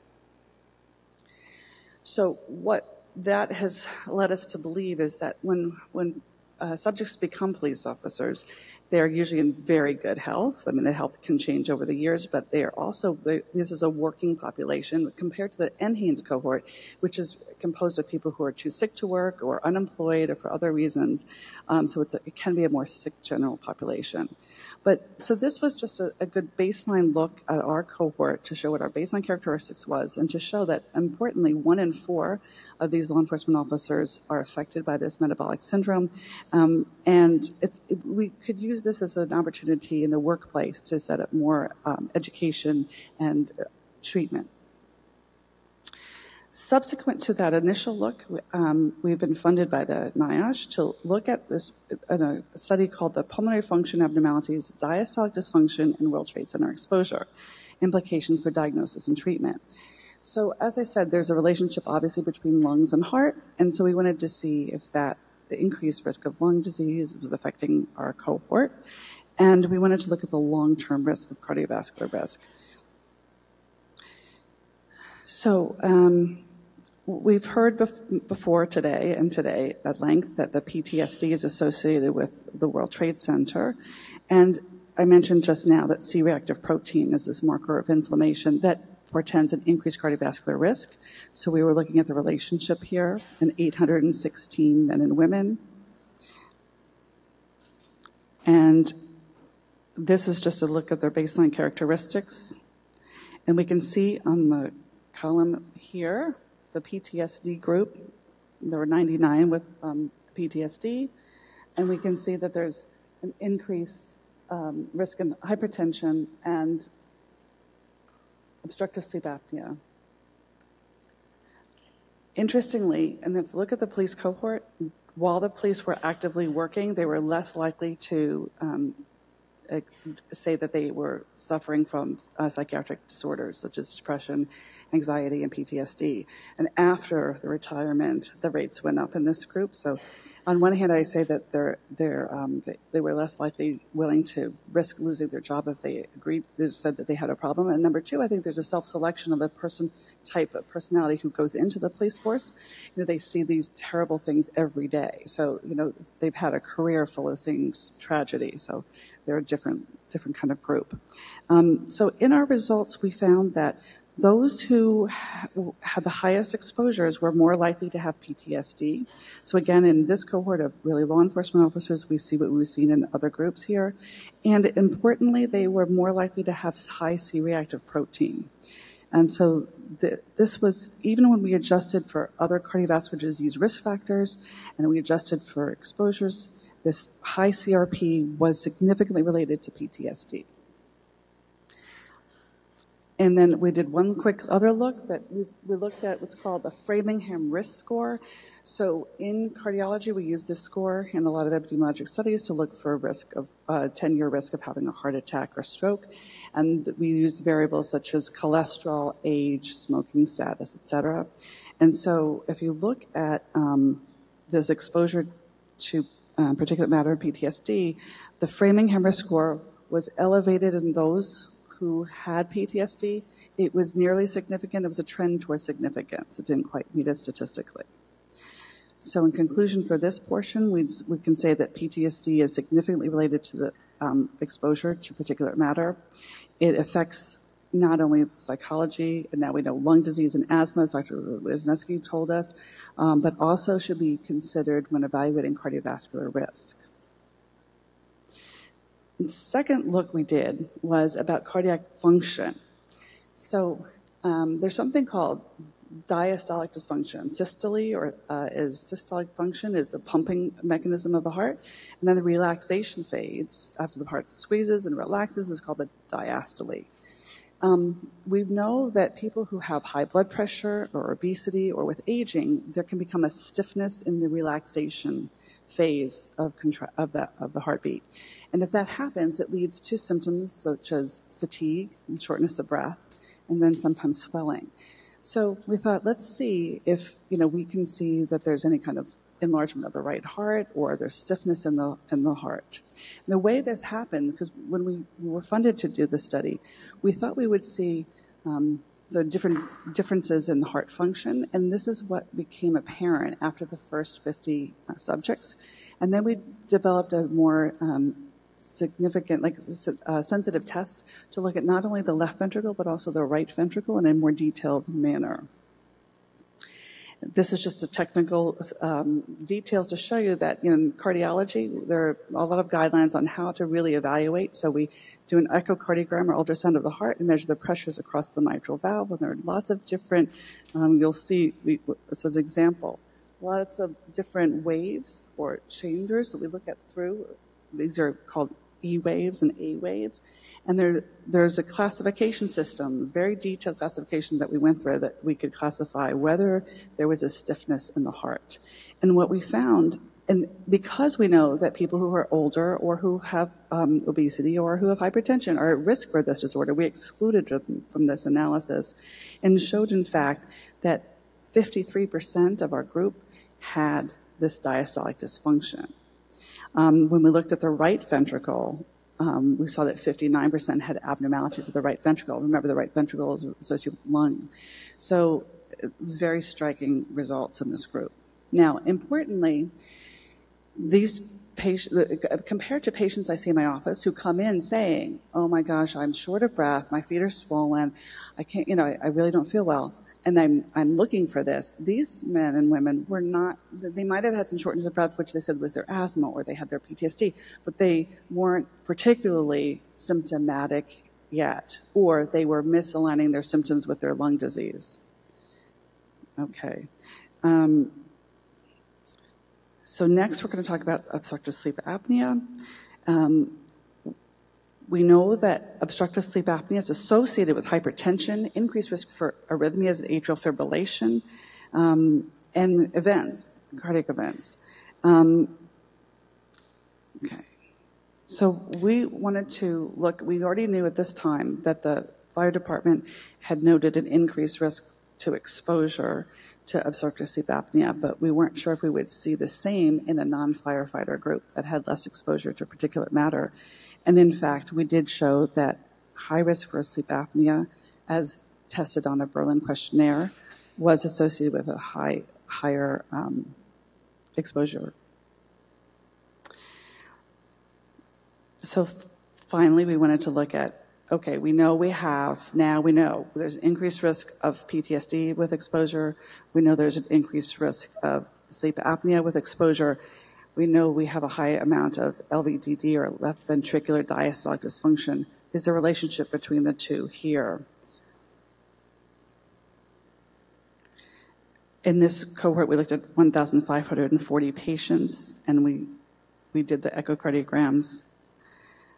And we found, if you look at the bottom line here, that those who had who screened positive for saying they had risk for OSA had a higher, significantly higher chance of having that left ventricular diastolic dysfunction or stiffening of the heart muscle. And this is just showing that data. We adjusted for other risk factors such as diabetes, increased thickness of the heart, which is left ventricular hypertrophy, ejection fraction or pumping function of the heart, and still having obstructive sleep apnea still remained positively associated with having this dysfunction. So that's here. OSA positive. So I'm just on time. So in summary, I think it's important to know that we know that air pollution is a cofactor for heart disease. Now, I think exposure to 9/11 being in the cloud may be considered a cofactor, right? So it may be something that could be impacting cardiovascular risk through several different channels. One is the group that has PTSD, one is the group that has sleep apnea, um, and you know we can see the stiffening of the heart. So I think that continued follow-up of this cohort and also extending to some of the other groups the, um, to look at echocardiograms and some of the other um, people that were not looked at here to compare with the control population. When we wrote one of our first grants, they said, oh, you don't need a control population, one of the reviewers said. And, and subsequently, all of us as researchers are trying to find adequately controlled populations. So what I had, what I had proposed was to look at groups of um, police officers in either Philadelphia other, or um, in New Jersey, Jersey City, who did not come to 9/11 to Ground Zero, but were affected by similar ambient temperatures, similar lifestyle, similar shift work, et cetera, and see if we can see differences in their heart risk. Um, and finally, there are other novel imaging. You know, this is we used to basic echocardiograms and the different biomarkers such as brain natriuretic peptide, which has been shown to be associated with increased um, diastolic dysfunction. So those are things that we we hope we can do at some point. And I want to thank my team um, especially Dr. Maceda, who's here with me this afternoon. She does all the hard work, and all of my colleagues throughout the group. Thank you very much. So uh, it's an honor, uh, truly an honor, to introduce our next speaker. Um, it says here that uh, Dr. Reibman, Dr. Joan Reibman, is a medical director of the NYU Bellevue Asthma Airways Environmental Program, been a member of the ACRC since its inception, and that she began the Bellevue Hospital asthma program in 1991. Um, you really don't have to go any further than that in the official biography because um, it's the presence, uh, the mere presence of a person and a physician like Joan Reibman uh, that renders uh, Bellevue a world-class hospital and the Survivors Program world, a world-class health program. Uh, really, nothing more needs to be said. Uh, she is a guiding star of our program. She is someone who you can always call uh, for help. And believe me, I have done that many times. Uh, and she's always there. Uh, and she's always there for her patients. A superb researcher. Another triple threat, folks. And the real deal. Please, Joan, please welcome her. Well, thank you. Um, I thought nothing more, need more be said because it tells you my age. But um, uh, it's really, um, I think it's very interesting. First of all, anyone who wants to get up and exercise for a little bit, please, please do so. Uh, but it's really interesting to follow all these talks because I think what you're starting to hear is really going to be a theme amongst them all. And I'm going to actually continue that theme. Um, and also sort of take you a little bit on the journey that we've had in trying to understand uh, the symptoms in our population. So what I'm going to talk about is uh, detection of lung injury and inflammation in the World Trade Center survivor population, and I'd like to say that much of this uh, uh work has been funded by CDC NIOSH, either through our uh, clinical grant, where we've done analyses of this population, uh, or clearly by some of the research grants that we are extremely uh, thankful for. So let me start actually with the initial story, uh, which I think sort of uh, gives you a background for everything else, which is that after 9/11, uh, we realized that there were groups that were following the responder program and the firefighters, and that there was very little known about the local community. And so, working together with the um, New York State Department of Health in a study funded by the CDC, uh, we actually did one of the first, in fact, the first study on respiratory health in a local community population.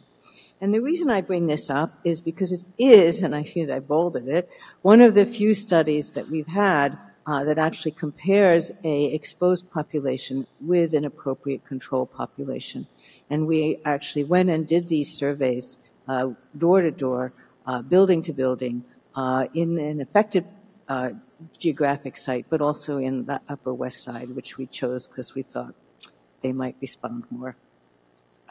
And that study was designed and implemented and completed uh, within 16 months after 9 11. Uh, and we actually oversampled the um, exposed population because we actually predated many of the other studies. And to make a, a, story very short, I just want to say clearly that we identified many, many symptoms or increased new onset symptoms in the exposed residential population compared to the um, unexposed population. And we published this, uh, and it also showed that we had objective findings uh, and also dose response. These findings were then uh, replicated or uh, expanded upon and shown in different populations by, I only cite two, but many uh, other studies that were done by the World Trade Center Health Registry, uh, confirming again the increase in symptoms in this population. The uh, additional studies went on, uh, one by the New York State, but also by the New York City Health Registry to show that, in fact, Many of these symptoms were associated with both acute and chronic exposures that I showed you uh, representations of earlier. The interesting thing was that many of these patients in our study, for example, as we did lung function, uh, in fact, most of them had normal lung function. And interestingly, if you go and you look at David's data, uh, he has the beautiful ability to show you longitudinal lung function. But if you look at a point in time, most of those individuals actually have normal lung function. And so, in fact, many people doubted, in fact, that our patients had symptoms and they would call it reported symptoms. I thought symptoms were reported, but these were reported symptoms or reportedly reported symptoms. And in fact, there was a big question about whether these symptoms were in fact real. Early on, uh, right actually within two weeks of 9 11, uh, we had a firefighter who was admitted to uh, Bellevue Hospital. And uh, he was actually in the intensive care unit. He was quite uh, sick. And uh, he had, in fact, a CAT scan here that was very abnormal, with a whiteness there that's reflective of abnormalities. But we had a very, very aggressive divisional chief at that point who really believed that everybody who walked in the door should be bronchoscoped. Uh, and so this gentleman uh, was bronchoscoped. And that was very revealing because what it showed us was two things. One, he had a lot of inflammatory cells uh, that are eosinophils. Those are these pink cells here uh, in his lung. And you're going to hear, and you've heard about inflammation all along. You heard from David this question of eosinophils. And this gentleman, in fact, had a lot of eosinophils uh, in his bronchoalveolar lavage fluid, consistent, consistent with an extensive eosinophilic inflammatory process. The other thing that uh, was shown by this bronchoscopy was that the sample was sent for mineralogic analysis.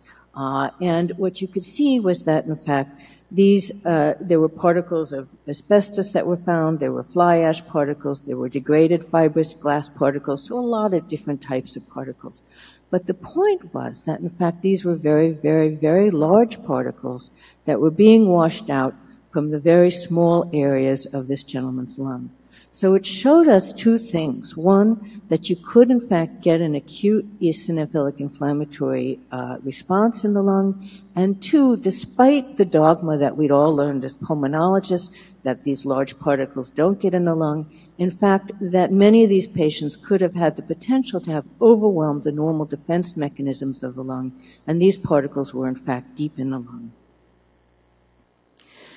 We subsequently went on, uh, and uh, Caralee, who uh, is covering my asthma clinic today, uh, uh, it, um, published this, uh, a pathologic study in a number of patients, a small number of patients, because most people don't really feel like having their lungs biopsied, but a small number of patients who we looked at either because they had interstitial lung disease or because they had a lot of symptoms and very abnormal lung function, uh, who, for a variety of reasons, had undergone uh, lung biopsy.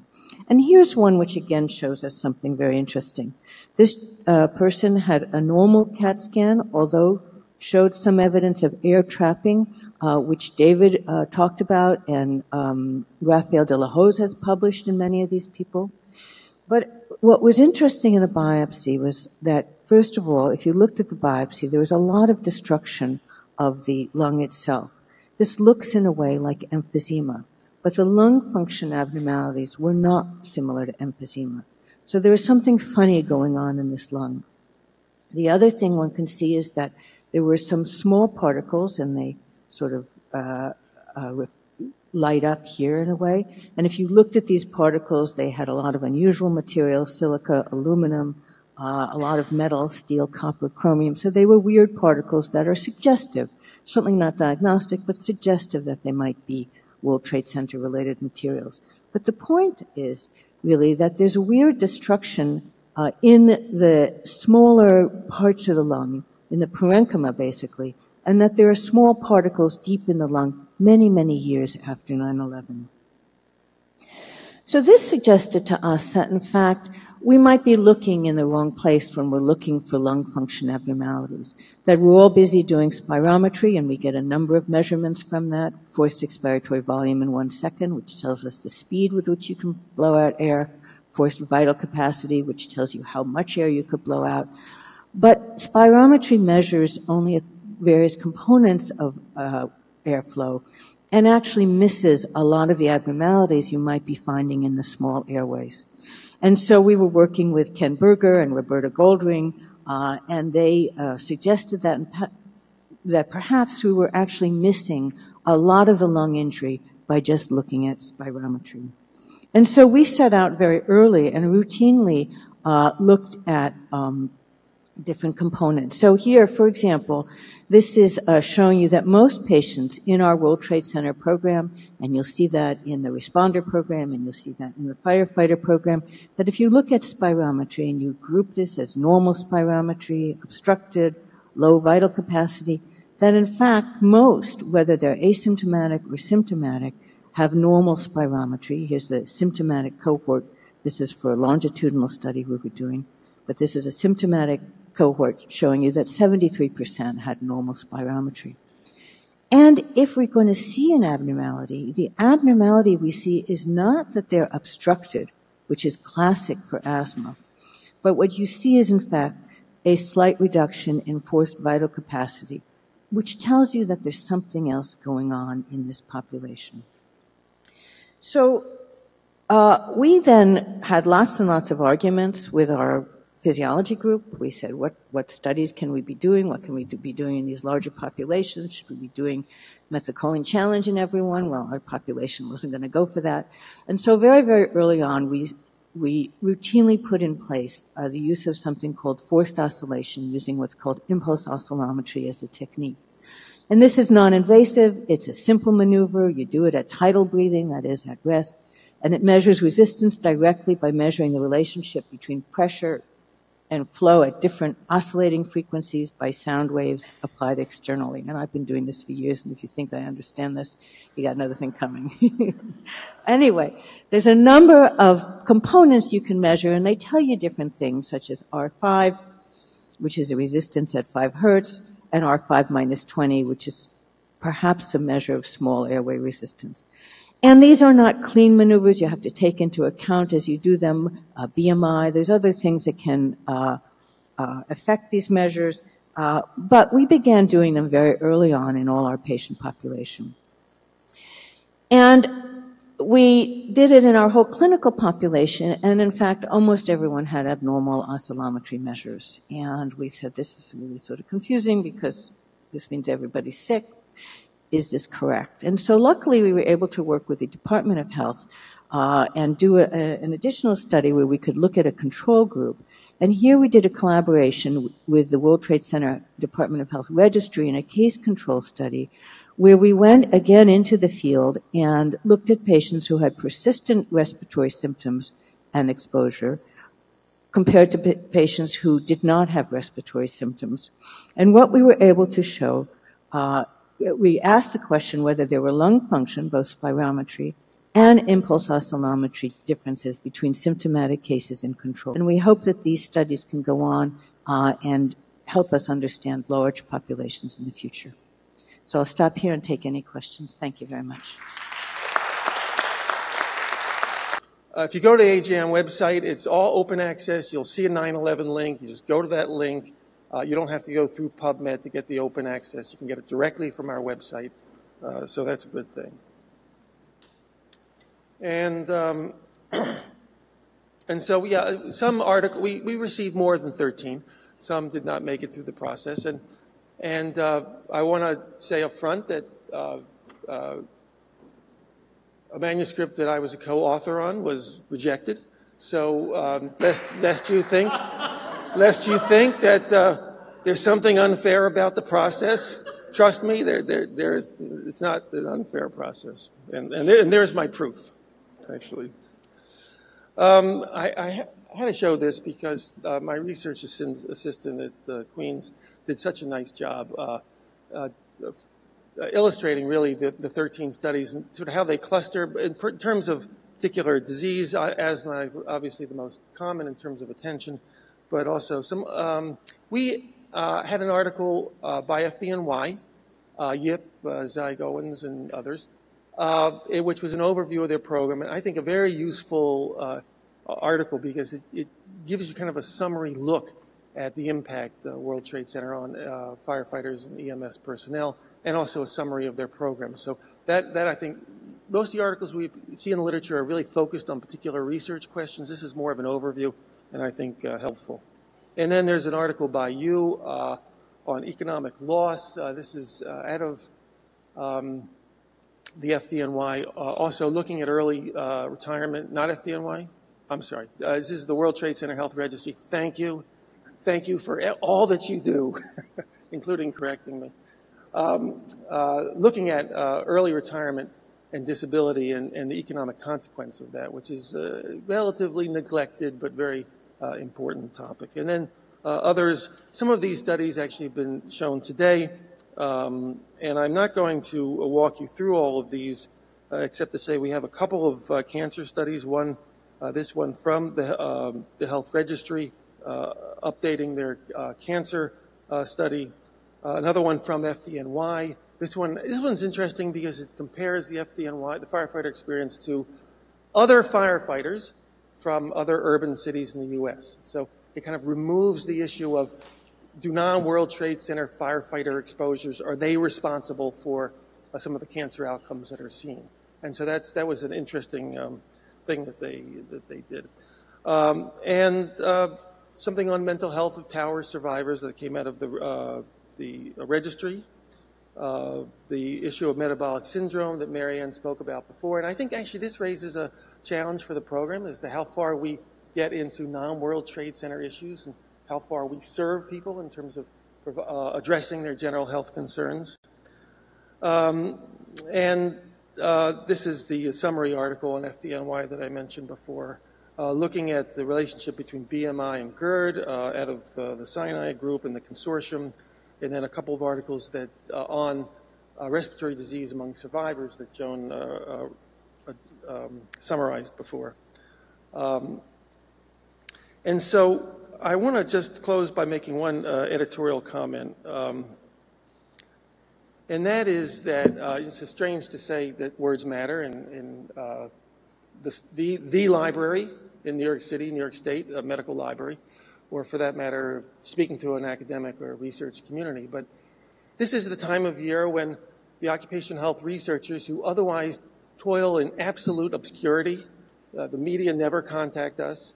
Uh, this is the time of year when media journal, journalists and the like find us and what they want to talk about results, and they, they need to talk about it. They need to discuss that because there's public interest.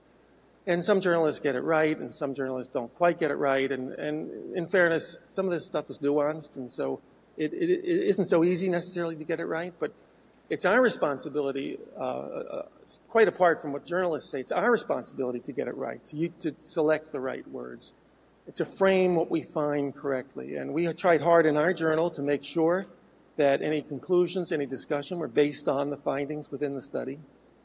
There have been uh, from uh, other, some other authors, some statements made in public, which I think are hyperbole or exaggerations or are uh, excessively uh, loose with the findings, and I, it's a disservice.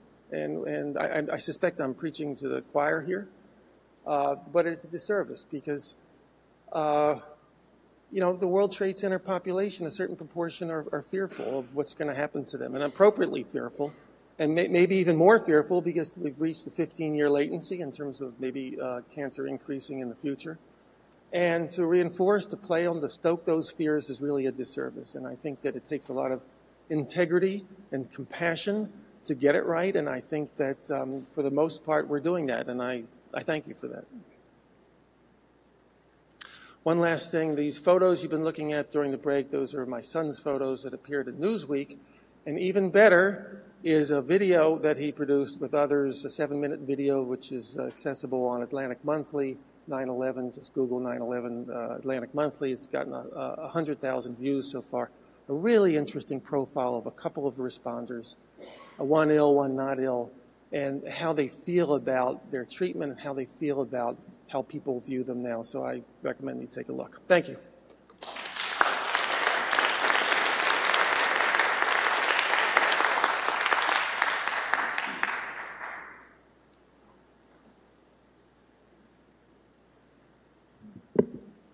Thank you, Dr. Markowitz. And I hope all of you had a chance to see those photos.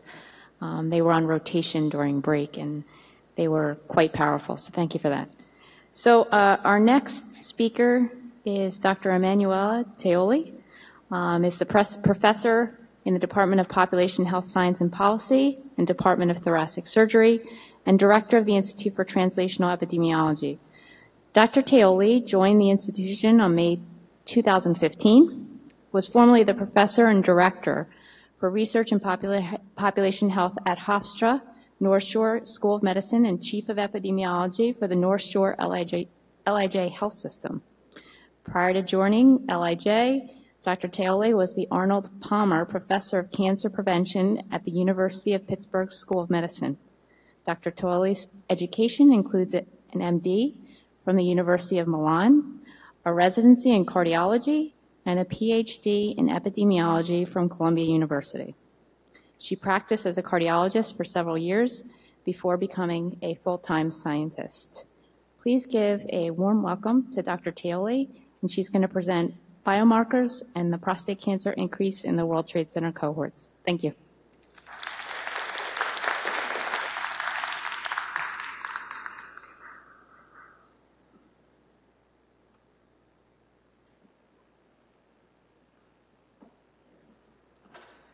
one way.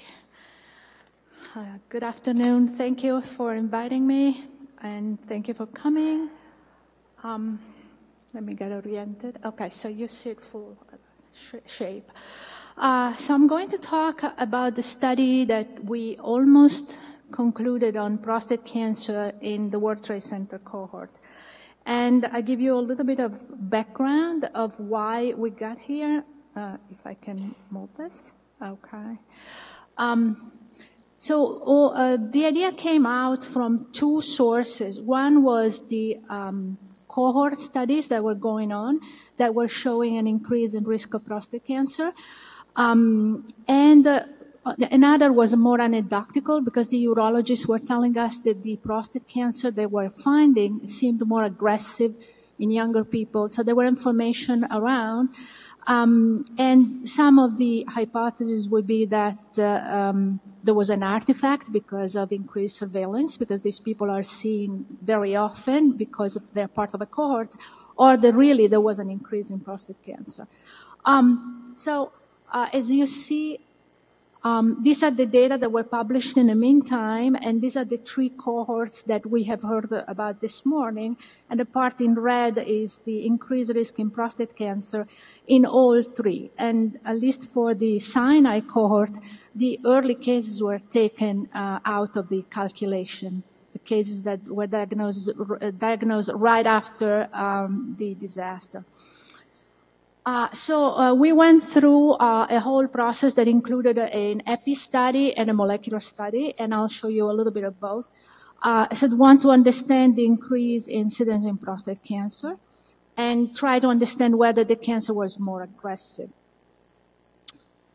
I'll give you a little bit before the the the go, the process. I'll give you a little bit of the final. Is that I, I don't think we're there with an answer completely on the aggressiveness, but you you'll decide by yourself.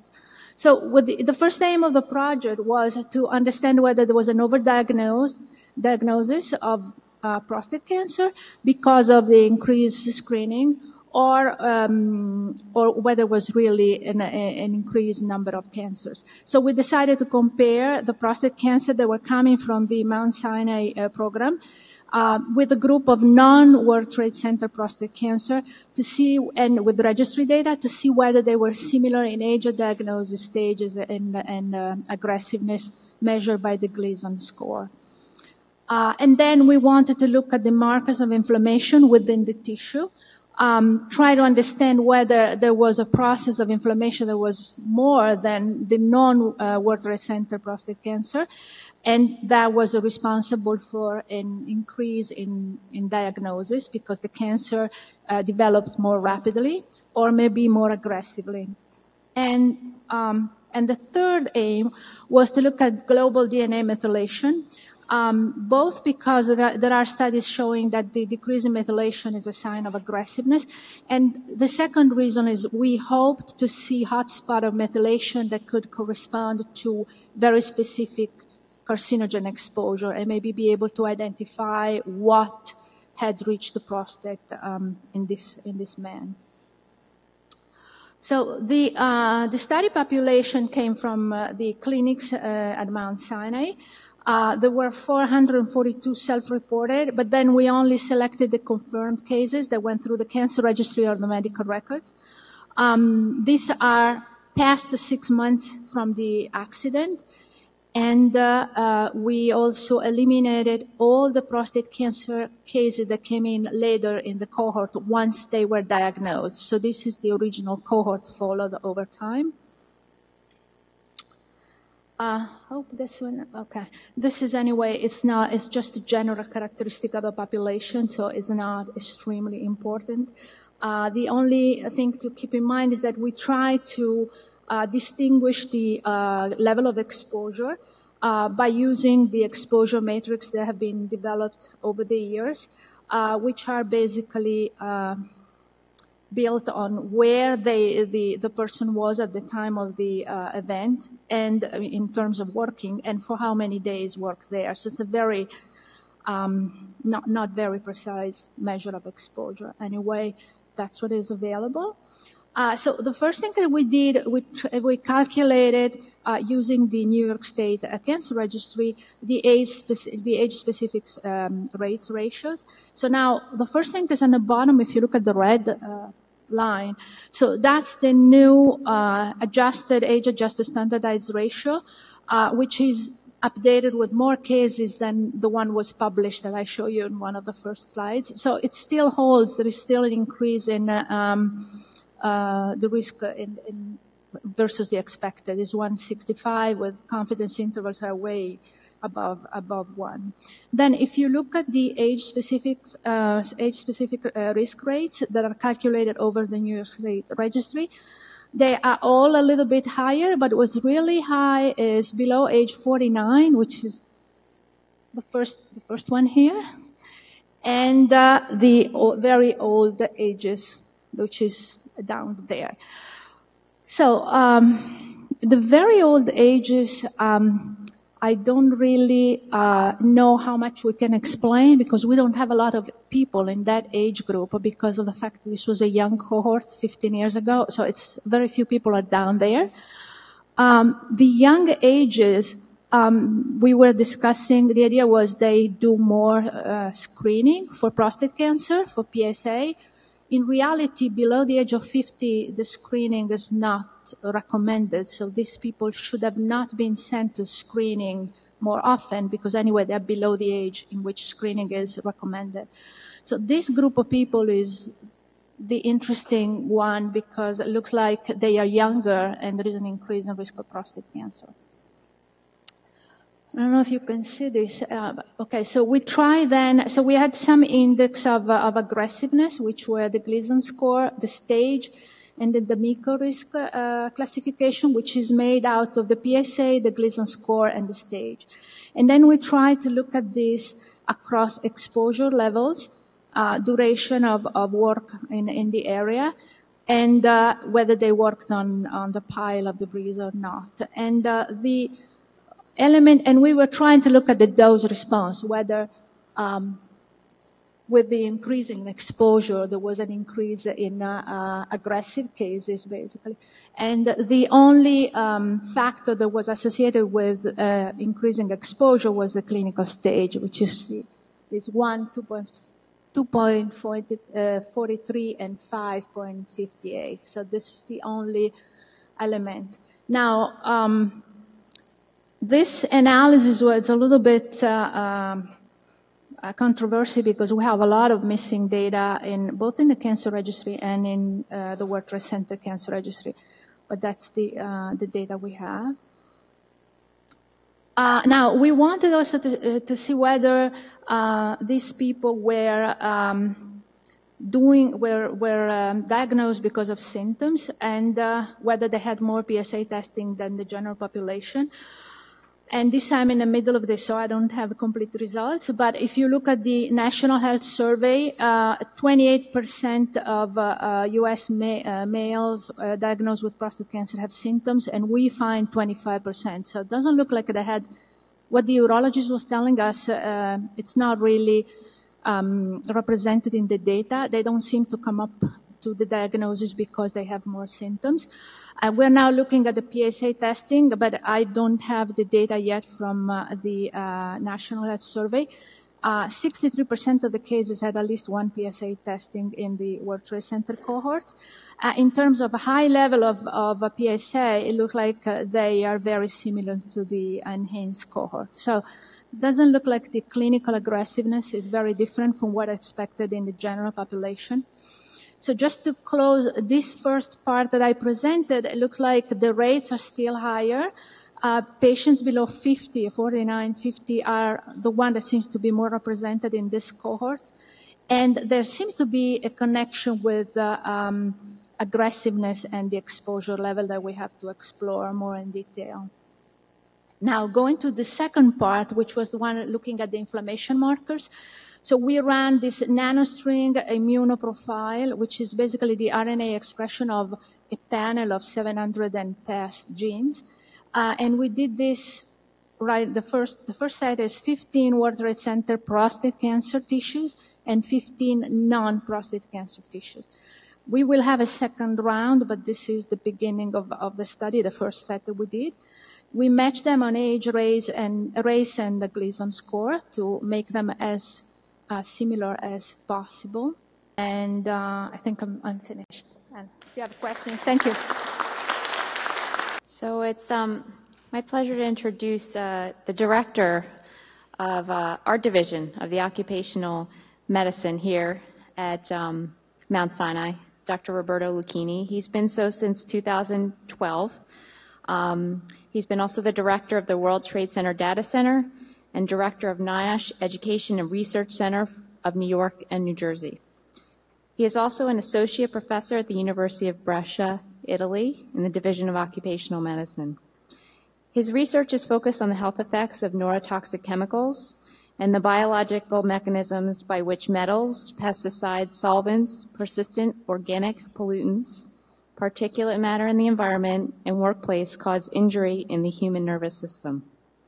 Dr. Lucchini and his team have developed quantitative, state-of-the-art testing methodologies and advanced computerized instruments to assess an array of neurologic functions, including cognitive, motor, behavioral, and sensory functions.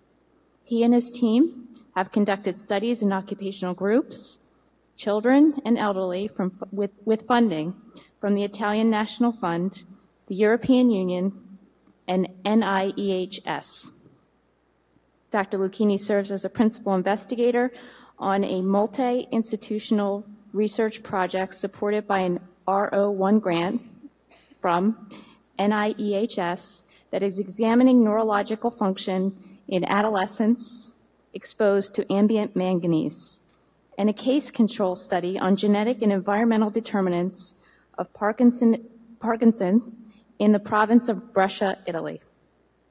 This investigation is an international consortium that includes the University of Brescia, University of California at Santa Cruz, Harvard School of Public Health, Columbia, and Rutgers University. Please give a warm welcome to Dr. Lucchini.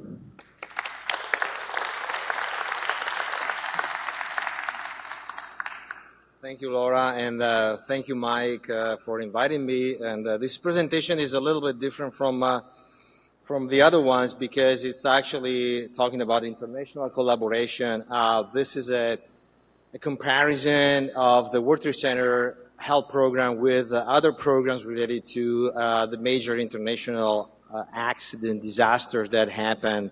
and how do I? Sorry, sorry, sorry. This one? Sorry. So uh, basically, here they are. Uh, this is um, Seveso, Bhopal, Chernobyl, Trade Center, and Fukushima.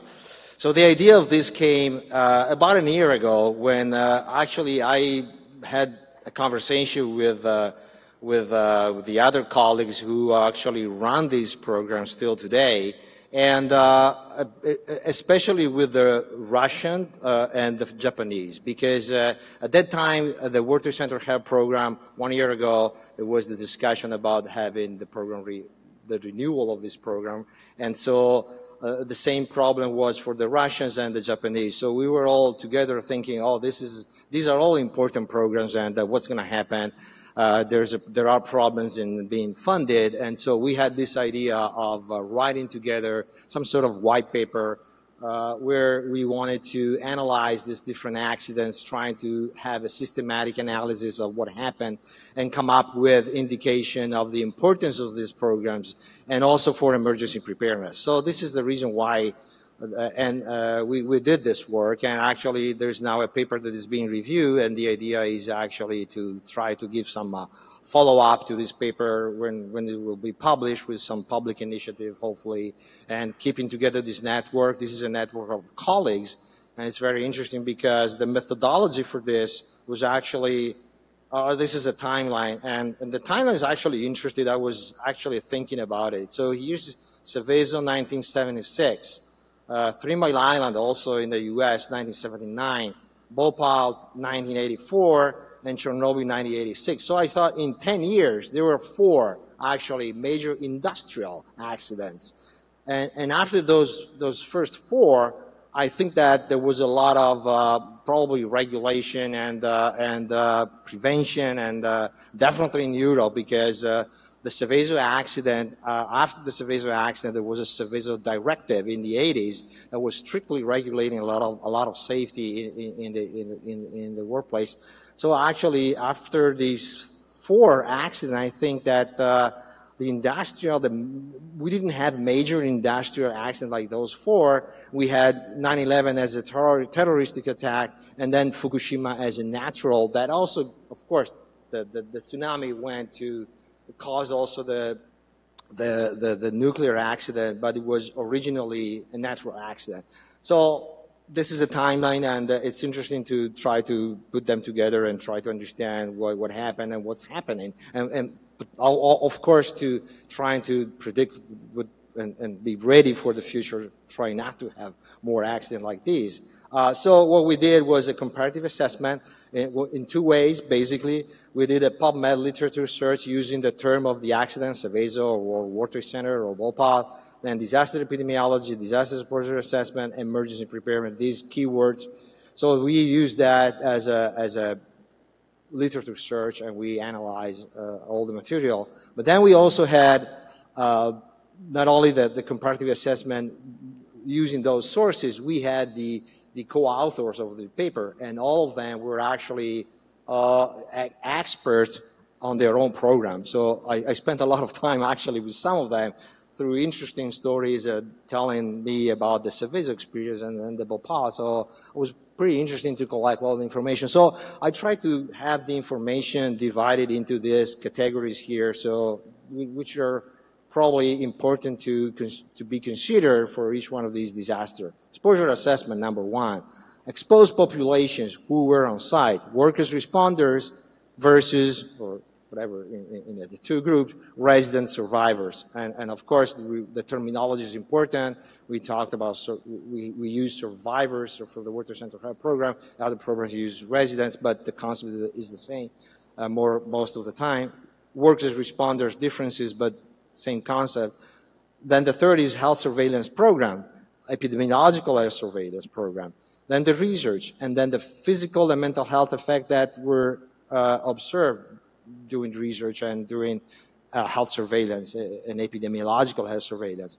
Then treatment and benefits, and then outreach activities. So considering these parameters, we're trying to understand what happened in each one of these programs and then and, and try to, to, to derive some indications and lessons so we went through each one of them. There's a, there's a lot of extensive literature, but just to give you some some some brief uh, summary of them. So so that was Seveso in 1976 in Italy, in northern Italy, where uh, TCP uh, is an intermediate to produce a disinfectant, hexachlorophene, and during the process there was a, a problem, and it was the first time I understand that the term toxic cloud was used at that time in the, in the 70s. And uh, so there was, di- there was dioxin. And a lot of knowledge actually that we have today about dioxin came from that experience because nobody really know about the toxicity before that. And so here's the number, 37,000 residents, workers in the community. Health effects, chloracne, you, you, you've seen that skin, uh, that, that lesion on the face of the children. It was actually an acute effect endocrine disruptor stories about the, the, the, the uh, substantial literature about endocrine disruptor and the effect on uh, reproductive toxicity came from dioxin, and that experience is very interesting. Cardiovascular disease and cancer. Health surveillance there was done 1976, 1984. Then was then, then we, we ran out of funds. But it continues, it's continued today with ongoing uh, follow-up research. This is a very interesting story here, and I find this different from the other programs. Uh, there was a doctor there, and I, that was just a person, he's dying in his 80s. He was a very, very interesting person, and I, Paolo, Paolo, Paolo, sorry, I don't remember the name. Uh, so I spent a lot of time talking to him, and one of the, the, the best thing he did is, it was actually, I think, that he collected the, the samples from these people in, in one of the first day. I don't remember it was the second, third day, but he immediately had this concept of collecting samples. And he collected, I think, 3,500. Those samples were precious. At that time, I understand he told me that nobody knew how to measure uh, dioxin on, on, serums. And, but they collect, they kept the, the, the, samples until in the 80s, I think CDC developed the, the, the, analytical method. And so the method was available and they were able finally to measure and find what the exposure was a few days after the accident. So it was an interesting concept of, again, trying to uh, have the idea of immediately collect sample, biological, environmental measurement, uh, and a very important concept nowadays is a lesson from all these programs. But that, I think that that, that example was quite interesting.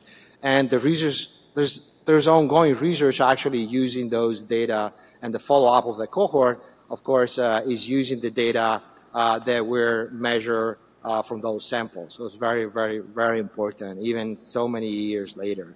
Um, as I said, a directive, a regulation that came out to, for Europe to, to, as, a, as a very important point for that, that, that, that is an outcome of the experience. And then uh, Bhopal, of course, methyl isocyanate in the pesticide plant of Union Carbide.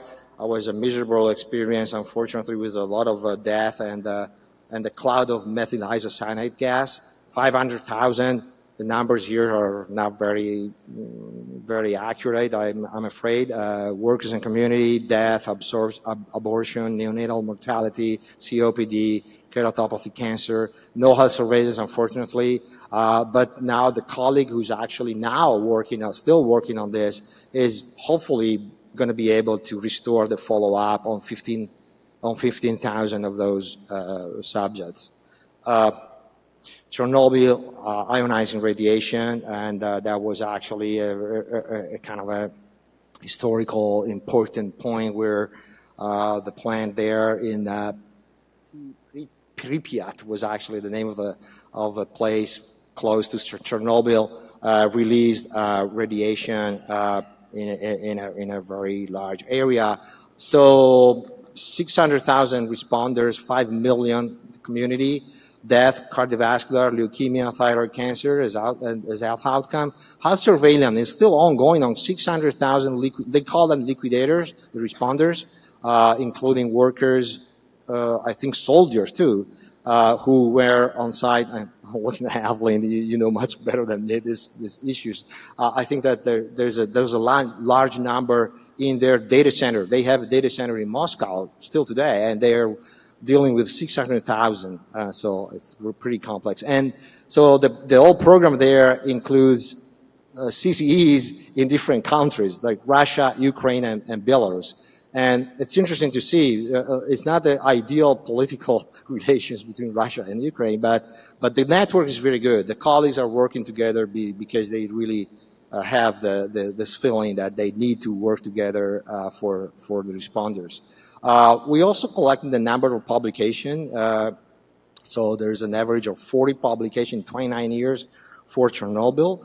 Uh, Water Center, we all know about the Water Center, and I don't need to repeat all, all this data. Actually, take, uh, uh, there's almost a thousand publications in 14 years, average of 65 per year. Uh, and then Fukushima, uh, the most recent one, uh, Fukushima with uh, ionizing radiation again, 20,000 20, responders, 200,000 200, 200, in the community. No recognized increased cancer rate still today, but mental health in, in Fukushima. And mental health is pretty common to all these programs, except for Seveso. But honestly, I talked to the doctor there, and he, they, they really never uh, try to understand the mental health uh, impact of Seveso, which is something, this is interesting in a way, but mental health impact is common to all these programs, uh, uh as a matter of fact.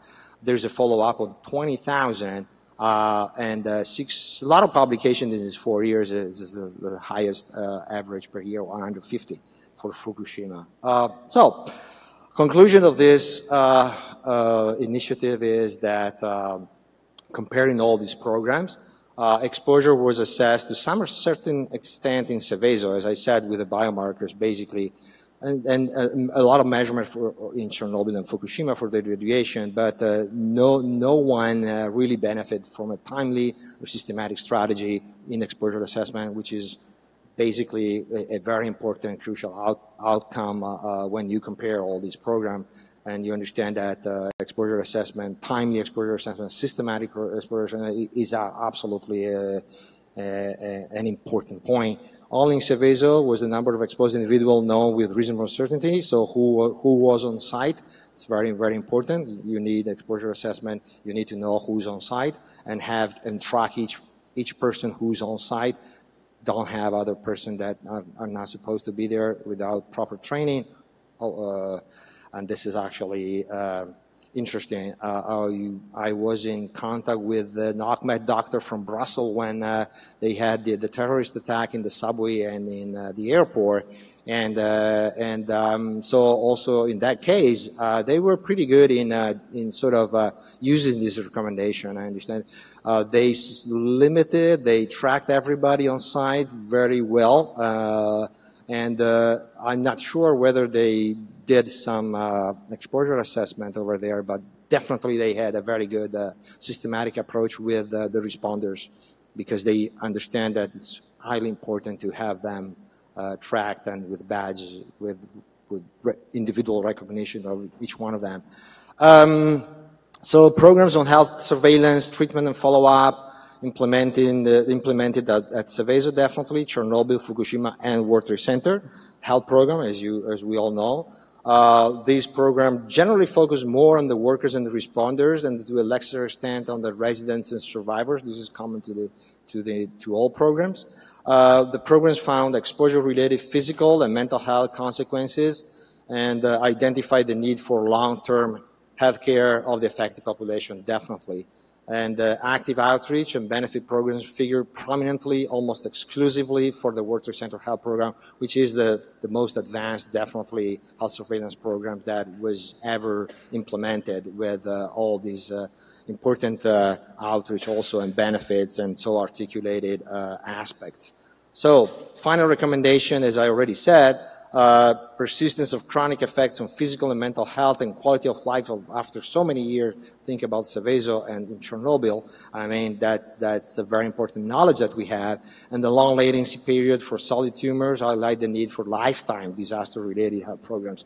Systematic and timed exposure assessment, identification of exposed population are key elements of air surveillance and, and, uh, and disasters responders. So thank you very much, and I'll be happy to keep you posted on with the next uh, development of this initiative. Thank you.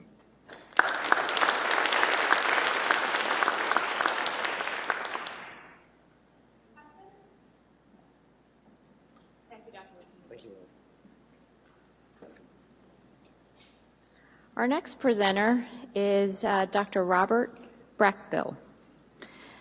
Dr. Robert Brackbill is currently the Director of Research for the World Trade Center Health Registry uh, that's located in the New York City Department of Health and Mental Hygiene.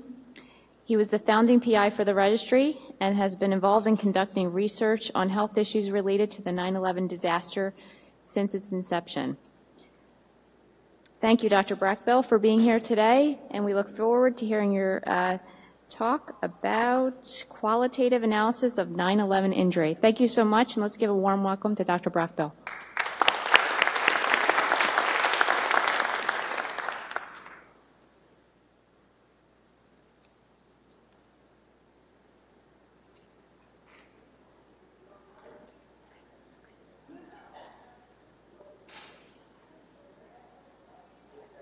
Think Michael Crane asked for two sentences for a bio, so you know I complied. So, so, so, my uh, presentation is on a qualitative analysis of 9/11 injury, and uh, this is actually a study that uh, we did actually completed recently this past June, um, where we uh, interviewed people by telephone uh, to get more information about what happened, what circumstances around uh, their injury on 9/11. Um, I have to uh, give mention to the person who's my project manager for this study, Lisa Gargano. Uh, Dr. Lisa Gargano is in the registry in my unit, and uh, she sort of managed the process, work with um, Dr. Gershon, who did the interviews, and we have a paper now. It's act- actually out, currently out in review. Um, you know, hoping soon to hear about its uh, eventual, you know, emergence. Um, so just to before I begin, I guess I go on here. So what do I hit to go forward? Ah, this, this work? Okay, good. Okay, so I don't know how many of you are familiar with the uh, World Trade Center Health Registry. Um, I think it's been mentioned here several times, but uh, normally in a presentation we give a little bit of a summary of what the registry is. Um, well, the World Trade Center Health Registry is a follow-up study of a 9/11 disaster. Um, the enrollment for the registry was from 2003 to 2004. We have uh, 71,000 people in the cohort. We have uh, continued to follow this cohort uh, for the last, um, you know, 14 years um, since enrollment. Um, and we've had, you know, three follow-up surveys. We just completed the most recent one, um, the fourth or the third actually follow-up in 2016. That is most, you know, just uh, you know, earlier this year.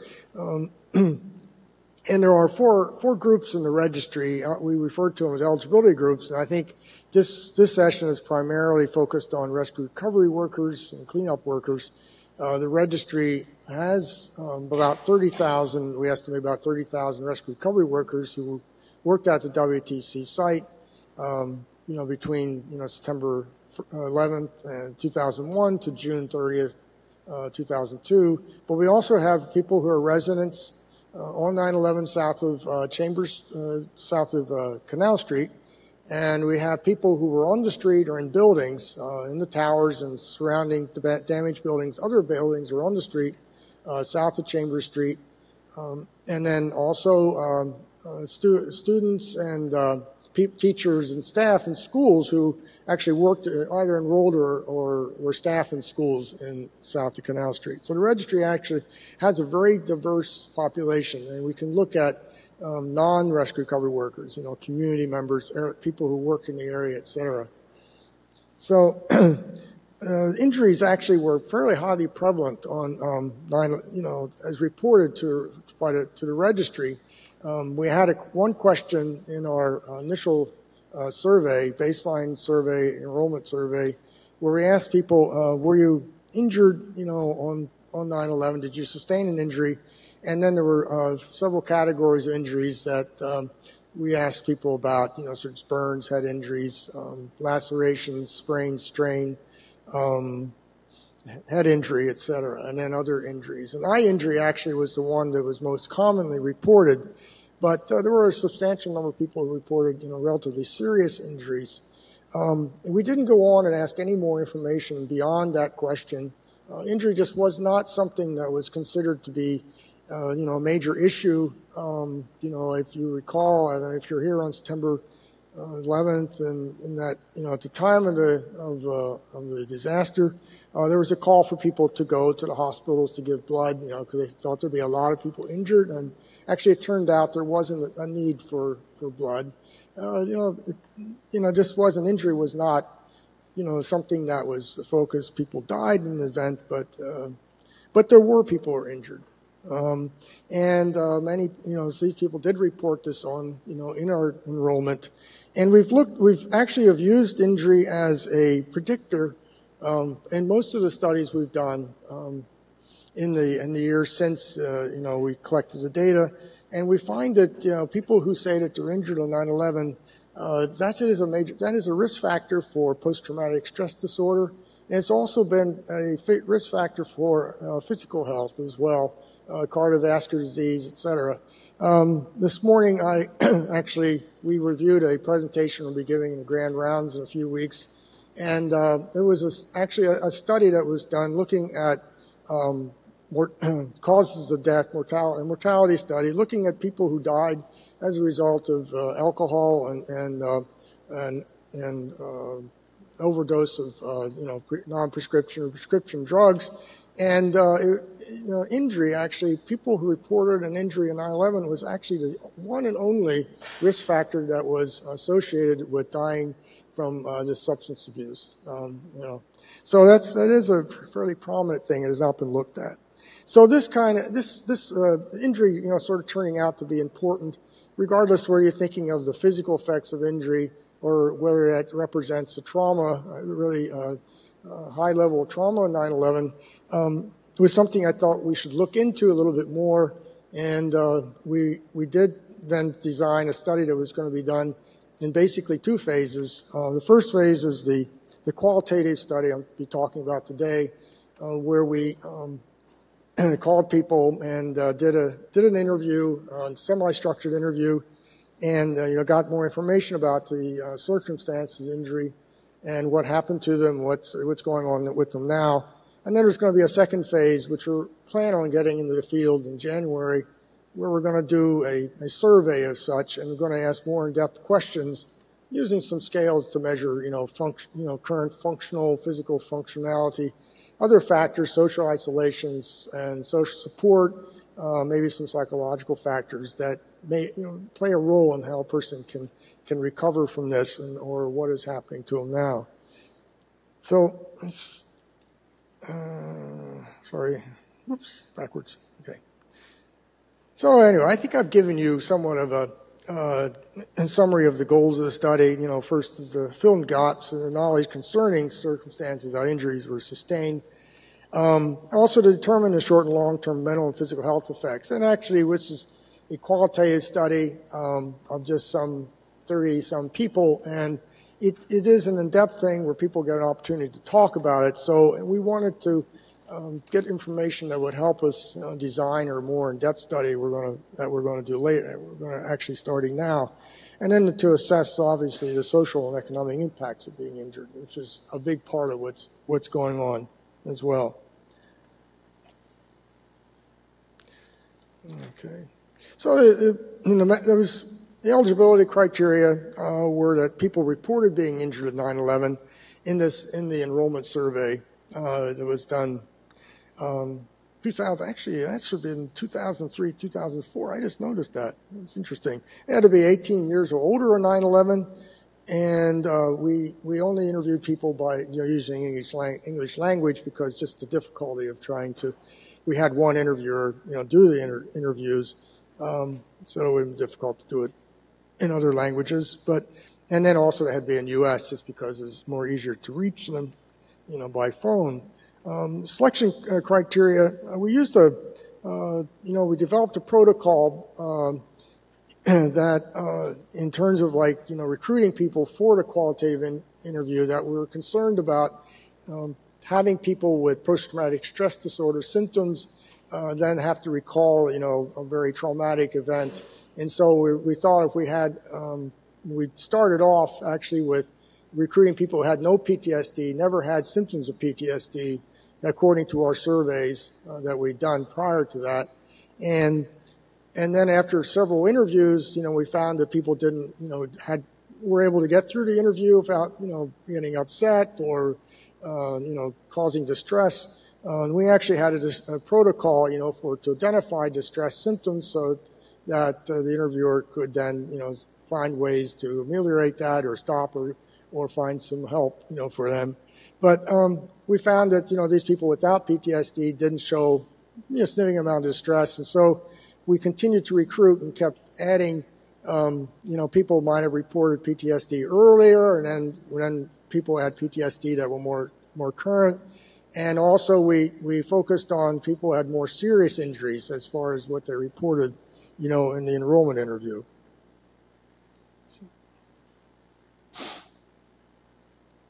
So the class, I just sort of mentioned injuries themselves. So, you know, the, the injuries that were asked on the um, enrollment survey uh, were those, you know, like uh, broken bones, fractures, burns, concussion, head trauma. Um, and then also the, we had less severe injuries, you know, such as sprain or strain. And these, and then also two or more injuries was another uh, selection factor.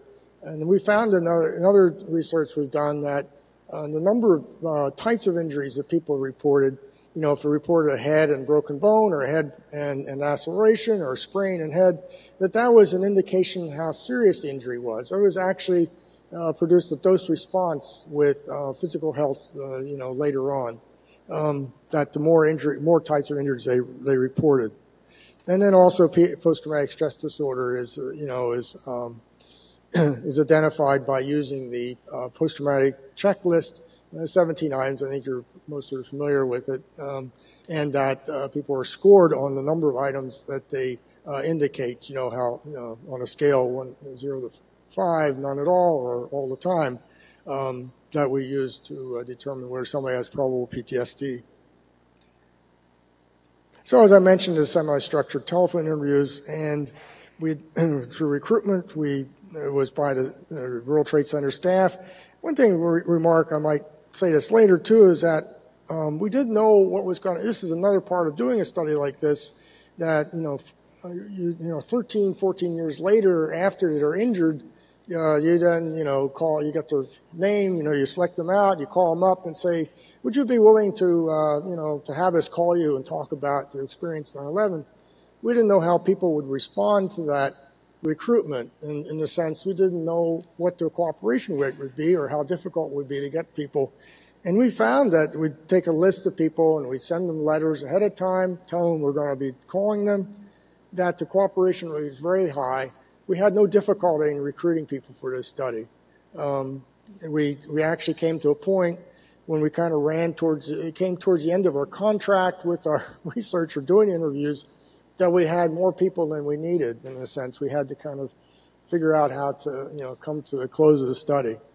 Um, and also the, the, you know, uh, as the interview, you know, as we did, you know, with a qualitative study like this, you kind of look at what kind of, uh, how, what kind of information people are giving you and uh, whether or not the probes are working and that sort of thing. And so you modify uh, the, inter- the sort of the interview as you go. I mean, there's a back and forth sort of thing, uh, you know, with the with person doing the interview. Well, maybe we should ask it this way, or maybe we should try to focus on these things when we uh, talk to people. And of course, you know, the interviews were uh, audio transcribed, and then we got the transcripts back, and that's what we'd use for analysis. So some of the key issues we asked about, you know, what were you doing at the time of attack? Um, did you receive medical attention, you know, for your injury? What happened to you? Um, you know, in terms when you're injured, did you walk out yourself? Did somebody help you? Did you go to an emergency room? Um, how did you feel? how how do you, how do your uh, injuries affect impact your health? And then we wanted to find out about you know sort of the current you know level of of functionality, what's going on with them. And we sort of focused on the last month, you might say, or the most recent period of time. And was there anything that you did that, you know, that helped you recover? So we wanted to find out, you know, things that people did and found that, you know, helped them, you know, helped their lives if their lives are sort of, um, you know, affected by being injured.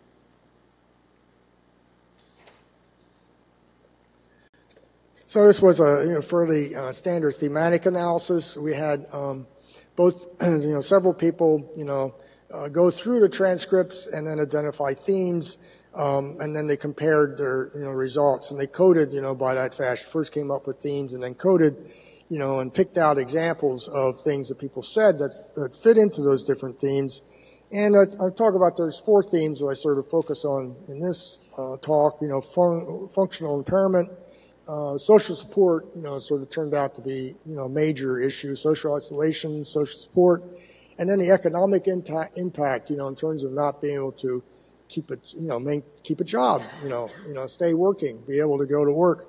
And then also, I think I just mentioned earlier the study done on, um, you know, mortality with uh, alcohol and, and uh, you know, and drug use, that that was, you know, self-medicating uh, was, was an issue that turned up self-medication for, you know, trying to help, help themselves feel better.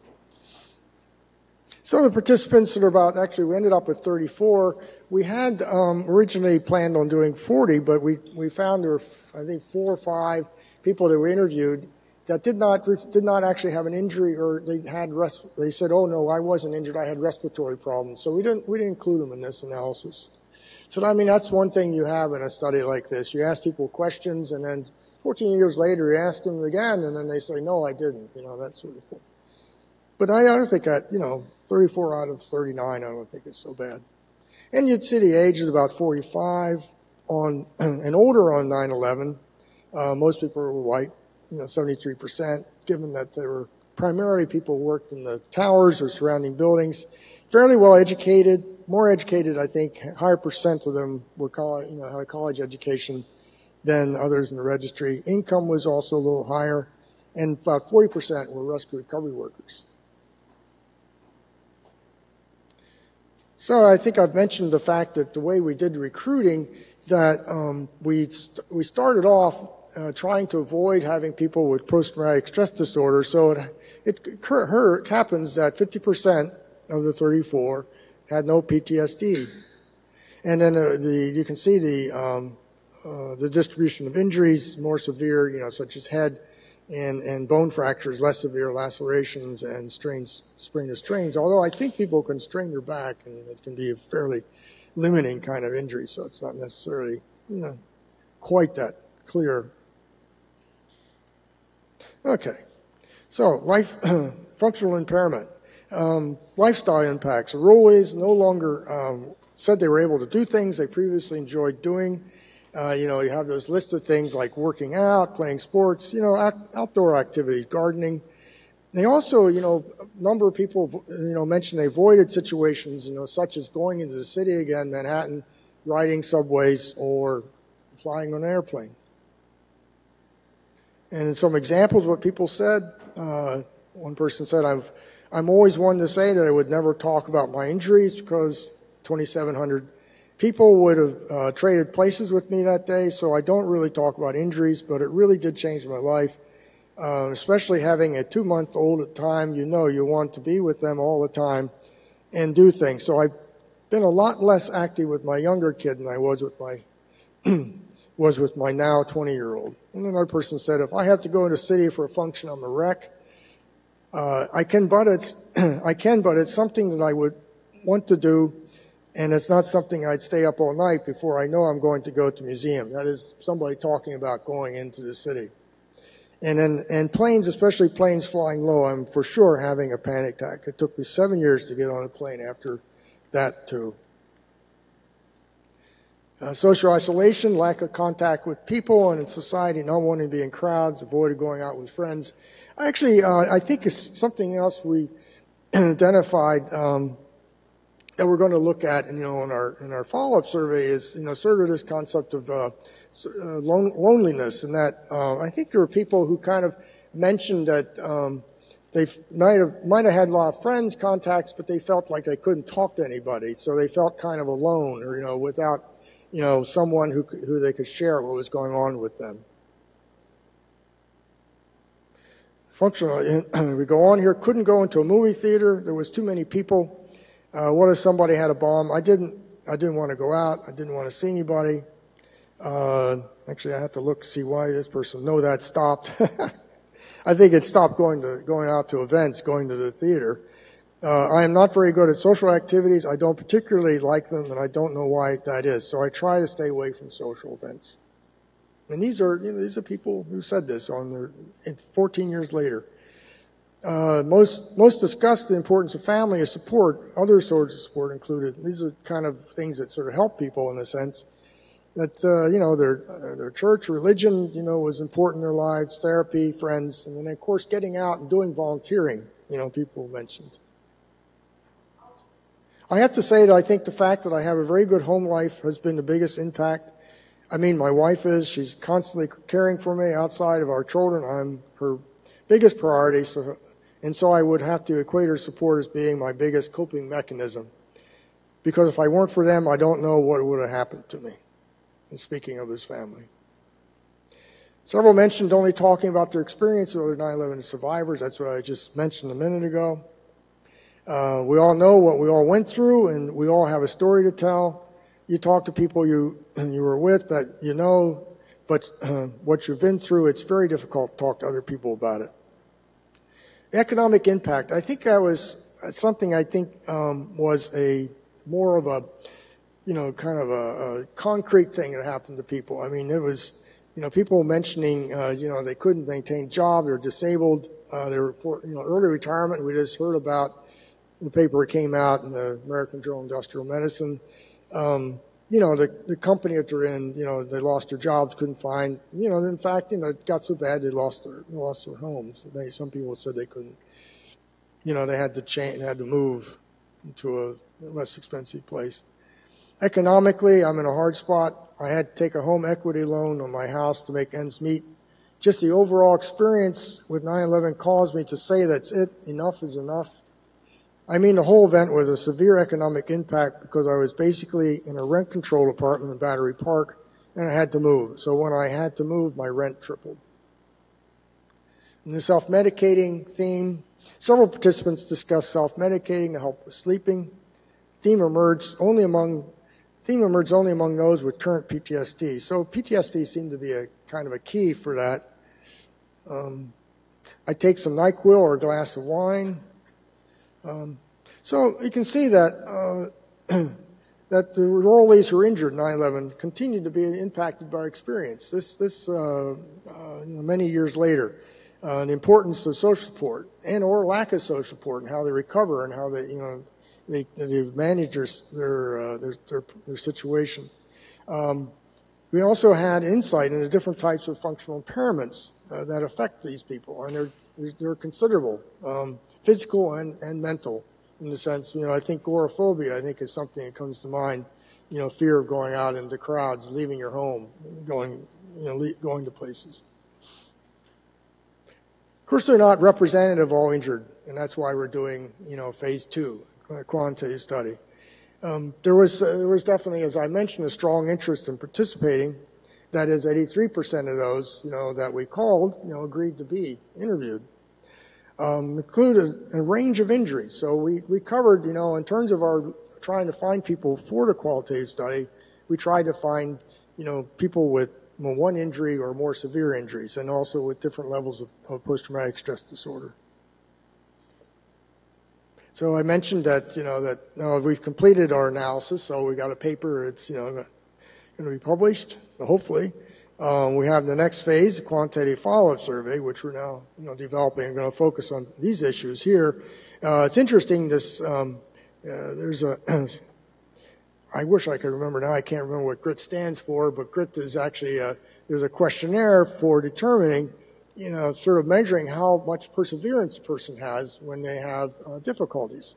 And we're going to include that uh, in our, it, it's a measure of resilience, you might say, and then uh, sort of underlying kind of personality uh, capacity to, uh, to uh, you know, to overcome difficulties. So I mentioned acknowledgement. Um, co-author, of course, Lisa Gargano and Robin Gershon. She did the the interviews. I think many of you may know Robin. She did uh, many early studies, evacuation from the towers, and then recruiters: Renato, uh, Alex, Jonathan, Felix, and a person who did all the transcription. Thank you.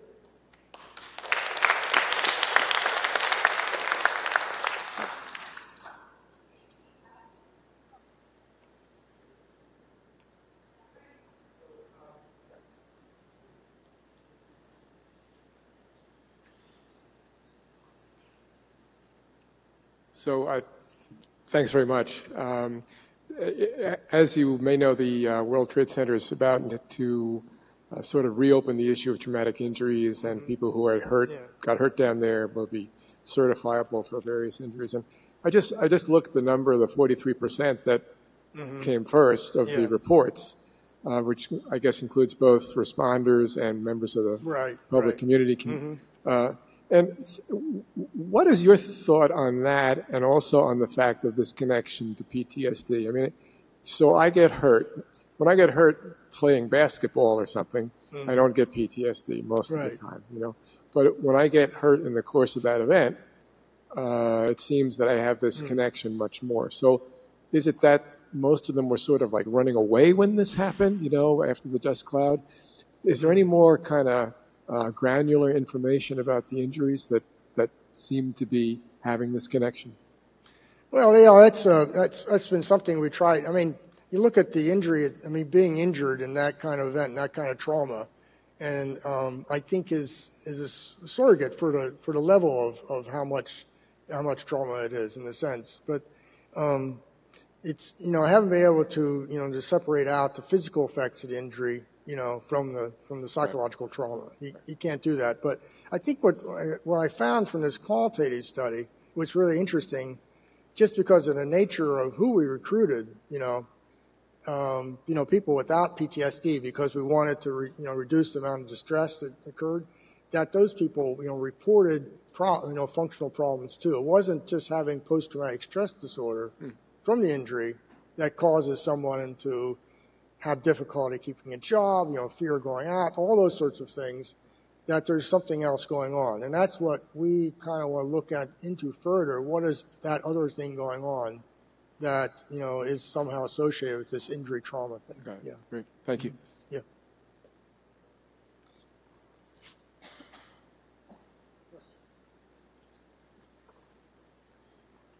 Thank you, Dr. Brackbill. Um, our next speaker is Dr. Evelyn Bromet. Dr. Bromet's research spans a range of psychiatric problems, including alcoholism, depression, PTSD, and schizophrenia. Her research on disaster mental health started with a groundbreaking study of the psychological impact of the Three Mile Island nuclear power plant accident on mothers of young children, workers at the plant, and the psychiatric patients in the public treatment sector. More recently, she's collaborated with the Ukraine Psychiatric Association on the first psychiatric epidemiologic research on the psychological impact of the Chernobyl nuclear power plant accident. Dr. Bromet has spearheaded the first national epidemiologic survey on mental and physical disorders in the Ukraine as part of the World Health Organization's World Mental Health Survey Consortium. She also collaborates with colleagues at Stony Brook and throughout Suffolk County on research documenting lives and treatments of people entering the mental health system with a range of psychiatric problems. Among her many accomplishments, her work has resulted in more than 200 papers, chapters, and reports, and she's co authored two books. Please extend our welcome to Dr. Evelyn Bromet. So Thank you for that nice introduction, and thank you, Michael, for including me in the program. And thank you to all of you who are still here for hanging in here for the entire day. That is very impressive. Give yourself a round, round of applause. So, as I started thinking and preparing for this talk, it occurred to me that to talk about the past and future perspectives of the World Trade Center Mental Health Research Program, I actually needed to go back before the World Trade Center research program and sort of put it in a larger context. In, in the way that Roberto, I guess he just left? No, it was right there. In the way that Roberto um, did with his talk. So it'll be uh, a little bit reflective on what he had to say um, in terms of thinking. So that's the first part of my talk. And then I'm going to briefly talk about the highlights of the first 15 years because you heard them today and you heard them presented very elegantly and in, and in great detail. But I'm going to make a couple of comments about what really wasn't looked at in the first 15 years, which is unfortunate, um, and then spend a little bit of time on my personal thoughts, which you might not share, uh, about what we ought to be thinking about for the next 15 years. So let's hope I do this right. Okay. So as you saw on Roberto's initial slides, we've had a number of horrific toxic disasters, um, starting with the atomic bombing in World War II to Love Canal up in Buffalo, north of Buffalo, uh, Three Mile Island, which is how I sort of launched my career doing community based research. Before that, had strictly been on clinical populations, um, to the others that you see there, including the sarin attack on the subway in Japan, which was frightening, horrific, and absolutely horrible. And the most recent large scale one, as Roberto said, being Fukushima. So, just to put this in a broader perspective, all of these disasters, as well as natural disasters, vary in the level of destruction that they have in their wake and, and the threat to life. All disasters have phases. There are different graphics out there that you can find for the phases of a disaster. This is the one that I like the most because it shows the short term, medium term, and long term phases of the disaster. Uh, and as you can see, there's a lot of ambiguity in defining when one phase ends and another phase begins. That's one reason I like it. And the other reason I like it is that if you look all the way to the right, there's no end. So it's not like it comes down and it's ever over, because for many toxic disasters, it's never over. So when you read research or you read papers from monitoring programs about the health effects, you have to look at when it is the data were collected and then think about the phases of that disaster and try and ground what you're reading about the prevalence and the current risk factors and the past risk factors in the context of where in the phases of the disaster the project was actually undertaken. So, as you've been hearing all day, toxic disasters are complex, they're enduring, and they have both physical health and mental health consequences. The mental health consequences are a lot more than just PTSD, which is what we heard a lot about today. Um, I think David started off by talking about depression becoming more important. I think depression may all have may have been important all along, but didn't receive the kind of attention that PTSD did. There's health anxiety that happens after toxic disasters. That's often the nexus for driving a lot of the health problems. Because if you believe something is true, it's likely to become true. And of course, there's there's grief and prolonged grief. Um, there are also somatic symptoms like severe headaches and substance abuse issues and substance use issues. And so this slide also includes some physical health sequelae, which of course are going to vary depending on the kind of disaster. So what's interesting is that the mental health effects of disasters seem to be pretty universal. They cut across cultures, they cut across types of disasters. The physical health effects are fairly specific to the actual toxic exposure. But I put them together on one slide rather than spreading it out with bigger letters so you could read it better on two slides because mental and physical health, as you've been hearing all day, are really intimate partners Another way of thinking about it is that they, they are opposite sides of the same coin. So this is my take, which is a little bit different from, from Roberto's take, and we should talk about it. So prior to the World Trade Center health surveillance programs, I'm not talking about the research, I'm tra- talking strictly about the monitoring and health surveillance programs that happened after the World Trade Center. Um, none of the surveillance programs that were done after the disasters that took place before included mental health. So, after the bombing in Japan, the Americans set up the Atomic Bomb Casualty Commission, which is now called RERF. It's now run basically by the Japanese government. Uh, it focused only on physical health. There was one time at one wave where they included a psychosomatic measure. It got written up as a chapter in a book. It was never part of their, their program. And this is sort of an aside. But in the 60s, there was a psychiatrist named Robert J. Lifton who went to Hiroshima to interview survivors about the emotional consequences of what they had experienced. And his plan was to go to the ABCC and get people to interview because they were already being seen there. Um, as it turned out, most of the doctors at the ABCC were from Yale, which is exactly where Robert J. Lifton was on his way to to start as an assistant professor. And they said, absolutely not. So he managed to find a couple of hundred people to interview about their emotional experiences. And he wrote a book called Death in Life.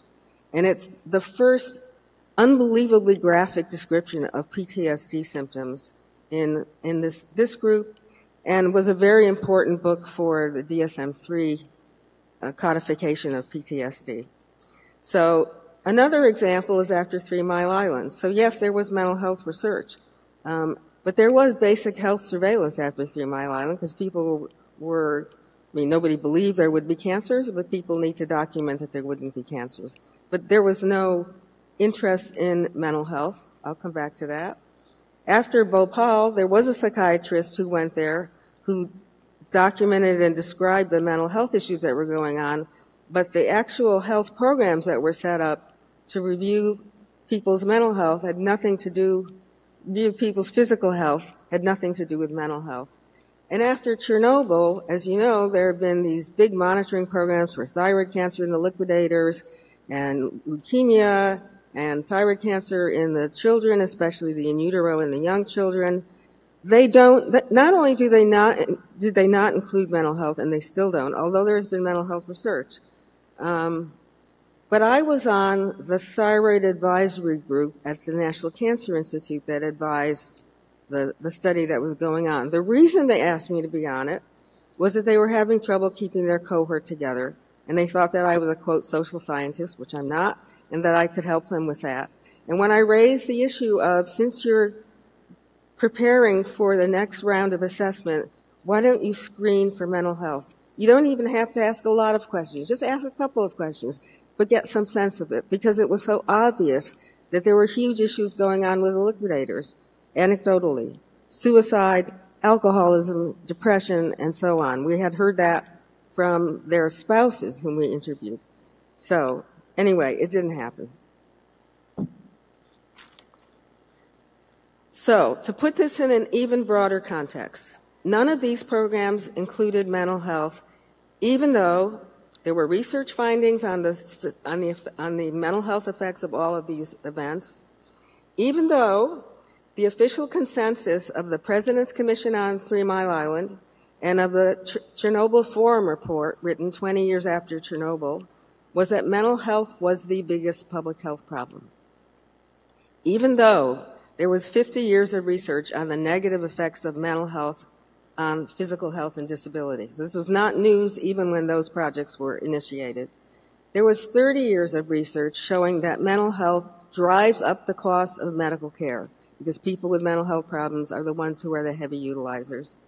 And the association between mental health and early mortality, that had been shown for decades. So the World Trade Center comes along and it ushered in actually a new era. It was a game changer in terms of thinking about setting up a health surveillance program. because it, it did include both physical health and mental health. And when I got to this point of my, as I was thinking about this, I thought, so why did it happen? What went on in 2001 that was different from what had happened before 2001? And I came up with all these theories, but then I got smart and I, inter- and I emailed David Prezant and Craig Katz. And I asked them, why was mental health included? The answer is actually rather complicated, and I think they need to tell that story. But the fact is that initially it was a public private partnership. It wasn't that simple. The other answer, which was David's immediate response to my email, was he said, because we cared.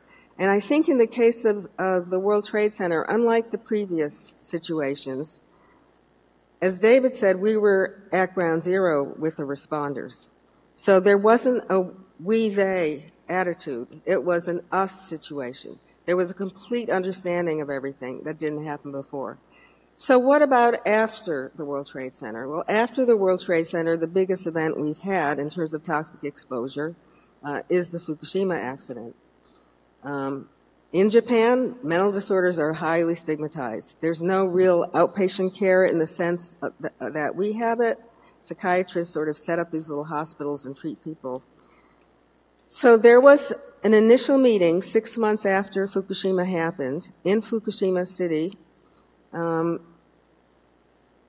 on the consequences of the radiation exposure on people's health.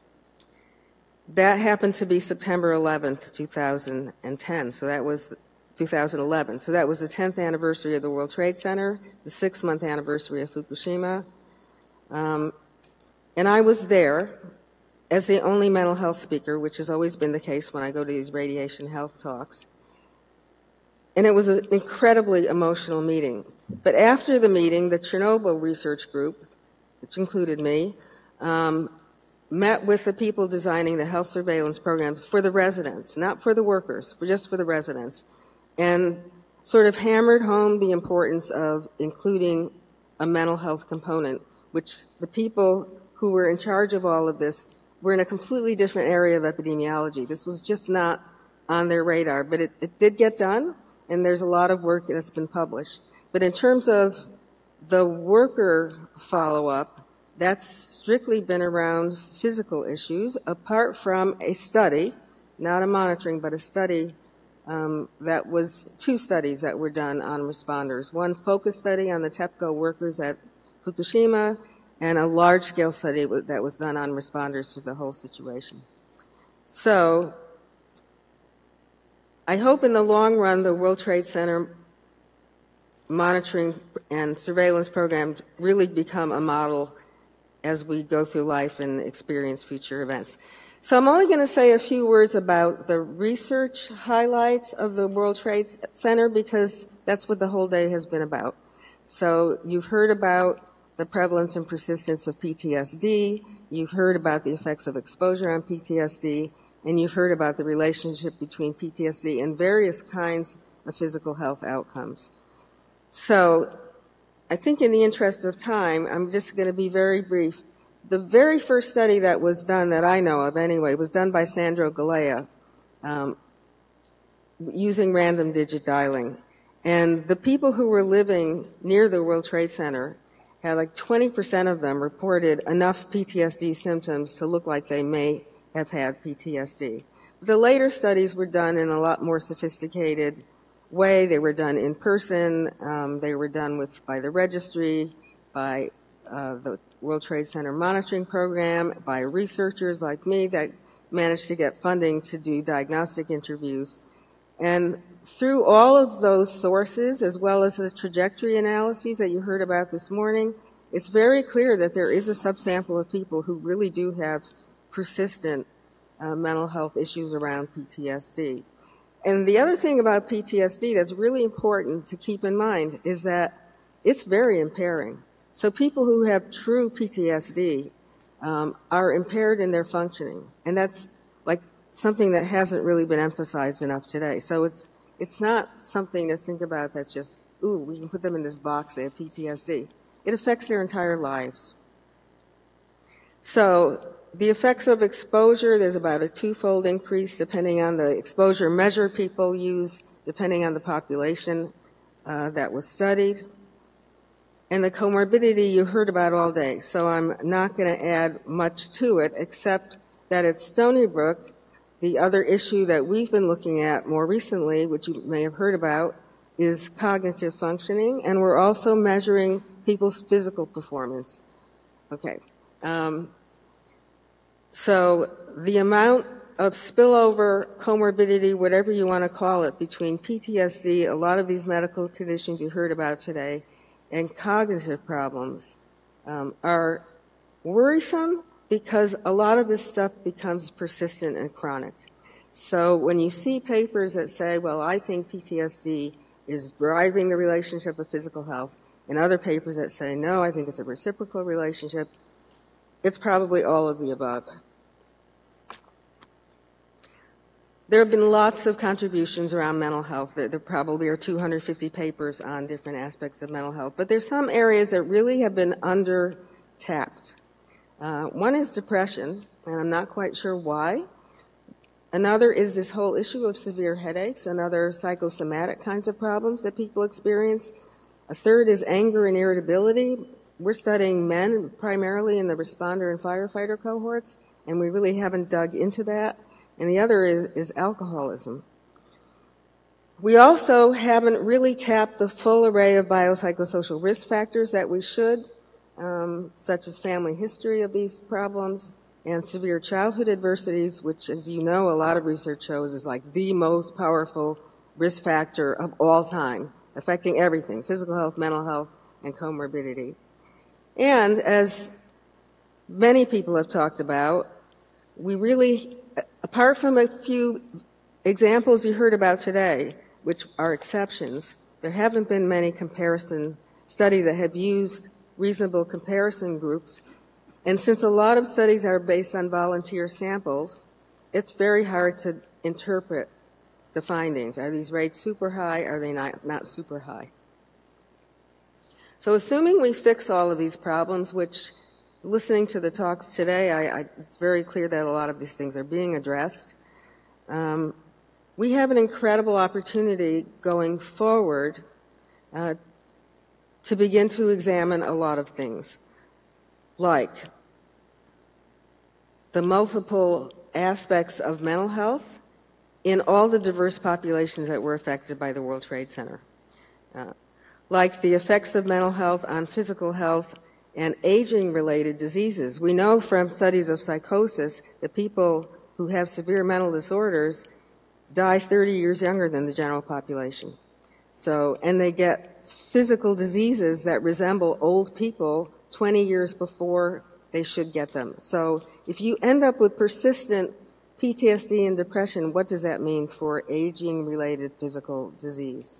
And we have a chance to look at and develop new treatments for long term disorder. There are lots of treatments out there for acute disorder, but that's not what we're talking about anymore. We're talking about long term disorders. And we also have an opportunity to think about the prevention of secondary consequences of the mental health disorders that have occurred in the first 15 years um, in terms of future psychiatric, future cognitive, and future physical diseases that are going to arise. So, how do you set priorities? Because there are actually a lot of things to do.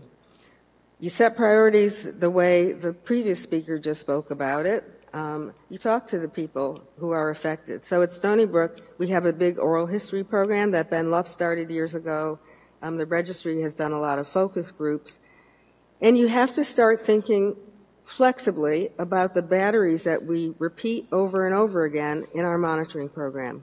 Should we really be repeating absolutely everything? Are there ways to tighten it so that we don't have to ask all the questions of everybody if they don't have any symptoms so that we could add other issues that are going to be important as our populations age and develop new diseases.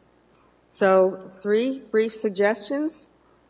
One is around depression. I completely agree with David, so I'm coming back to where we started this morning. I think we need to put more emphasis on depression because depression is the second leading cause of disability in the world, according to the World Health Organization. Depression often comes on the heels of PTSD. Depression is elevated in people with chronic disease. That's been documented forever. Um, depression is often a precursor of cognitive impairment, and depression is treatable. So, for all of those reasons, depression should, should get a greater focus. We've identified people in all of our work who have chronic multimorbid conditions, and we know that they're going to be at greatest risk for worsening health and for new health problems. We should focus on these people. We've spent a lot of years characterizing them. We should take advantage of what we've learned and try and help them in the future. As well as do what many of you are doing, which is to think about biobanks, as Roberto talked about with the Italian situation. That doctor was brilliant to, to actually get specimens and hang on to them until they could be analyzed. So, to conclude, the World Trade Center monitoring and health surveillance programs are actually game changers, and you sh- should applaud yourselves for what you've been doing over the last 15 years. The first generation studies have primarily been descriptive. They've documented what's gone on, and they've clearly shown that multimorbidity is the norm. And now it's important to extend that work from descriptive to more analytic research to look at aging related issues and other factors that are going to happen as we uh, grow and as we deal with the health problems that we've had over the last 15 years. And I think it's time to shift our main focus from documentation to intervention. Um, because I think we know who's at greatest risk over the coming decades. Uh, Ron Kessler, who is somebody that I've worked with for many years, wrote a paper in 1993 with Rick Price um, where he said primary preventions of secondary disorders, that was his phrase, which is actually exactly what we're talking about now, um, will prevent future onsets of psychiatric problems, of medical problems, at least that's the hope, and maybe even aging related diseases. So I leave you with those thoughts. I'm, i hope you have thoughts of your own, and special thanks to my colleagues at Stony Brook who had to listen to a, a version of this talk. so. Um, our next and final speaker, uh, Dr. Crane and myself would uh, like to take an opportunity to introduce. Dr. Dori Reissman is the Associate Administrator for the 9-11 World Trade Center Health Program administered by NIOSH. Dr. Reissman serves as a CDC subject expert on disaster, mental, and behavioral health policy, research, and program.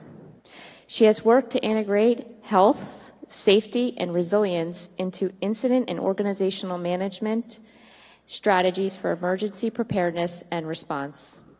She initiated efforts to address community and organizational resilience as public health protection strategies and participated in numerous public health missions in response to nat- natural disasters and the 2001 anthrax bioterrorism and 9 11 attacks. She is a graduate of the CDC Epidemic Intelligence Service Program, serving as a commissioned officer with the U.S. Public Health Service since 1997. Dr. Reissman graduated from Albert Einstein College of Medicine with subsequent medical specialty training in psychiatry from St. Vincent's Hospital and Medical Center of, of New York, and occupational and environmental medicine at the University of Illinois. Prior to medical training, Dr. Reissman obtained a Bachelor's of Science in Environmental Sciences from Cook College, Rutgers University in New Jersey, and a Master's of Arts in Pharmacology and Toxicology from Columbia University in New York. Dr. Crowley and I are certain that we speak for all the program's directors, the staff, and patients when we express our profound gratitude to Dr. Reissman for the leadership the counsel, and the advocacy that has brought the World Trade Center Health Program to world class status and to the threshold of the brilliant future that we have glimpsed today. And so, ladies and gentlemen, please join Laura and I in welcoming our medical director and associate administrator, Dr. Dori Reissman.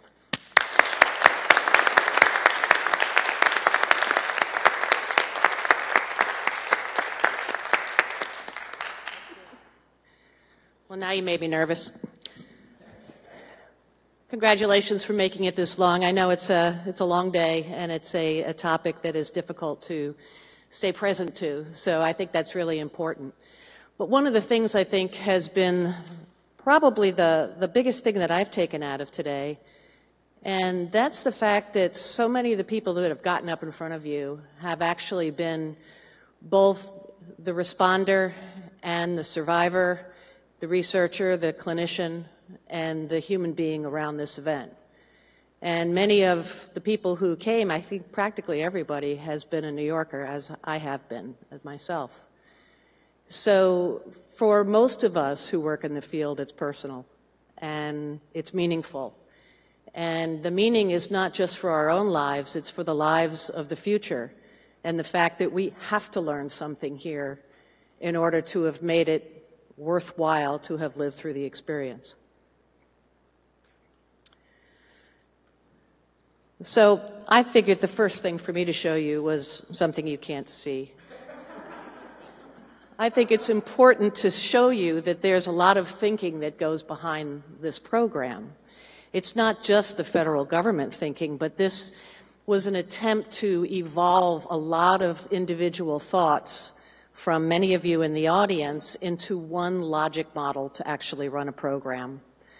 For those of you who might not be familiar with logic models, it starts really on this yellow or your left side and flows over towards the right.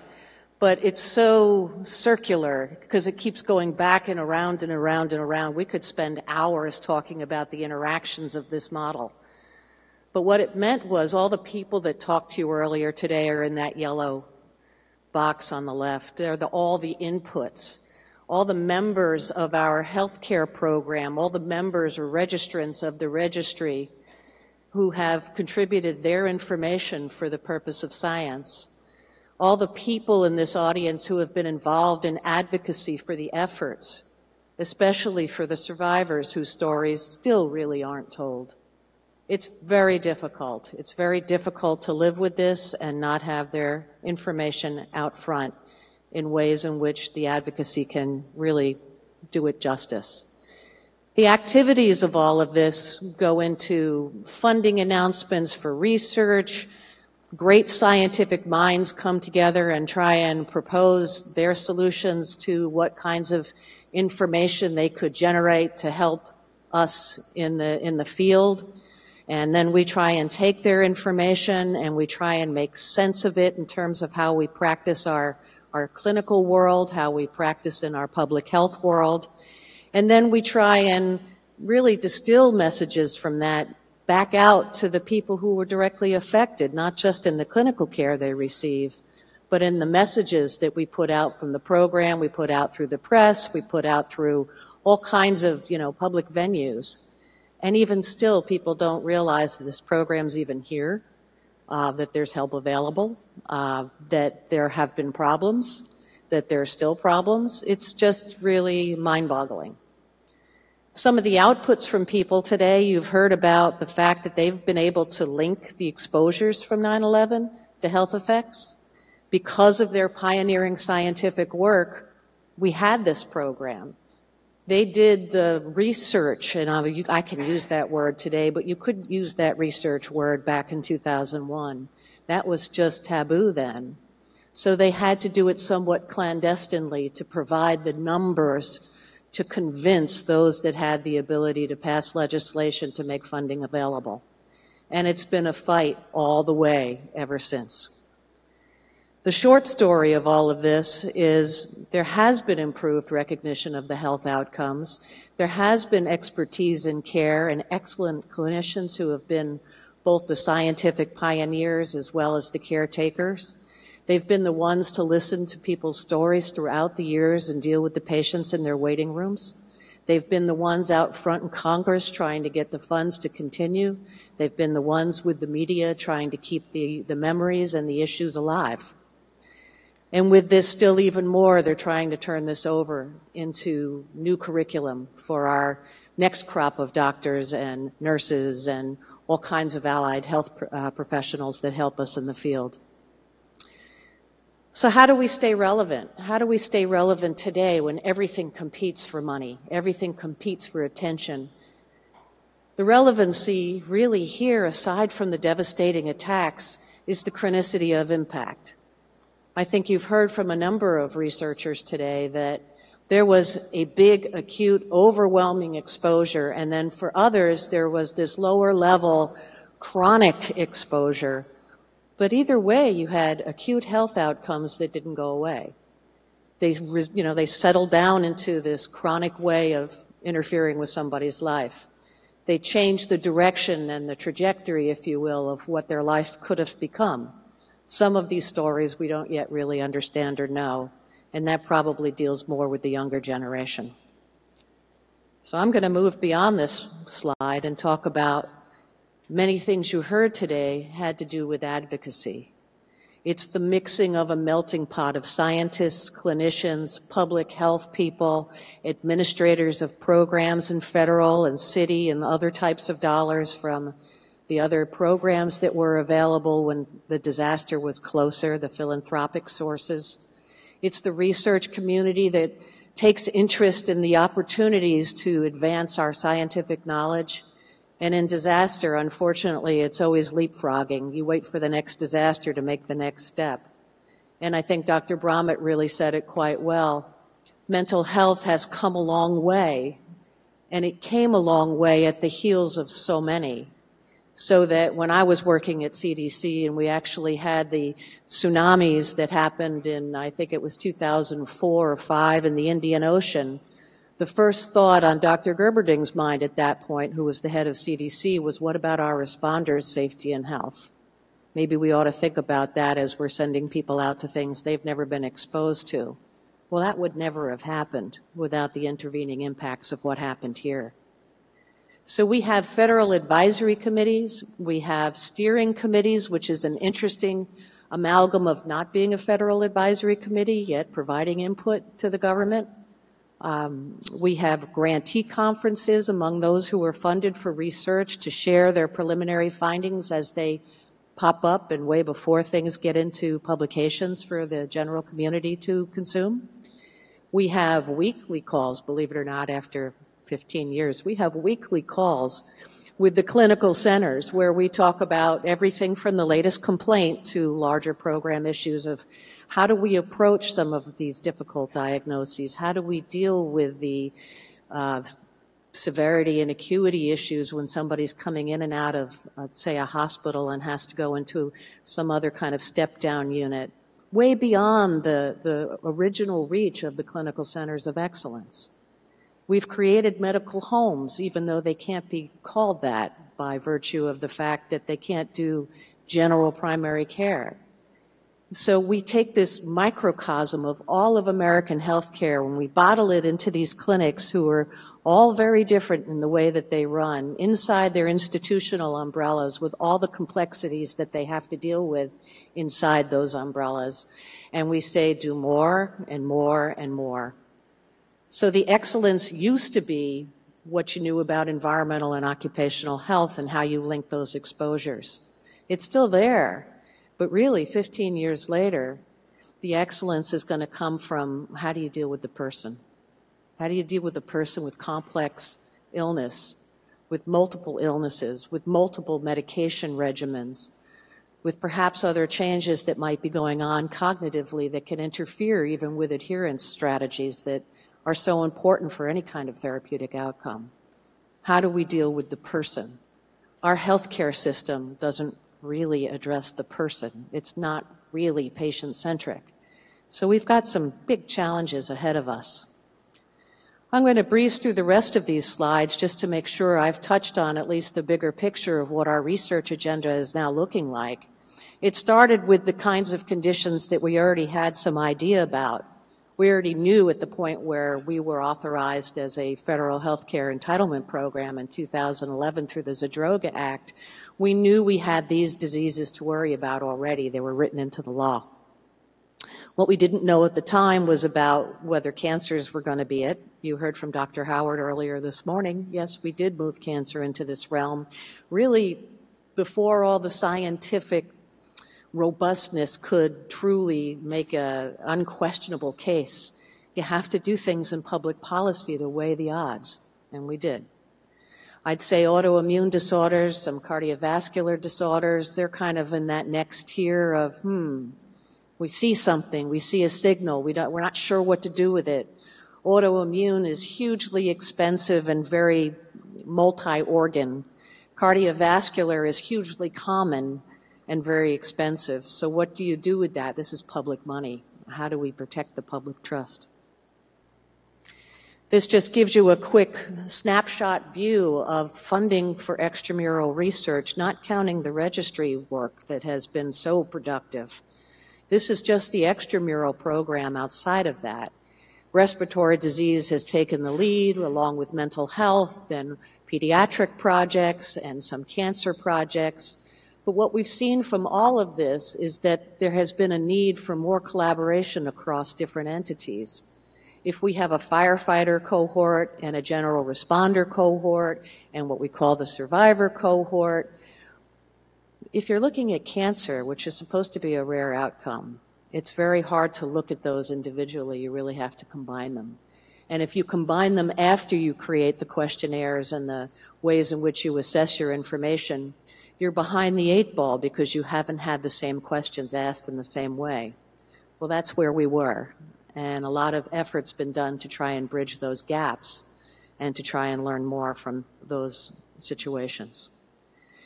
We recently expanded the agenda once we knew we were renewed for ongoing funding now through 2090. And we're really asking questions about healthcare service delivery. How do we get the value in this? Not just the fee for service in this, but you know, chronic disease, if you look at cancer care models that are happening right now, the value is around case navigation, care management, care coordination.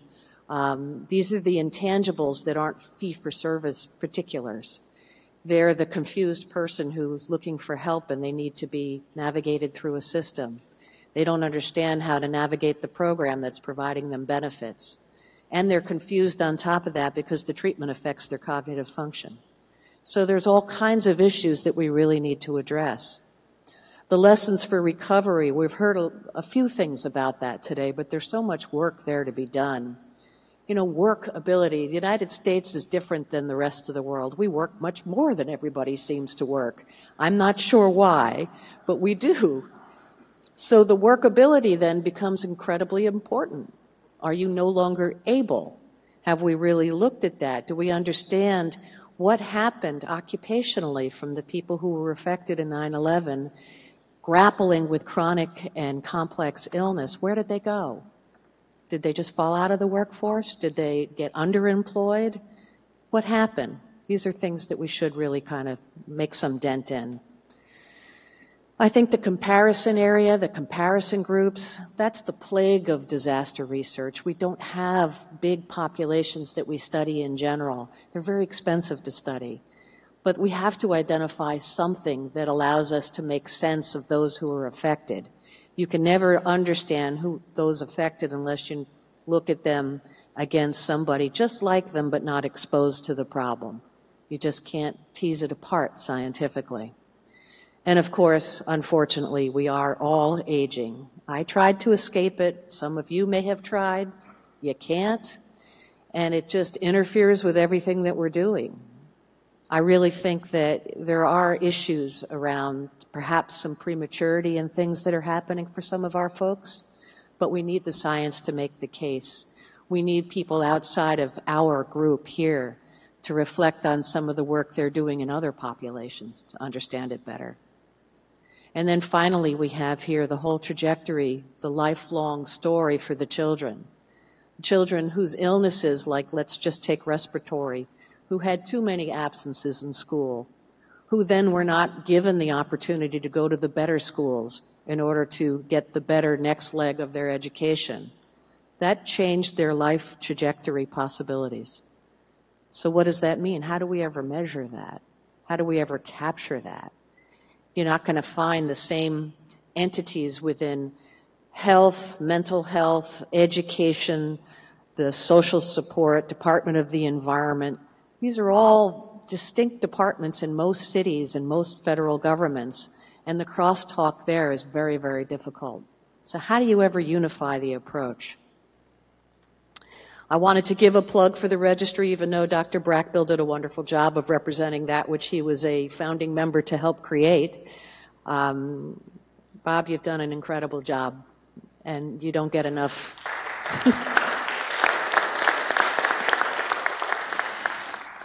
So this registry, I mean, I wish we had more information gathered by them. I wish we had a broader population that they could have, you know, been responsible for managing the data for.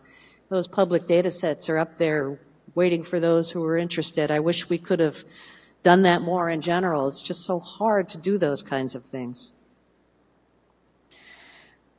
So, the very end of this talk, I also want to give some acknowledgement. I don't know if he's still here, but Dr. Max Lum at NIOSH, who's been an innovator for us, he's been the one who reminded us about uh, things that are happening in the younger generation with social media. He was the one who actually forced NIOSH to get out of the arcane stacks where you search things by hand and move into the, the current century. With that, he helped get the pieces together to redesign our, our website, our research gateway, to try and translate the information we're learning to products that people can truly consume. And we're trying to socialize our research. That's both a blessing and probably a curse for some of you as researchers because you're out of your element. You know, once you reach a certain age, it's taken off without you. That's just a fact. So this is our research gateway. Um, I know it's again tiny print, but that means you have to go look at it so you can really get a good sense of it. It's highly interactive. It's asking for feedback. Um, we're looking to show impacts of what the researchers were attempting to do. We've put out some uh, YouTube uh, video clips from our research conferences where the individual researcher gives a little blurb about what they think was the most important thing they found in English, in plain English, which is not easy for researchers. So this slide to me embodies all of it. You got all these sources of social media, and you have most of us down on that lower corner that says, I was really good at all this before they changed the rules. And now it's all different. As soon as something's said, it's internet searchable. So accountability for words, very different, even images and anything else you might try. The last thing I'll mention is that we attempted to try and take some of the information from the very people who spoke with you today and move it into a wonderful disseminator, which was Medscape. They reached clinicians very, very well physicians, nurses, um, perhaps some other allied health professions. And these four particular topics, and I think there's a fifth one now with cancer out there, really went out quickly. And you can see the uptake down below, even though it's a little blurred on this slide, but it was showing a geographic uptake of people who decided to take the CME courses. So we are trying to actually take this into CDC to continue offering the CME, because Medscape only does that for a certain period of time. But we think it's important. This is a way to reach all the, the folks outside of the immediate cities that were affected. These are the websites for those of you who don't know them already. Um, the logic model is there, the proceedings from our research uh, grantee meetings, our current uh, announcement, which is a circular announcement every, I think, quarterly or semi annually, whatever that is, where proposals are looked at and evaluated through a, uh, a peer reviewed panel for technical merit. And then the website, the projects that have been funded, the results of those projects, the publications, they're all listed there, easy to reach. And I think that draws it to conclusion. I do want to thank you. Um, you have to carry the story. You have to make sure that the next generation gets it, that you know, they, you'll find that young ones in school now, 9 11, what was that about? I, I, I didn't know anybody who did that or was involved in that. It's not that far in the future that you'll start to hear that. So the question is how do we really wrap this into something that transcends and makes a difference? So thank you for your attention. So, uh, that'll close our program. Uh, we want to thank you so very much for hanging in and, and first of all, in uh, attending with us all the way.